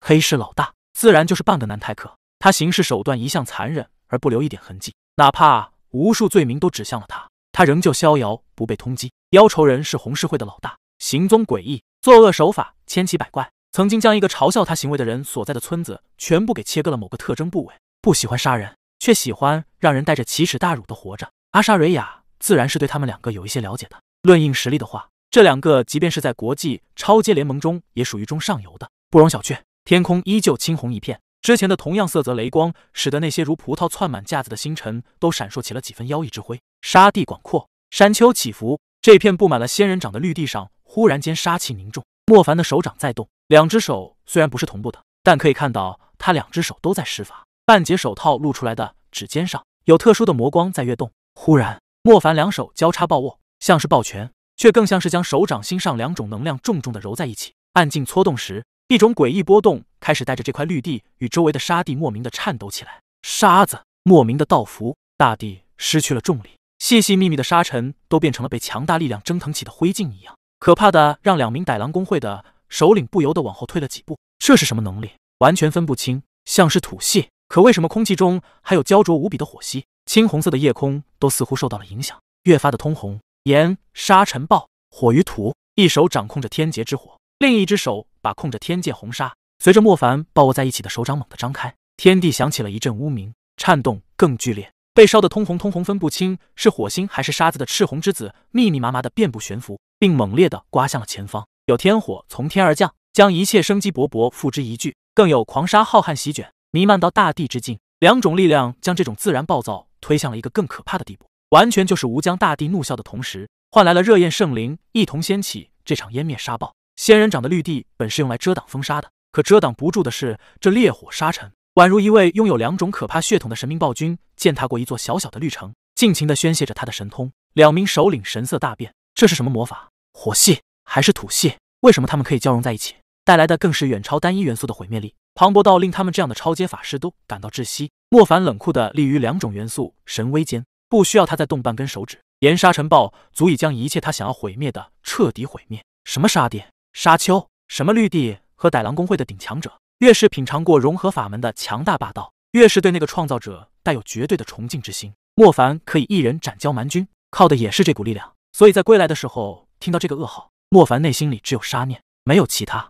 冯周龙，就用你赐予我的力量，在这里踏出一条血红之路。第两千五百三十六章，还缺情人吗？两个歹狼公会的首领无论如何都不会想到这力量的强大，他们被岩沙吞没，更在可怕的川谷沙砾与结岩赤火中备受折磨。过去的那些精湛防御手段，在这样霸道至极的炎与土融合中，竟然起不到有效的作用。没多久，他们就彻底被掩埋了，掩埋在了滚烫的沙暴躁动中。绿地消失了，远处的波澜壮阔的山丘全部被推平。一眼望去，红色的火焰沙子铺满，平整的见不到一点褶皱，壮丽血红，整洁无比，像是一个平静儿又掩藏着无穷无尽死亡威胁的魔戒。阿莎瑞亚站在莫凡旁边，那双美眸之中震惊之色无以复加。这力量。强的无法用言语形容，暂且不论对手是国际超阶法师中的强者，光是刚才那岩沙炼狱降临的场景就骇然至极了，完全超出了寻常超阶魔法的范畴。最可怕的是，莫凡那是起手的第一个魔法，没有看到他冗长的吟唱与准备，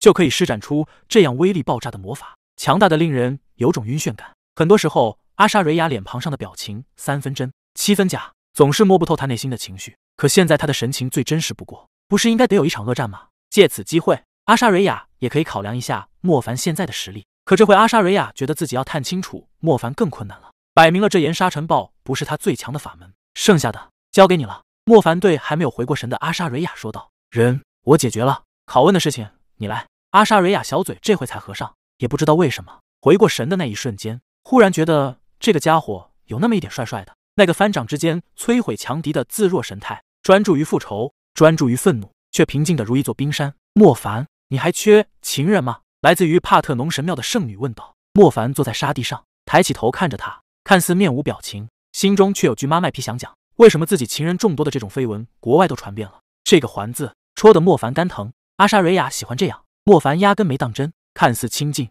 实则牵锯。莫凡还不至于像那些小屁孩一样，见到美女贴进来就开心的像个两百斤的胖子。有些女生贴近亲密其实是试探。她想知道自己能不能捕获你的心，捕获了，他就转身离开了，踩着高跟鞋，摇摆着腰肢，背影从此遥不可及。莫凡没心情，也没精力去跟阿莎瑞亚玩这个暧昧游戏，要么坦坦荡荡的做兄弟，要么直接滚床单。大家都很忙，妖愁人和泰克都没有死，但就他们那样的重伤状态，不需要莫凡再出手，阿莎瑞亚也可以用他的暗影魔法轻松的制服他们。阿莎瑞亚也有各种各样的手段，完全不用担心会被这两个家伙阴一手先困住他们。消耗他们的精力，再略施一些灵魂折磨，慢慢的加重，等待这两个人到承受的极限。到了极限，紧接着就是瓦解他们内心的抵抗，要让他们恐惧，要让他们绝望，最后变成一个只求能够安然解脱的奴隶。阿莎瑞亚知道，恶人的意志力往往不会比强者弱，特意多煮了煮。人美，做很多事情都有特别的魅力。莫凡在一旁欣赏着，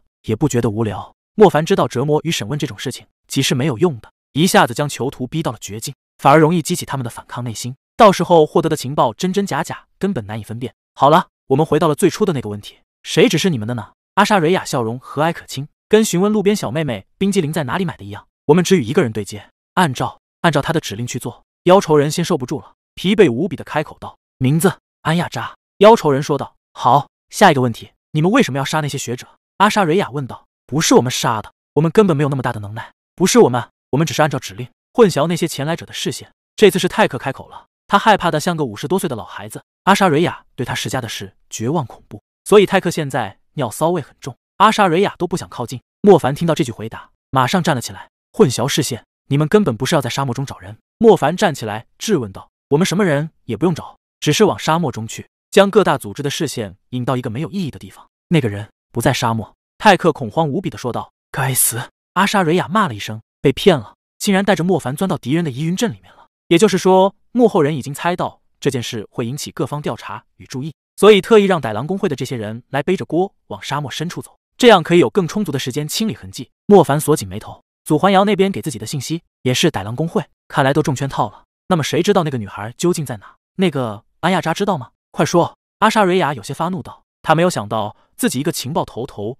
居然也有被人耍的时候。安亚扎恐怕也不知道。妖愁人低声说道，他眼睛里带着些许哀求，看来是想将后面那句话。作为最后的筹码了，阿莎瑞亚也看出来了，认真的道：“说出来，让你们解脱。根据我们自己的自己的一些经验和了解，那个女孩还在迪拜，要么躲了起来，要么已经被控制住了。”妖愁人说道：“歹狼宫会有自己的情报，也有自己的一些渗透人物、情报来源，所以即便给他们指令的人没有说，或许他也不知道。但通过现有的信息，可以大致推断，将各大组织的视线往沙漠深处带，目的就是可以在城内行动，不容易被监视。假如城内没有线索，或者整件事已经处理得干干净净了，那何必急急忙忙的让他们歹狼工会出来搅局？人不是他们歹狼工会杀的，关键的人物，他们歹狼工会一样不知道在哪，无非就是跑出来演一场戏，吸引关注这件事的人的注意力，算得上是劳师动众。毕竟歹狼公会可不是什么三流毛贼，在城里，对，在城里，阿莎瑞亚。似乎被点醒了，妖仇人的这个猜测可能性极大。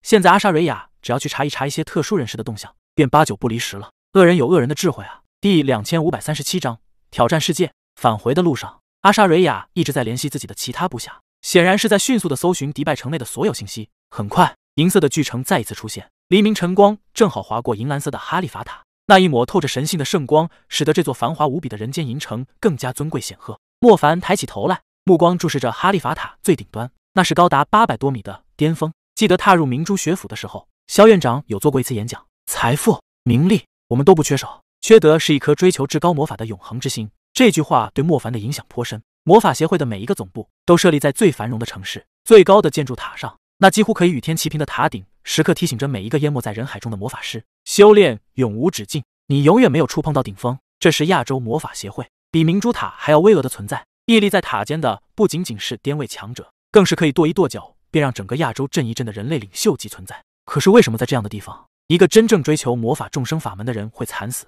所有的组织都像是在掩盖着什么，小心翼翼又大动干戈。一颗追求至高魔法的永恒之心，他们真的还具备吗？莫凡自认为自己从来没有失去过，可不代表别人还保存着。这个世界到底经过多少次内心的洗涤、刮痧，才能够彻彻底底的认清？或许从一开始，人们。就搞错了步骤，世界会变革，变革之前一定是流血牺牲。而对于每一个人来说，要改变世界，先要挑战这个世界。晨光在经过亚洲之塔的塔尖处，释放的是最耀眼夺目的圣光，正是莫凡此时此刻需要逾越的。站在人群里，走在沙地里，淹没在城市街道里，永远都会像现在这样被无数个歹狼工会搅局、混淆，最终用几个无关紧要的替罪羊来草草了事。时间拖得越久，离真相就越遥远。莫凡不愿意做那个被定局与暗潮给卷走的沙粒。他要卷起一场庞大的海啸，让这被操纵的暗潮顺着自己怒啸的方向前行。阿莎瑞亚，帮个忙！莫凡说道。好呀，你先说，你要做什么？你知道两个铁球同时落地的故事吗？莫凡问道。知道，但你可能被当作邪教徒，如哥白尼那样被烧死。如哥白尼的人已经被烧死了，找下去没有任何结果。莫凡有了自己的打算。沙漠银塔顶端，一名年轻的男子立在狂风呼啸的至高空，脚下是清早的城市。或许有些人还在熟睡，但街道也已经来人往。既然要做两个铁球同时落地的实验，就应该站在高处，这样人们才会看到。这样铁球落到地面上，会有无数人亲眼目睹。有些舆论可以封锁，有些真理从来都是纸包不住火。大家早，我是莫凡。莫凡的声音像是清早的广播，不仅在城市的上空响起，更传入到每一个媒体。新的设备到来，使得很多魔法可以轻易的呈现在电子设备屏幕上，这也大大方便了莫凡这次实验。脚下的人可以看到。整个亚洲拥有网络的国家都可以看到，乃至全球。对于其他地区，不一定是早晨。莫凡知道，却也无所谓，只是一个招呼。重要的是，他得向很多不认识自己的人介绍自己。莫凡是悬空的，他并没有完全站立在塔顶，空气中像是有一块巨大的、完全透明的钢化玻璃，可以任由莫凡在上面行走。不是走钢丝的那种谨慎，而是闲庭信步。我今天要做一个很简单的实验，关于魔法与魔法的融合。过去我们被教导，魔法与魔法是不能融合在一起的。这样会产生极大负面影响，但是我想用自己的这个实验来证明过去的教导是错误的。魔法与魔法之间可以融合。一位叫做冯周龙的魔法学者，他传授给了我这个法门，将它取名为众生法门。之所以这样称呼，是因为只要你拥有两个系，都可以掌控这个法门，让你的魔法力量威力大增。在凌空千米高空，莫凡踱步着，此刻的他就像一位与这个世界格格不入的魔术师，要向世人展示的是一种称之为魔术，却埋藏在现实中的真理。魔术之所以魔术。因为它只掌握在极少数知道敲门的人手中，带给人的是不可思议真理。它一开始掌握在少数人手中，但它却适用于所有人。融合法门不是魔术，它就是真理带来的，更是一场变革。只是历史永远都会重演，当代统治阶级不希望这样的变革出现。这里是迪拜城中心，即便领空对所有注册的魔法协会成员开放，也不允许你这种街头卖艺的家伙在这里哗众取宠，否则我们飞龙骑士将逮捕你。八字胡的队长杀了过来。迪拜法师巡逻大队。骑乘的正是一群飞龙，皮肤浅绿色，肌肉如岩石块一样的飞龙展开，肉翼威武至极的盘旋在了千米高空。队长的声音铿锵有力，宣读之声更确保所有人都可以听见。我没有使用毁灭魔法，没有干扰建筑物。请问你以什么罪名逮捕我？还是说我的这个众生法门对于魔法协会来说是一个罪名？莫凡丝毫不慌，反而质问这名巡逻队长。八字胡队长被问得愣住了，他只是奉命驱赶，就像一名城管清扫摊贩，不是很正常的事情。你影响市容市貌了。可莫凡在公共区域，他没有贩卖物品，他没有做任何违规事情。迪拜城没有相关的法令可以逮捕他。和你要展示的东西无关，你这个人有问题，你没有资格站在这里。八字胡队长有些恼怒道：“我是超阶法师，明珠塔上位者，荣耀者，超阶联盟成员，这里是亚洲魔法协会，我无资格站在这里吗？”莫凡再一次反问道。八字胡队长这个时候才看到莫凡的身上有勋章，级别相当高。事实上，遇到这样上位者荣誉勋章的人，他们迪拜法师巡逻队伍都需要行礼致敬的。第两千五百三十八章，唯一传承者。八字胡队长一时间找不到合适的理由了。融合法门很简单，每个人都可以在自己的精神世界里孕育出一个存储漩涡，将第一个描画好的魔法存放在那里。我知道你们害怕不同系的魔法产生元素爆炸，没关系，我用最不稳定的雷系与火系来向大家展示，雷元素与火元素碰撞在一起，一定产生巨大的破坏能，这是毋庸置疑的。莫凡不算是一个合格的直播人员，但他曾经在奥霍斯圣学府上过课，他现在只要明明白白、清清楚楚的将当时给学生们上课的那一套给搬过来就可以了。法师塔内，祖环瑶透过玻璃看到身影渺小的莫凡，其他代表着自己国家的法师们同样一脸不敢置信的盯着空中那个正在给全世界魔法师上课的人，妖言惑众，一派胡言，赶紧将他处理掉。若是有年轻不懂事的法师效仿，被自己的魔法炸伤，他死一万次都不够。很快，迪拜法师塔内传出了无数愤怒之声，只是并没有真正有分量的人现身，他们只是一个命令，一个口讯，极不耐烦。飞龙骑士脸色立刻变得难看起来。看来他们是接到上头的指令了，同时还被臭骂了一顿。你将以向广大学子传授谬论被逮捕，而且你没有资格传授任何法门，即便你是超阶法师。八字胡队长靠了过来，这是我的教授证件。抱歉，我有资格。莫凡随手就将导师证抛给了八字胡队长。奥霍斯圣学府导师，荣誉教授，这些信息人们随手一查就可以获知。很不巧的是，莫凡有传授的权限。八字胡队长都要疯了，你一个超阶法师，荣誉上位者。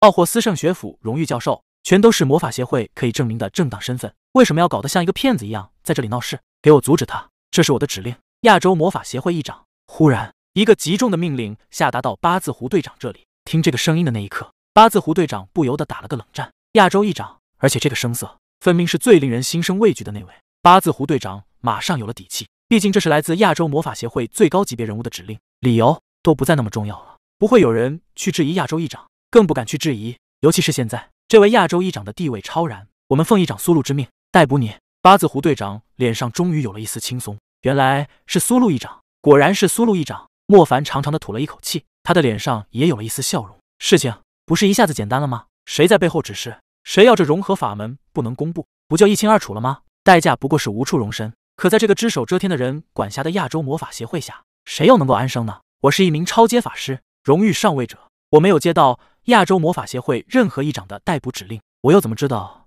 你不是在故意陷害我，陷害苏路议长呢？莫凡平静淡定的问道。可恶，你这是在胡搅蛮缠！苏路议长就在你旁边的塔内，我怎么可能假传手令？八字胡队长愤怒道。既然他就在旁边，怎么不请他过来？只要我听他亲口说，我当然不会反抗。毕竟我的一生所学，一生荣耀，都来自于魔法协会，来自于议长的管理。莫凡在问道。八字胡队长彻底傻眼了。迪拜法师，即便是队长职位，虽然算高。但他们在没有绝对的手令情况下，是不能随意对一个拥有上位者荣耀的法师动手的。更何况，八字胡队长认得莫凡就是那个乘坐风罗亚龙在速度上完爆自己的家伙，他并不认为自己一定就是他的对手。呼呼呼呼呼！果然，似乎知道飞龙骑士这群人是震慑不住莫凡的。迪拜法师他中一名身穿着银色金珠法袍的人现身，他同样飞踏高空，长发遮盖在头巾中，整个人透着一股尊贵与神圣。一掌，有请。神圣银袍男子说道：“可以，但等我演示完雷与火的融合。”莫凡回答道：“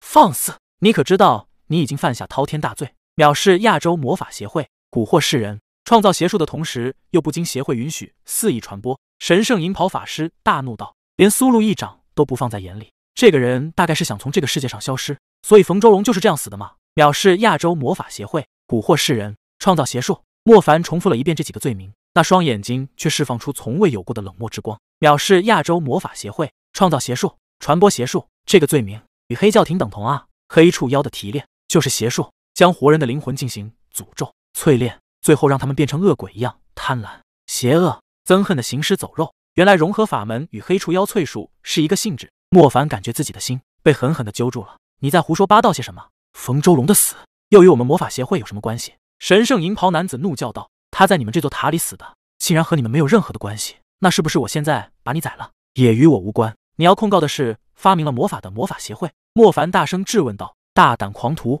你知道你在对谁说这样的话？我乃亚洲魔法协会审判部长龙木，即使你只是言语对我产生生命威胁，我也可以当场将你处决。认清楚这里是什么地方，认清楚我是谁，更认清楚。”你自己是个什么东西？这位审判部长面红耳赤的道：“在亚洲，还没有任何一个人敢这样对自己说话，包括一些国家的领袖都没有。我是融合法门的唯一传承者。”莫凡声音沉重如钟响彻：“什么融合法门？不过是微不足道的戏法。”审判部长龙木身上气势大增，可以看到城市上空中忽然间浮现出了一张庞大的猩红色蛛网。莫凡冷笑：“戏法，那就让这位亚洲审判部长好好的领教一下这个戏法的威力。”第两千五百三十九章雷火神之。如果是对着空气演示，也无法让世人看到效果。正好有人上来品尝融合法门的滋味。融合法门绝非戏法，它可以让一名魔法师的实力暴涨。那无穷无尽的融合奥义，是大放光彩的至高奥义。左边的手掌心上，雷电肆虐的冲击到天空中，顷刻间将天幕变成了雷云密布，电龙纵横，像是将他们的身躯将头顶给切割成了无数块。半个身躯泛着赤芒的新穴位遍布了莫凡左侧，从头颅到双脚，细细密密的血管、经脉、骨骼都化为了紫色。并且连成了一个前所未有的星宫，却远比星宫更加璀璨震撼。可就在几乎等同的时间，莫凡的心脏炽热的像一个要将整座城市焚化的火炉，磅礴无垠的斥力从这颗神炉心脏之中涌出，并且聚集在了莫凡的右半边身躯上。双眸一紫一红，天空中是气势狂龙一般的雷霆，密到看不见一点点天穹本有的样子。高频率闪烁的光辉让这座银色的巨城都随之映射出恐怖的电痕，如同在云幕上空交错出了一座雷电之城。可以看到巨型电弧四通八达的街道，粗细不一，却又繁杂重叠。偏偏在莫凡的脚下，势力圣火以燎原之势扩散，那是一个庞大无垠的火焰漩涡，吞噬海洋，烈火剧烈，通红赤目，重明神火与天劫火焰共同出现，完全就是恶难烈火的双重奏，铺盖在大地，却比汪洋还要广阔浩瀚。天幕是雷，如龙国之境，闪烁着毁灭天威；脚下是火，漩涡成汪洋，绽放出神怒气焰。一时间，银色的巨城都仿佛被这样的光芒给烧得烈火通红了。沙漠里，银色之城映射着千米高空的漩涡烈焰，城如燃烧起来。最顶空又是雷霆，如笔狂书。这就是你口中说的戏法？莫凡目视着龙木，龙木神色异常，他无法理解，更难以置信。明明对方的修为远不能和他这样一个接近满修的法师相比，为什么他的雷与火却有着如此窒息的气魄？这真的只是一名超阶法师的威能吗？雷火神之将这个世界上最具破坏力。最暴躁的两种元素织在一起，危险到了极致，甚至完全没有人敢做这样的尝试。莫凡瞳孔中没有一点多余的情绪，目空一切，毫不顾忌的毁灭。要说这几天愤怒如何宣泄，唯有最狂暴的雷与火。天幕雷叔与火窝之海相互之间有了一种呼应。正是莫凡将双掌紧紧的握在一起的时候，他的手指、手背、脸盘青筋暴起，如火山苏醒的岩浆火柱，倾斜的、笔直的喷向更高空，星空坠落的雷电，成片成片的跌向火海。相互交织，相互辉映，更相互激发出一种更加狂躁的元素能量。空间崩垮，次元逆流席卷。莫凡的目标是龙木，他可以让火漩涡遍布城市，更可以让雷电陨于高楼大厦，更别说是交织的雷火崩坏。要是真的在这座银色巨城内产生，所有奢华繁密的大楼都会被全部摧毁，如远处沙漠一样满是尘埃。审判部长龙木，他深陷在这样的雷火崩坏世界中，可以看得出他拥有卓越的实力，各种法术，各种超然力。各种从未见过的模具与威能，就如同暴风雨中的一艘轮船，颠簸中寻找平衡，撞击中坚韧不败。赤红色与深紫色，哪怕只有其中一个，它也可以屹立不倒。但这种雷与火的冲击，霸道无边的同时，更富有诡秘之力。模具抵挡不住，法术被融化，源源不断的更强大神之，像是一个个无法预测的黑洞陷阱，将人吞噬。吞噬中带着碾碎，又带着澎湃灼烤，完完全全就是坠入到了一个被雷电遍布的火焰星球之中。双重奏下，更有冲撞、粉碎、麻痹、禁锢、掀翻、爆裂等不同属性的力量。一个焦头烂额的人如何能够应对？神圣银袍被撕开，龙木的身上出现了交错的伤痕，他开始飘摇，寻找雷电与火焰神之间的空隙。他才是要制裁莫凡的人，到头来却要避其锋芒。那张白净威严的脸庞上布满了狼狈的烫伤，灼伤不说，还有错愕。审判部长八字胡队长惊呼了一声，一整队飞龙骑士成为了丛林中的惊飞之鸟，纷纷逃窜出这可怕的雷火天劫。那位审判部长被莫凡不断的逼退，最后甚至需要逃到数千米之外，偏离了城市中心的领空。这就是融合法门，好强大的力量！这个家伙的修为明明远不如龙木判长，最狂野的雷与最暴躁的火，竟然真的有人可以将这两种力量结合在一起。震惊的不仅仅只有高高在上的龙木部长，那些在城市之中目睹雷火遍布的天空的人数以万计。这就是刚才说的小实验，分明是毁天灭地的法门啊！最顶尖的魔法师所能够创造的破坏场景也就如此了吧？你们在在愣着做什么？给我拿下他！这里是亚洲魔法协会，仅次于圣裁院的审判之地，绝不能容忍这样的灭世之徒这样撒野！审判部长龙木一边咳嗽一边大怒的吼道：“还以为轻轻松松就能够解决掉这样一个送死的家伙。”结果被对方神秘法门给大创，龙木感觉到颜面扫地，却又不会放下自己高高在上的态度。八胡子队长其实已经被震慑住了，但他现在又不得不出手。一时间，一群飞龙与一群迪拜法师将莫凡围困，在那渐渐消融的雷火神之中，又有一股新的力量浮现，那是黑色的烛火，摇摆着，远远看去确实如蜡烛那样渺小，可渐渐的黑色烛火变得如一座山峦一样庞大。重明神火与黑暗源泉，莫凡再度施展融合法门。冰冷无比的火焰带着无穷无尽的压迫力，让那些飞龙骑士们既感受到了身躯被灼烤的同时，灵魂接受着黑暗冰冷刺骨的折磨。这些飞龙骑士的修为可远不如龙木，龙木都受到了大创，更别说他们这些虾兵蟹将。至少掌控了融合法门的莫凡面前，他们就是虾兵蟹将。第两千五百四十章宣战亚洲魔法协会。飞龙恐惧不安，被黑暗侵蚀灵魂，痛苦不堪。其背上的法师更被这一灼一冷给摧垮。他们知道如何去抵抗火焰炽热，却又不知道怎么去抵御内心被撕开的黑暗伤口。懂得驱散心中那个黑暗侵袭，血肉之躯又真真实实的被火刑伺候。你，你这是在与亚洲魔法协会公然对抗？龙木自己逃到远处，却依旧不忘怒斥。莫凡丝毫不在意。这个时候了，随便他们怎么安罪名，都已经决定要对抗了，何必还在意他们拟定的条条框框？本来他们的那些公约就是集权的手段，莫凡要手撕的就是这些至高无上的权者。飞龙骑士根本不是莫凡的对手，黑暗与混沌在同时出现，所有的飞龙骑士便如同坠入到了一个无限折叠的泥潭沼泽中。刚刚爬出了这个黑暗泥潭，却发现自己其实身处在另一个沼泽的最底部。他们就像一群孩童，被巨人般的莫凡踩在脚下，动弹不得，反抗不得，狼狈至极。迪拜城巨大，可每一条街道，哪怕是废墟角落，都可以目睹这天空战斗。一个被高楼大厦遮挡、阴影似黄昏的破烂街道上，披着一件破旧的大毛衣。头发沾满了污垢，整个人像难民一样靠在垃圾桶边上。老师，那双暗淡无比的眸子忽然间绽放出光泽来，死死地盯着高楼大厦之上。他在为我们掩护吗？他知道我们在城内，试图制造混乱，让我们离开吗？声音来自于那一本黑色的书，正紧紧地捧在怀里。黑色邪书在自己一开一合，声音也确实从黑色邪书中传出。真好，没有想到还有这样的好人。趁现在我们逃离这里，只要离开了这座城市，我们就一定有翻身的机会。黑皮邪叔继续说道。不能抛下老师，他是为了融合法门，为了冯周龙导师。沙家的声音软弱无力，却带着几分坚决。你是不是脑子坏掉了？别忘记了你的身份，所有人都可以死，你不能死，明白吗？沙家黑皮邪叔抖动了起来，似乎想要从沙家的怀里挣脱。他是唯一掌握融合法门的人，他死了，融合法门就彻底消失了。沙家缓缓地站了起来，目光更是没有从高空中挪开过。那黑皮邪书更加剧烈的晃动。假如他有手的话，一定会将沙家给强行拖走。融合法门又怎和你相比？愚蠢！黑皮邪书大怒道：“我又如何与融合法门相比？”沙家猛地抓住了黑皮邪书，黑皮邪书似乎知道沙家要做什么，竟然试图逃走，但沙家还是牢牢地将他抓住。你不能翻到那一页！黑皮邪书开始挣扎，没有保护好冯周龙导师，是我的过错，不能由莫凡来承担。该牺牲的人是我，该向亚洲魔法协会宣战的人是我。用手轻点着黑皮邪书，邪书之中立刻有黑色藤蔓生长出，越来越多。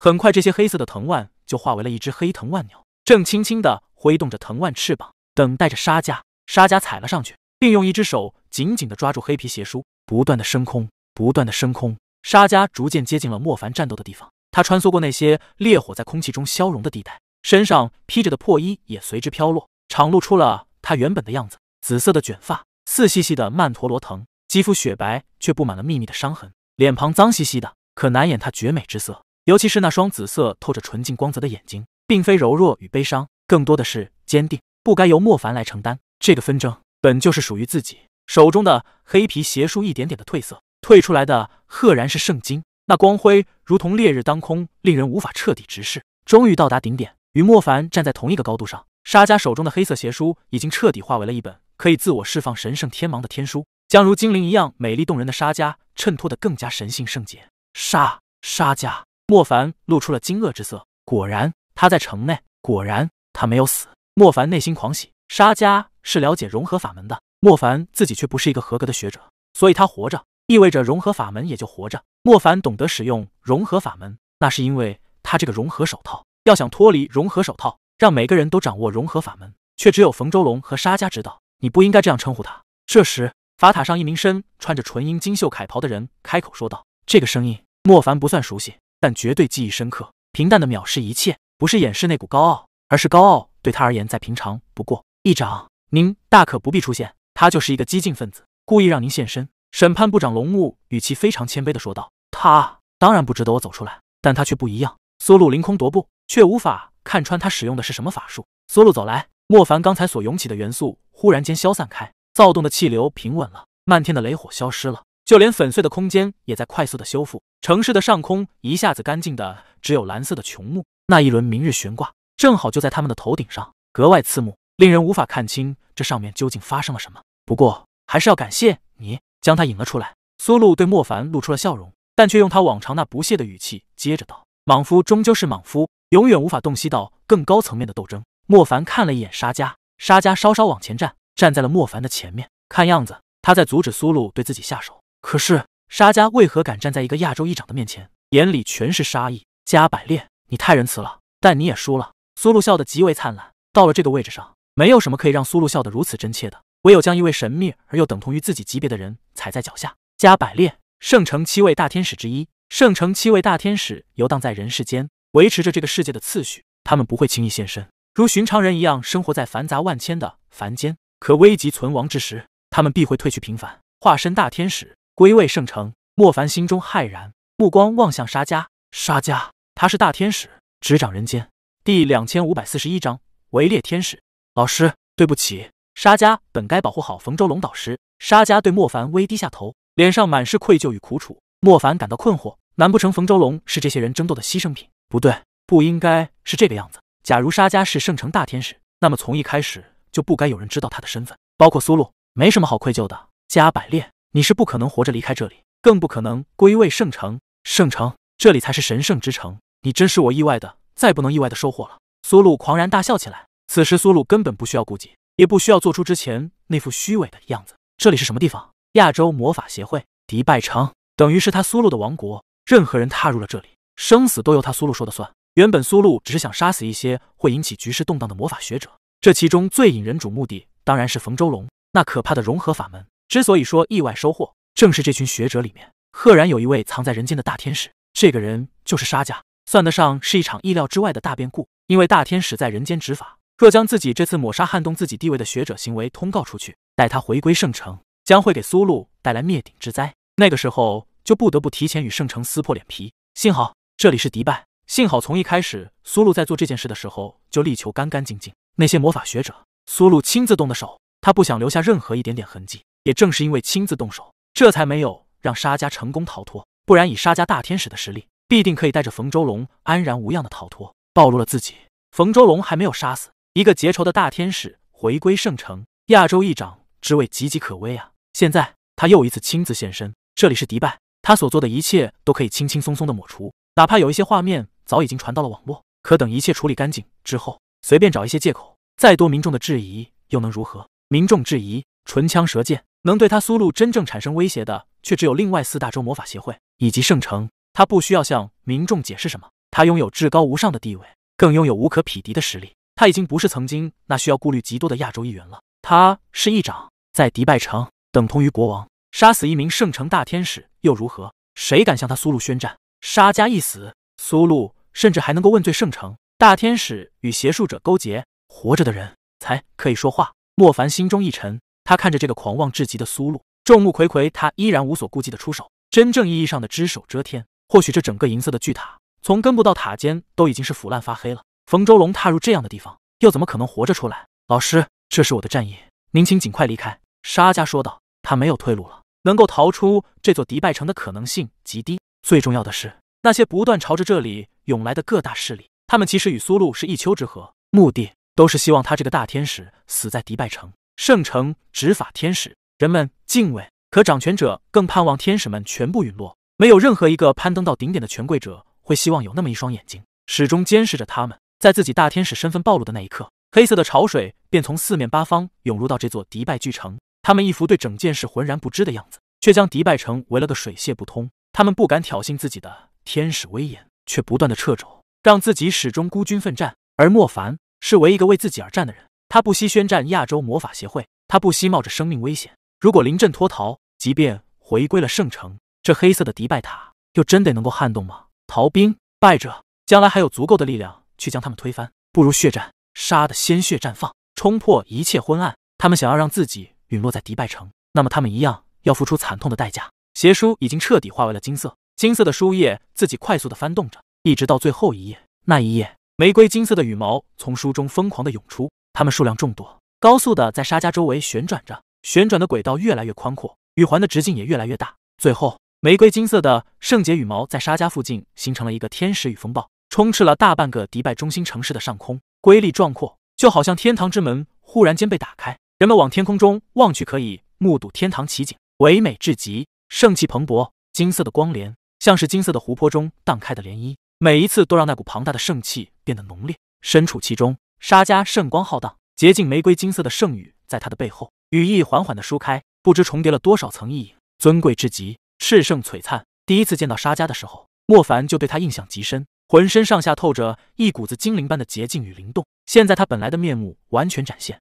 那远非凡尘可以沾染的神圣与尊贵，让人不由得要跪地臣服，顶礼膜拜。大概旧时代称之为的神明，气场也不过如此了。就在莫凡震惊于沙家化身天使时，无边的金色连光上层云空中，浓云如墨一样被搅动着。一对黑漆漆又庞大如山的爪子猛地伸了下来，似猛禽扑入池塘，瞬间抓住了水里的金色鲤鱼，然后展翅拔高。小心！莫凡话都没有来得及喊出来，玫瑰金色天使便被狠狠地拽入到黑色的云顶之中，留给莫凡和整个迪拜城人的，赫然是一阵来自灵魂深处的恐惧。黑色爪如山，体型大的可以遮盖迪拜中心。它豁然出现，又豁然升空，快得像黑色猛禽。偏偏他出现那刹那，席卷起来的气息，堪比黑沙尘暴铺盖沙漠。嘿，黑龙，黑龙大帝！莫凡立在那里，差点魂飞魄散。尽管这不是第一次与这个金字塔最顶尖的生物相遇，可他的黑龙山爪却险些将莫凡一起给抓了进去。只因为黑龙大帝目标是天使沙加，自己逃过一劫。第两千五百四十二章，一个都别想活！哈哈哈哈！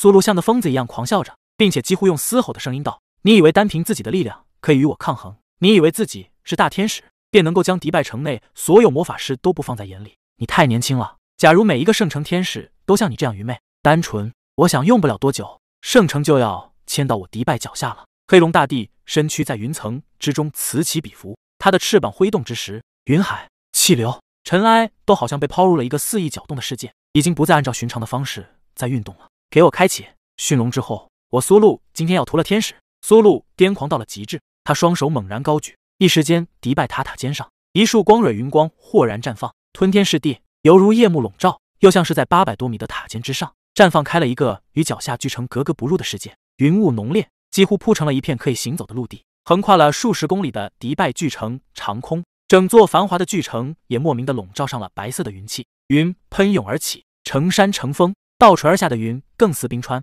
壮观成画，一座又一座云崖矗立。从城市街道上拔地而起，从高楼大厦的穹顶上指向顶空，顶空云崖战场便是你加百列的坟场。苏路这些天也一直在为这一场大战做准备。他笃定天使沙加逃不出迪拜城，那么接下去要做的就是折他翅膀，断他头颅，让迪拜银塔上染上号称这个世界上最尊贵使者的滚烫鲜血。至此之后，谁还敢与他苏路抗衡？要说变革，他苏路的新统治才是真正的变革。就以大天使加百列的头颅为开端。高楼林立的城市仿佛消融在了这些云气之中。莫凡很清楚，这并非是让城市与居民们消失，而是利用次元类魔法，将迪拜塔塔尖高度以上的区域拔升到一个更高的位置。城市其实，在经万米之下，这里的空气是顶空无比冰冷的稀薄空气，在这里厮杀，哪怕多么庞大的能量都不至于摧垮城市。这迪拜毕竟是苏路的最大依仗与绝对根基。陆陆续续，一些身影浮现在了这天顶云崖之中，他们明显是与苏路一个想法，要图大天使的权贵，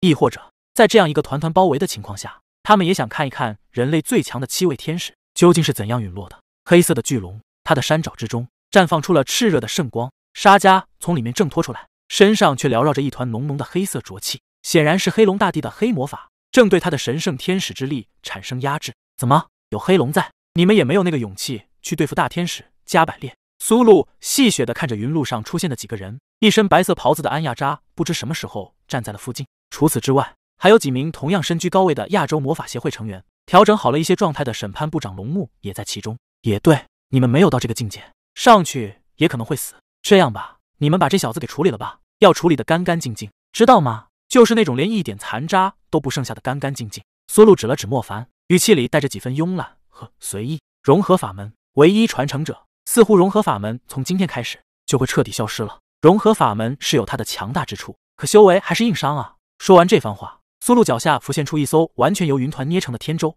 缓缓升入到更高空中。他一个人的力量或许不能够杀死大天使加百列，可有黑龙大帝在，加百列。怎么都得血染迪拜。莫凡面前走来一人，他穿着很简单的衬衫，东方面孔，头发油光发亮。这是迪拜法师傅习明上。此人之前出现在祖环瑶的会议厅，本应该是属于祖环瑶一员派系的，但此时出现在这里，很明显他是苏路的人了。你以为祖环瑶那个老家伙真的会告诉你真相？他给你指了一条活路，让你可以从这个纷争中脱身。你倒好，自己钻进来找死。现在就算是祖环瑶想保你，也保不住了。傅习明上鼻子发出声音。祖环瑶有意将自己的视线往歹狼公会身上引，似乎自己继续追查歹狼公会，便会进入到沙漠之中，便不会卷入到这次纷争当中。毕竟这场纷争并没有因为冯周龙的死亡结束，还有一位大天使在里面。苏露杀了冯周龙，却没有料到冯周龙的身边藏着一位大天使。沙家竭尽全力，仍旧没有保住冯周龙的性命，自己大天使身份还暴露了，被死死的困在了迪拜城中，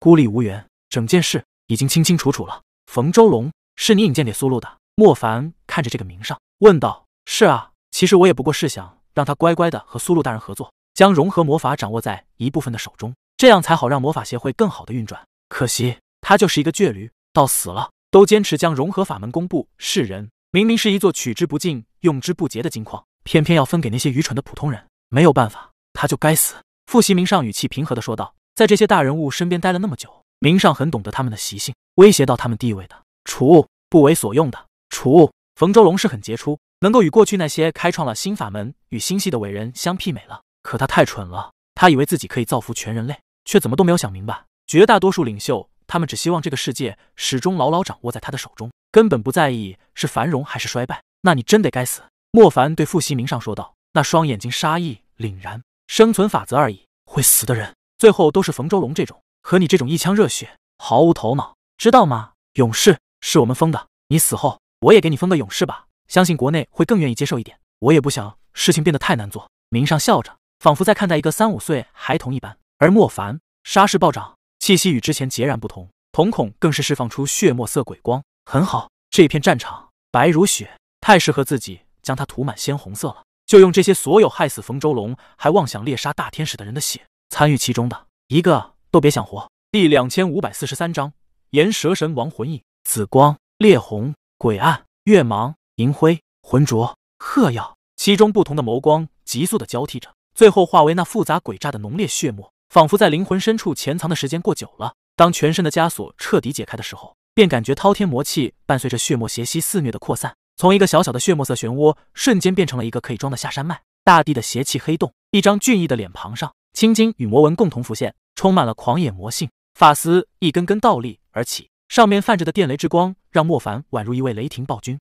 神威奕奕，皮肤烈焰通红，全身上下那流淌着滚烫血液的血管似乎都可以看见。拥有了重明神火之后，恶魔化中的火能似乎得到了一次恐怖的进阶。那些密密麻麻、四通八达的血管以不寻常的速度在流淌着，并且都是源自于那一颗恶魔火炉的心脏。恶魔火炉的心脏蓬勃无比的跳动着，频率快的像一个充斥着狂躁烈焰的魔能机械。正在不断的产生高热量，产生巨大的动力。雷是气运，火是身躯。恶魔系最为强大之处，还在于那至始至终依附在莫凡背后的魂影。这魂影其实就是莫凡的召唤系的演变。狼皇、炎姬女神以及美杜莎女王。过去，莫凡的背后是两个魂影，可以交替着使用，但这一次又截然不同。上个魂影竟然是完全重叠在了一起，滔天的邪气如一张巨大的山崖巨象屹立在莫凡的背后。这个巨象拥有一条惊世骇俗的美杜莎之尾，半虚无的缠在莫凡周围几百米的区域。火焰的鳞片覆盖着这半虚无的美杜莎腰尾，腰尾一直延伸到了魂影的腰身位置，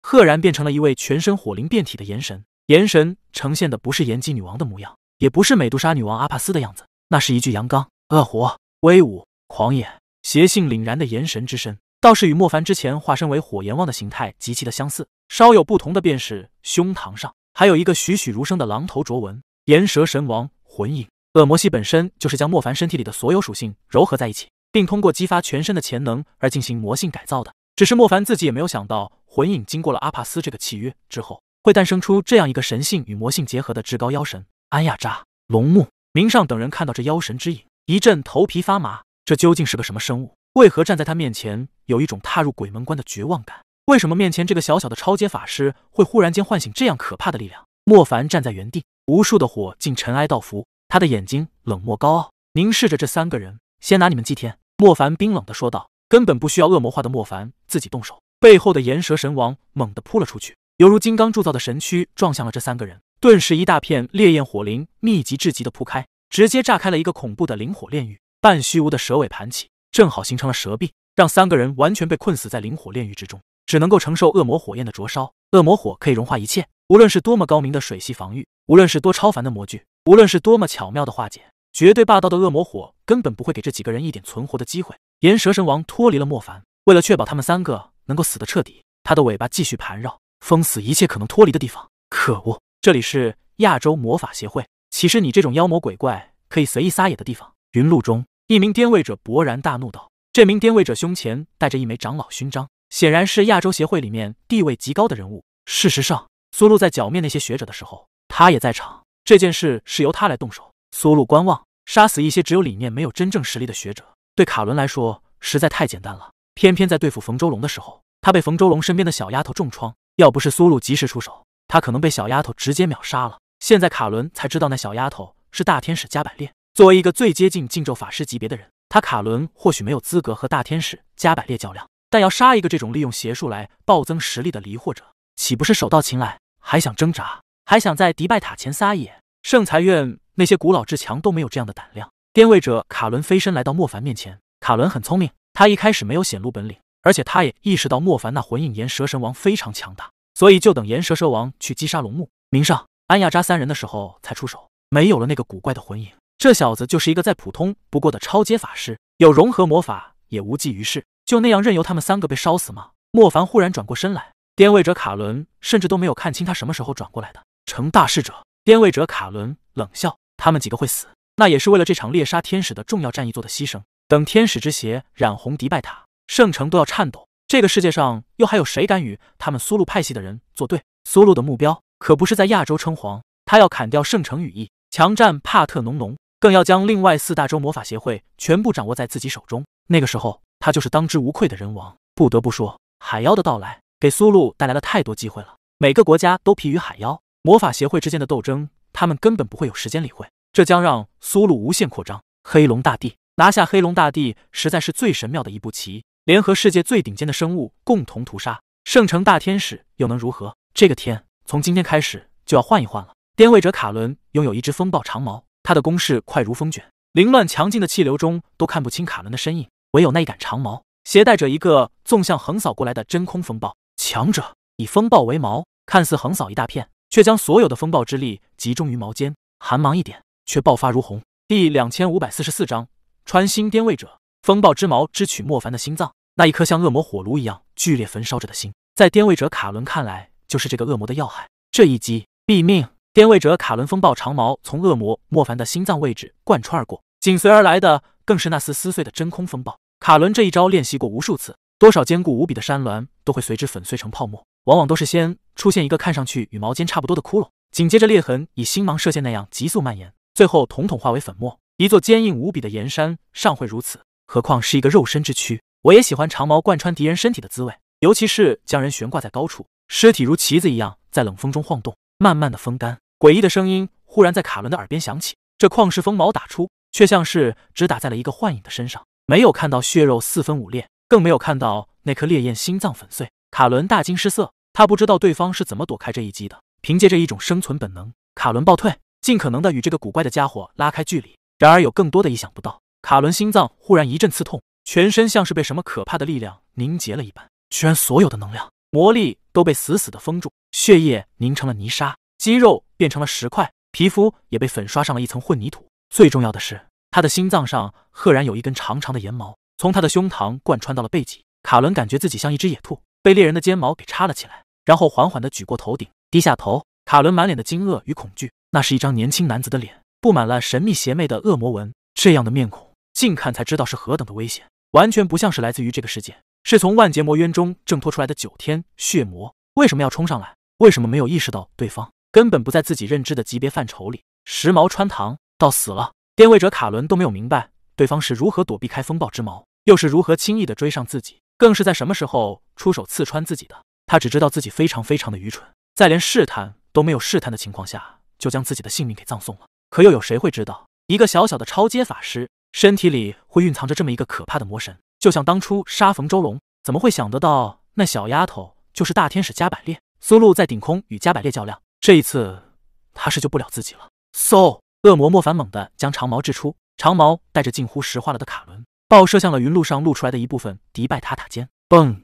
长矛狠狠地穿透到迪拜塔顶部。将颠位者卡伦的尸体生生的定在了那里，石化力量迅速的消退，卡伦胸膛位置上血液溢出如泉，顺着有裂缝的窗墙流淌出来，在塔尖高层上抹开了醒目的一股鲜红色。迪拜塔有结界守护，而且其坚硬度也堪比魔钻，里面还有许多魔法协会的顶尖法师。可当他们看到死的人竟然是颠位者卡伦的时候，脸上的震惊之色无以复加。死死了，颠位者就这样被杀死了。这一根普普通通的石矛。将他的尸体定在了一个非常恰到好处的位置上，不仅可以让迪拜塔中的人看到，更可以让笼罩在云路下的城市居民看到云路上面现在发生了什么。没有人知道屠杀天使这种事情，苏露可以干，但没有必要向全世界直播和通告。所以云路用来困死沙家的同时，也可以起到遮挡和保护城市的效果。在亚洲魔法协会总部前的纷争，再多再强的敌人都会化为冰冷的尸体。只是第一具尸体似乎不是来自于敌人，而是魔法协会的颠位者卡伦。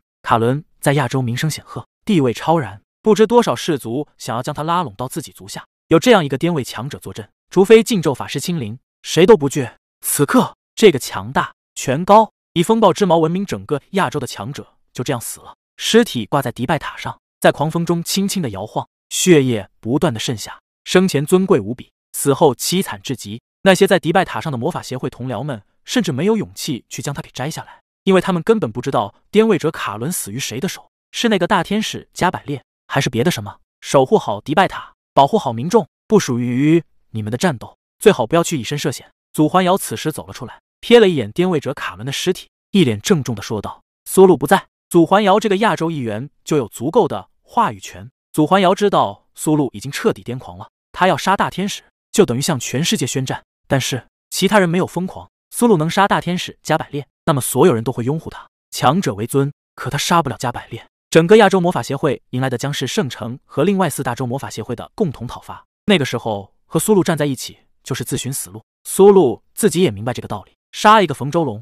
确实很关键。这个人的的确确可以到来变革，可哪知道捅了一个大篓子，引出了大天使加百列。苏露没有退路，只能一不做二不休。有黑龙大帝在，加百列活不了。亚洲魔法协会自然也有众多派系。苏露也有许多誓死效忠者，云路上面还有另外四名颠位者以及二十多名上位者。这些人原本是要协助苏露共同牵制沙家的，可他们哪里会想到，这个跳梁小丑一样的家伙会忽然间变得这般狂暴？颠位者卡伦不费吹灰之力被杀死，岂不是表明这个恶魔拥有禁咒级别的实力？幸好刚才他们没有莽撞，不然死的就是他们。用云幻叠阵，颠位者尼多尔高声说道。其他上位者早早的退到远处，他们站在关键的法阵云点上。将原本用来对付沙家的云幻叠阵使用在莫凡的身上，莫凡手一扬，岩蛇神王的魂影如一件遮天蔽日的衣袍那样，迅速的回归到了恶魔莫凡的背后。第两千五百四十五章，我无法成为你们。呃，同魔域恶魔莫凡早就洞悉了这些上位者和颠位者的意图，如此浓密的云气更可以困住一位大天使，显然这是迪拜法师塔的一个强大魔阵之一。可作为一个掌控混沌、暗影、空间这三大系的恶魔，怎么可能会给对手使用法阵来锁住自己的机会？耳瞳血红，白色的云层像是被泼上了红色带着暗墨的颜料，顷刻间，这种诡异可怕又渗人至极的色彩铺满了整片云天，更将空气都变成了一股股浓烈的血浊之息。云幻叠阵没有来得及浮现，这些颠位者和上位者统统被莫凡拉入到一个血色与墨色交织的鬼幻邪界，宛如世界最原始时的样子。雷电肆虐，鞭策大地，狂吸消磨山巅。明明没有一点点生命的迹象，血腥味却充斥着，满目苍夷，又一片苍凉。欢迎来到我的乐园。莫凡露出了一个邪气十足的笑容。这是恶魔的乐园，但却是这些人血迹斑斑的屠宰场，是逃不出去的。这个时候，颠位者们和上位者们要做的。就是尽可能的找到一片还算安全的地方躲藏起来。一旦被这个提着血鞭的恶魔找到，可以保证他死前凄厉的惨叫声一定会回荡很久很久。来到这里，莫凡打一开始就没有想要探寻所谓的真相，他也不相信这些与苏露为伍、一心要杀家这个唯一幸存者死去的人是无辜的。甚至在这样腐烂的亚洲魔法协会里，没有一个人是真正无辜的。不是他们的趋炎附势，不是他们的弱懦无能，冯周龙又怎么会死？没有祈求。你们这些蛀虫为这个濒临危难的世界做出多大的贡献？只希望在一个真正能够带来变革推进的人不被这样残害，都该死！每每想到冯周龙无比兴奋激动的跟畅谈融合法门奥义的时候，莫凡内心的杀意就会增添几分。从掌空与秦玉儿被这个世界残忍驱逐的那一刻，莫凡就已经清楚了统治阶级的面目。统治者根本不会在意人们的死活，只在意自己的地位是否会受到威胁。从古到今，从未改变过。所以，这个亚洲魔法协会真得不如一脚踏成碎片，真得不如杀得一干二净，没有一点点的心慈。每捏碎一个上位者，莫凡堆积在内心的怨怒才得以一丝解脱。从得知冯周龙死讯的那一刻开始，莫凡的心就被死死的揪着，没有一秒钟是不疼痛欲绝的。直到现在，每一个沾染者、阴谋者、策划者死在自己的恶魔爪下，莫凡的心脏才稍微好受一些，呼吸才不至于全是酸楚。展空选择了不抗争，选择了与秦玉儿离开，任由这个世界。愚蠢腐烂下去，莫凡却无法容忍那一场在圣城没有结束的战役，就由自己来替他完成。莫凡真的不能再眼睁睁看到斩空、冯周龙这样真正的人类为者死去，他们一身正气，至死都不愿意大开杀戒，那就由自己来。莫凡不怕堕落，不怕被世人唾弃，更不怕成为异徒。一个扭曲的世界，正直的人就是异徒。圣子文泰唤不醒，冥王斩空唤不醒，学者冯周龙也唤不醒，再多的圣者都唤不醒，那就试试自己这个恶魔。是你们的恶毒唤醒了我，是你们的腐烂唤醒了我。那么多次抗争，那么多次恶斗，那么多次成为人们心目中的勇者，莫凡始终都没有把自己当成一个圣者。身边涌现出无数为圣者，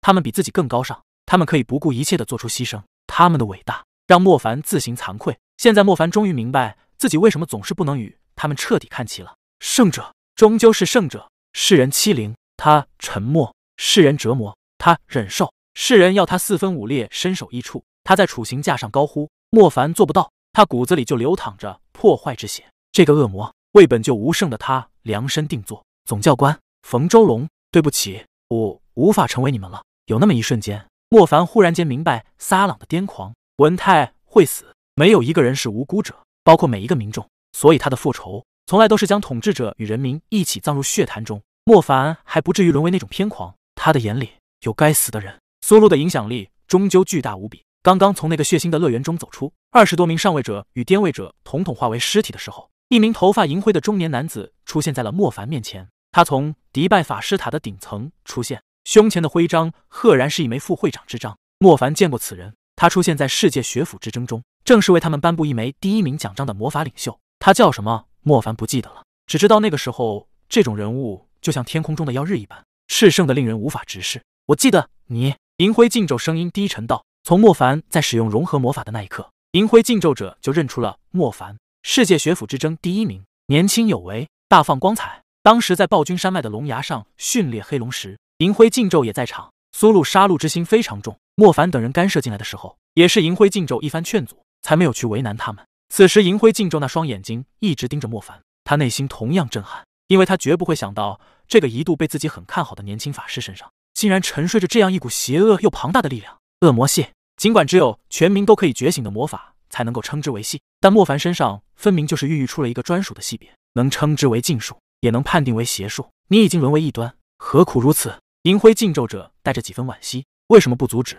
莫凡反问道：“你说那个学者，事情没有你想的那么简单。苏露是做错了，但银辉禁咒者顿了顿，目光不由自主的抬起头，看向顶空的黑龙与苏露，接着道：“帝皇都会犯错。”第两千五百四十六章星刚卓文之躯。帝皇，原来所有人都已经将苏露当成了亚洲魔法协会的帝皇，荒唐至极，却又真实无比。否则，苏露又怎么敢当着整座城市那么多人的面屠戮天使？帝皇都会犯错。莫凡想不到的是，就连一位禁咒法师的脑子里都对苏露产生了这样可怕的奴性。多说没有意义，你既然踏出了这一步，我只能够将你从这个世界上抹除。银灰禁咒者收起了那份对莫凡的惋惜，只是眼神开始变得冰冷。恶魔莫凡保持着那特有的冷笑，他立在那里，完全在等待银灰禁咒者出手。不是每一个禁咒法师，他们都拥有独立完成禁咒之法的能力，更何况。禁咒真的杀得死自己吗？银灰禁咒者没有做毫无意义的试探。既然莫凡可以在瞬息间斩杀迪拜塔内那么多上位者和巅位者，这表明他的实力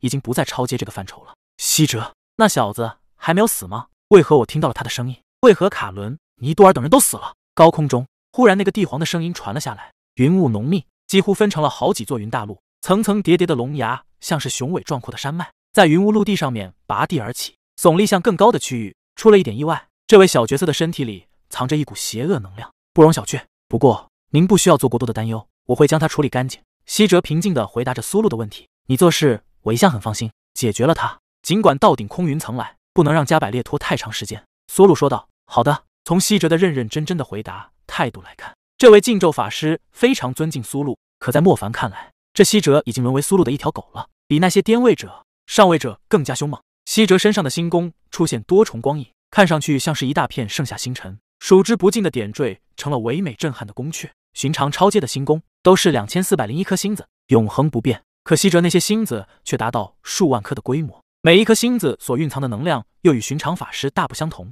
每一颗星子都会牵出三道以上的轨迹。明明是在一个星轨，这个星图的星子竟然也与其他完整的星图、星座、星宫链接在一起。这样的魔法，莫凡是第一次见，繁杂却有序。将星子与星子之间所能够产生的最庞大能量都发挥到了一个极致，叠加、回形、并联，密密麻麻的星痕，简直就是一个被放大到了如高楼大厦一般宏伟的电路板。能量释放磅礴至极，禁咒法师即便没有吟唱禁咒，他们的力量一样可以轻易的碾压所有禁咒以下的人，像是一个凡人踏入了仙者境界。人又如何与仙抗衡？恢宏星光山脉从云路中拔地而起，无数的星光尘埃充斥在了山脉之间。银灰禁咒者西哲似乎只是挥了挥衣袖，便将莫凡直接扫入到了一个荒寂的星辰宇宙中。宇宙里有众多一股庞大的星吸力，正疯狂的将莫凡从不同方向撕扯。一座星光山就像一个独立的宇宙磁场，这里似乎原本有无数更小一些的星辰，但在这些星光山庞大的吸力下，要么依附在更大的星光山中，要么就这样变成尘埃游荡。莫凡身处在众多这样可怕的吸力之中，头颅、手臂、双腿、背部、胸膛都有不同程度的吸扯力量。这些吸扯力量不会相互抵消，他们只是像一个个星辰魔鬼那样，将一切物体尽可能的拉扯到他们的星界里，更不允许其他星光山获得，宁愿撕碎每一个部位，都要飞向截然不同的方向。莫凡感觉到这股星吸力还在不断的加剧，若不能够摆脱，再坚实的体魄都会被拉扯的四分五裂。可在这样一个古怪缥缈的宇宙黑暗里，莫凡明显有力使不出来，周围一点点的元素粒子都没有。就好像无所不在的元素都被那些星光山给吸走了，变成了他们璀璨宏伟的一部分。禁咒法术的确与莫凡过去遇到的截然不同，虚幻、古怪、宏大，让人无从破解。咯吱，骨骼开始出现脱臼的迹象了。莫凡这恶魔之躯是何等的强大，依然无法在这样的宇宙磁力空间里待太久。而银灰禁咒者西哲也仿佛知道莫凡是一个不同寻常的恶魔人，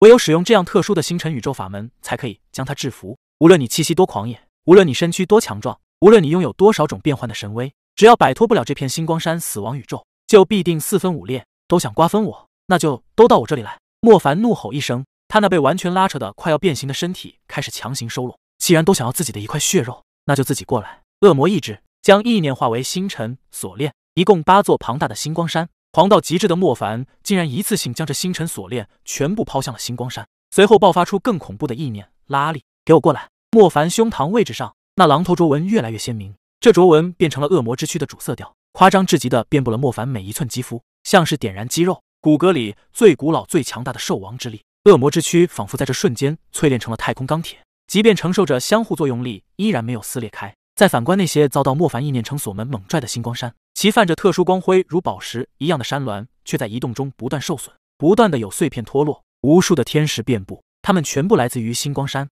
而八座星光山，一点一点的朝着恶魔莫凡靠近，宛如八匹野马正被一个力大无穷的霸王活生生的拖拽到面前，跌跌撞撞，平衡已失。嘣！星光山贴得过近的缘故，相互之间产生了爆破，一时间，这些宏伟的星山全部粉碎，变成了大大小小的天石。心碎，尘埃。莫凡全身灼纹燃烧，就连那双眸子都有灼焰在摇摆，散发着炽热能量的星钢铸造身躯没有一点裂痕，反而变得更加坚固强大。第两千五百四十七章。恶火宇宙，一切粉碎。莫凡从银灰禁咒者西哲的星山死亡宇宙中挣脱，周围没有发生任何的变化，就连头顶上那些非常轻盈的云气似乎都没有改变。不过，刚才那一切并不是幻觉，是禁咒者希哲凭借着自己强大的法门，生生的创造出了一个死亡宇宙，试图在那里将莫凡给直接杀死。禁咒者希哲看到恶魔莫凡展现出那不凡的上古卓纹，脸上露出了惊愕之色。即便是最邪恶的法门。也没有可能在一瞬间将一名超阶法师提升到禁咒的水准。要知道，西哲的这个死亡宇宙，就连许多踏入到禁咒门槛的人都会在那新犀利的折磨中跪地求饶，哪怕是可以挣脱，对方挣脱的时间也太短暂了。真正的禁咒需要很长时间的引导，这个引导过程并不影响禁咒者使用任何其他威力强大的魔法。西哲是一个老道的禁咒法师，他没有指望一个法则就泯灭掉恶魔莫凡，所以他从一开始就在引导着禁咒，光系禁咒。还需要至少十个这样的引导，这样也就是说，西哲要想让禁咒成功降临，就得施展出十个类似于星山死亡宇宙的法门。问题是，星山死亡宇宙已经是西哲除禁咒之外最强大的几个法门了。你喜欢宇宙，那就感受一下我的宇宙。莫凡发出了笑声。莫凡的宇宙可不是星光漫天、星山磅礴，他的宇宙是烈焰，宛如一轮黑色的宇宙耀日，固然的统治了这整片星系，没有那种掠夺方式的吸扯力，也没有恢宏庞大的星光巨山，有的。就是那从耀日之中忽然一泻如注的黑色之火，从最中央的位置一直充斥到了星系之外。随后，那最可怕的耀火便将数之不尽的陨石、尘埃统统化为了黑色冰冷又剧烈焚噬的恶火。银灰禁咒者希哲完全没有想到，对方一样掌控着空间的法门。星光山死亡宇宙看似是光系魔法，事实上就是一个纯粹的空间力量。问题是，银灰禁咒者还感受到了莫凡这空间宇宙的截然不同，因为这里的一切能量都不按照空间定律在行走。耀日中的火舌无休止的喷发，那些看似尘埃一样的渺小芯片，却会忽然间产生剧烈的大爆炸。爆炸之后，一团滚滚恶火聚拢在一起的烈火星球又诡异的诞生。太阳火舌，日恒耀斑，虚空爆裂，规则凌乱。这究竟是火，是空间，还是混沌？假如一开始无法判断出对方的力量性质，那么西哲又该从什么地方着手，却摧毁对方的宇宙？银灰禁咒者西哲颠簸着，他不仅要避开那些火蛇与耀斑。还要快速的适应这随机改变的引力规则。忽然，引力来自于西哲的心脏，西哲的心脏忽然间诡异的变成了星光山，拥有可怕的星吸力，正将他体内其他四脏六腑给狠狠的吸扯过去，似乎要与心脏同归于尽。西哲吓坏了，这也太过诡异莫测了。对方竟然将自己的星山死亡宇宙进行了缩小复制，还复制在自己的身体内，拿五脏六腑开刀。西哲一脸煞白，急忙用集中精神。现在被拽住，拉扯的是自己的内脏，西哲必须施力恰当。抵消掉那小型星吸力的同时，又不能施加过重，不然会自己把自己的内脏给打碎。宛如一个在给自己开刀的主治医师，看着自己被刨开的胸膛，格外的小心翼翼，弄错了一个步骤，就再也醒不过来了。呼，终于将这个在自己身体里的复制宇宙给消除了。银灰禁咒者大大的吐了一口气，但一抬头，银灰禁咒者西哲猛然发现无边无疆的黑色烈焰，超出了自己视野不知多少万倍，完全是一个渺小的生命坠入到了一个远比认知要浩瀚巨大的星球中。这个星球全是暗色烈焰，随处可见那地球上几十倍高的火焰海啸在席卷，堪比一整块大陆的火山岩浆熔炉，艳红的触目惊心。扑面而来的尽是毁灭死亡。西哲刚才注意力都在自己的体内，完全忘记了他其实还身处在对方的恶火宇宙中。他感觉渺小的自己正在逐步逐步的被吞噬，毫无反抗的余地。融合法门，融合法门。就在西哲要彻底沦陷时，他猛然间醒悟过来，这个年轻的魔法师。不久前才向世人展示过融合法门。假如融合法门是成立的话，那么他现在所施展的这个恶火宇宙也动用了融合的法门，不是火、空间、混沌，而是火系、空间系、混沌系三种系别的全部结合。他融合了、升华了，并创造出了一个属于他自己的强大空间宇宙。可怕，可怕至极！西哲这个时候才意识到，融合法门绝不是什么禁术鬼术，它就是一种可以绝对强化每一个魔法师能力的至上法门。懂得了其中的奥义是一回事。能不能摆脱又是另外一回事。教科书上永远都只给一个基本公式，而要解开的难题却千变万化。繁复至极。当西哲从莫凡的这融合宇宙中逃脱出来的时候，身心俱疲，一双自信从容的眸子里透出着被摧残折磨过后的怯弱与小心翼翼。对方在模仿自己的能力，西哲很肯定，尤其是空间宇宙这个法门，恶魔莫凡完完全全就是在复制。可对方模仿复制出来的宇宙法门，却比自己的更深邃可怕。他的星山死亡宇宙过于单一了，对方的三种力量相互交织，又可以交替来袭，让西哲应付的痛苦无比。终于从里面摆脱出来之后，便感觉自己的灵魂经历了一场岁月漫长的宇宙搁浅。融合法门确实强大，一想到眼前的这个人成为了这个法门的唯一继承者。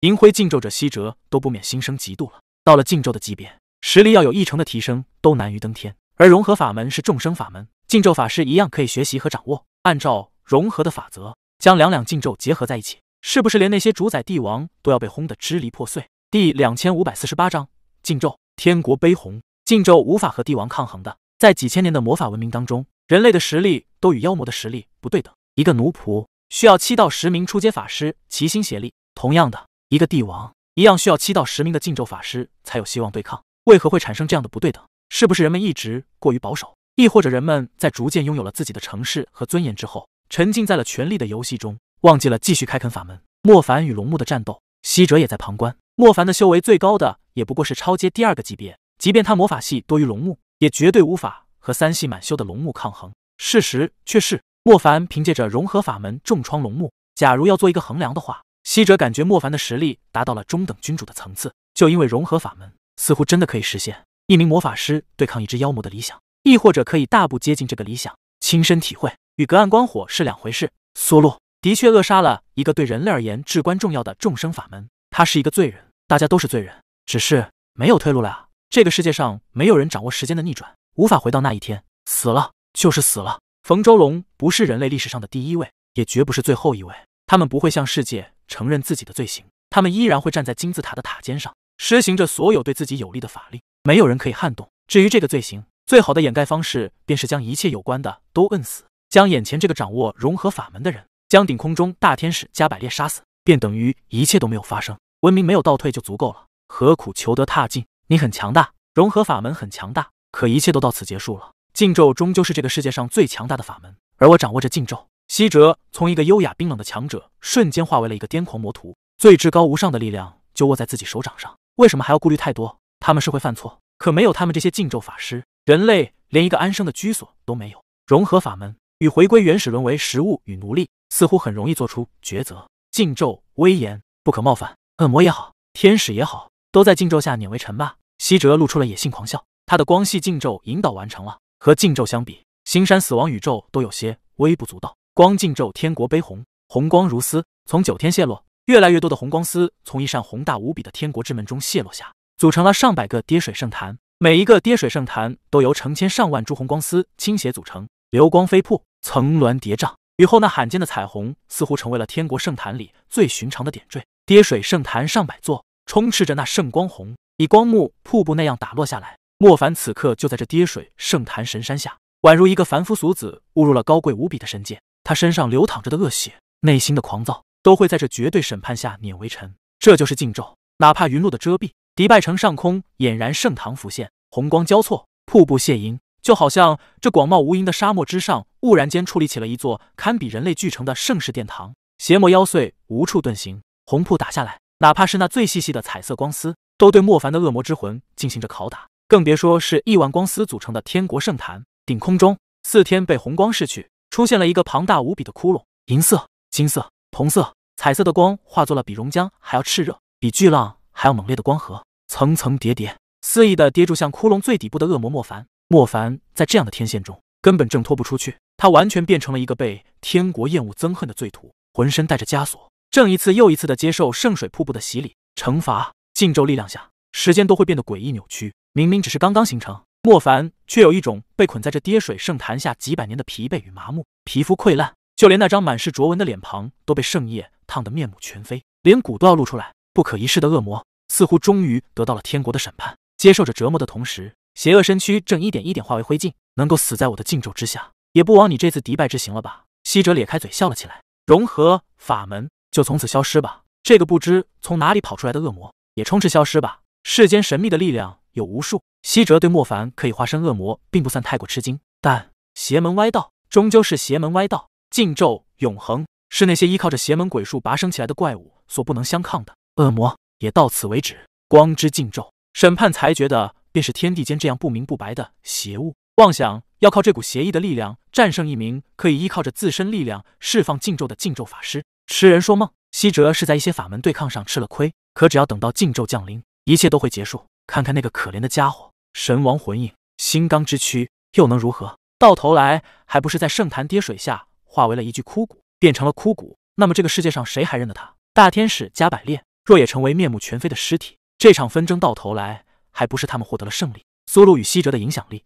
扩大到整个世界，那些敢对他们说不字的，嗯，可以参考一下大天使和某个恶魔的下场。莫凡的灰烬缓缓地飘向了更高顶空，这是他的生命枯萎的残渣。西哲像一位高高在上的神明那样，徒步在跌水圣坛之中，仿佛享受这样至高无上的力量。他像一位艺术家谢幕那样，高举起了双手，敞开了胸膛，任由莫凡生命枯萎的残渣在自己周围飘散。那一具枯骨半跪着，白骨双臂死死地抱住脸庞，像是要护住自己的面容。可西哲可以肯定，他的脸也已经变成了白骨。这样的挣扎毫无意义。难道有人可以凭借这样的姿势抵挡得住毁灭山洪？第两千五百四十九章不死恶魔，血与肉化为灰烬，魂与灵随时都将湮灭。莫凡想到过的死亡，比现在他所承受的要更多样化。可他后悔吗？从来没有。这是自己选择的道路，哪怕每往前踏出一步，肌肤都会溃烂成灰，身骨都会碎裂成粉。只要那颗心依然在燃烧，就绝不会停下。白骨。白骨又如何？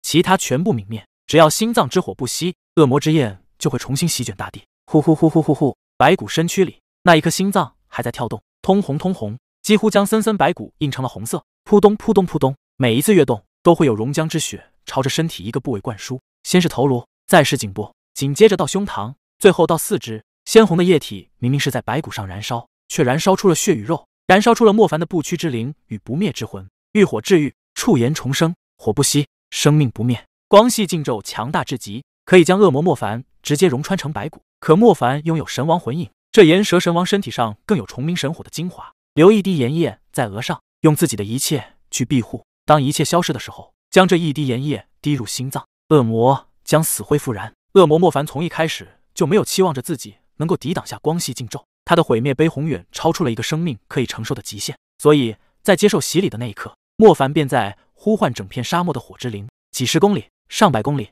几百公里，莫凡可谓孤注一掷。他没有去专注的抵挡光系禁咒，而是将所有的筹码压在了这片迪拜城周围的沙漠戈壁上。他坚信这片沙漠中必定有天地之火。果然，就在那个绿地驿站的偏南方向上，有一个不曾别人察觉的火种。这个火种便是莫凡重生的种子。身躯化为灰烬之前，莫凡用双手去护住的不是自己的面容，正是这一颗火之种子。恶魔火飞舞。炎蛇神王魂影依旧雄伟如山，从一具白骨到现在完好如初，整个过程根本没有多久。假如没有为魔都那一波杀死海王骷髅，莫凡相信，即便是化身恶魔，在面对西哲的这光系禁咒，自己一样很难存活。可正因为重鸣神鸟的那份期盼，让莫凡拥有了这样的神通。恶魔化之后，这个神通似乎变得更加强大。数百公里内，只要有一颗火种，心脏不息，便可以烈焰重生，恶魔重生。这种恶魔才可以称之为真正的恶魔。不死不灭，没有死，那个家伙没有死。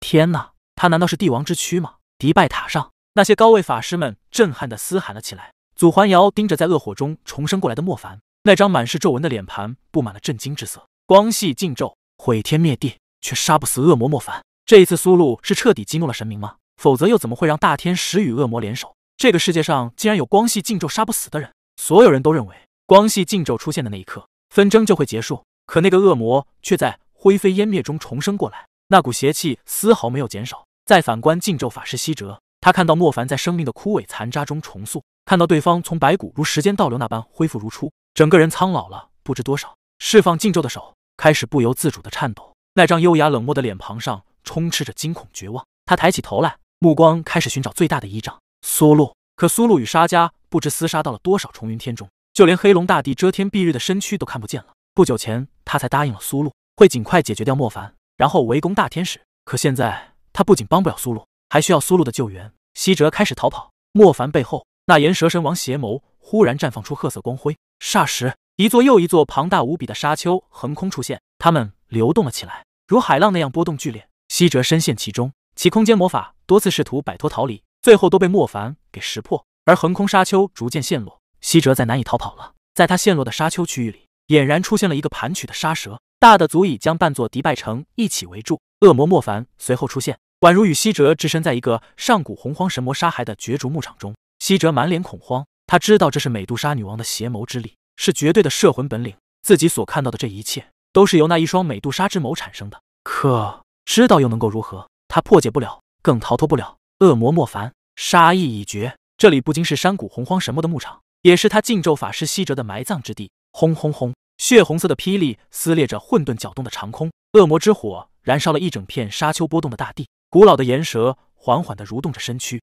冰冷的眸子死死地盯着西哲。西哲不仅要提防这个岩蛇神王魂影，更要担心眼前的恶魔莫凡。岩蛇神王既可以分离独立战斗。也可以依附莫凡身上协助厮杀，而没有岩蛇神王的莫凡，主要的力量正是雷霆、暗影、空间。血红色的雷电像是魔界枷锁，狠狠地拍打下来。恶魔莫凡与岩蛇神王魂影同时出手，西哲无处可逃，拼尽一切的抵挡。恶魔莫凡自身就是一道血红色的闪电，他驰骋在这片属于自己的美杜莎上古幻境中，那爆发出的一拳足以将西哲的胸膛给打穿。西哲祭出了自己的楷模具，却仍旧只能够抵挡一击之力。他的背后。岩蛇神王魂影扑下，卷起漫天火舞，蛇牙露出，一咬合，大地裂成两半。西哲背部重创，鲜血狂喷。恶魔莫凡在变换力量，这一次他融于黑暗，瞬息闪烁，每逗留的虚暗位置都出现了一个与恶魔莫凡一模一样的斜影。成百上千的斜影恶魔血爪上布满了闪电，急速交错，幻影重重。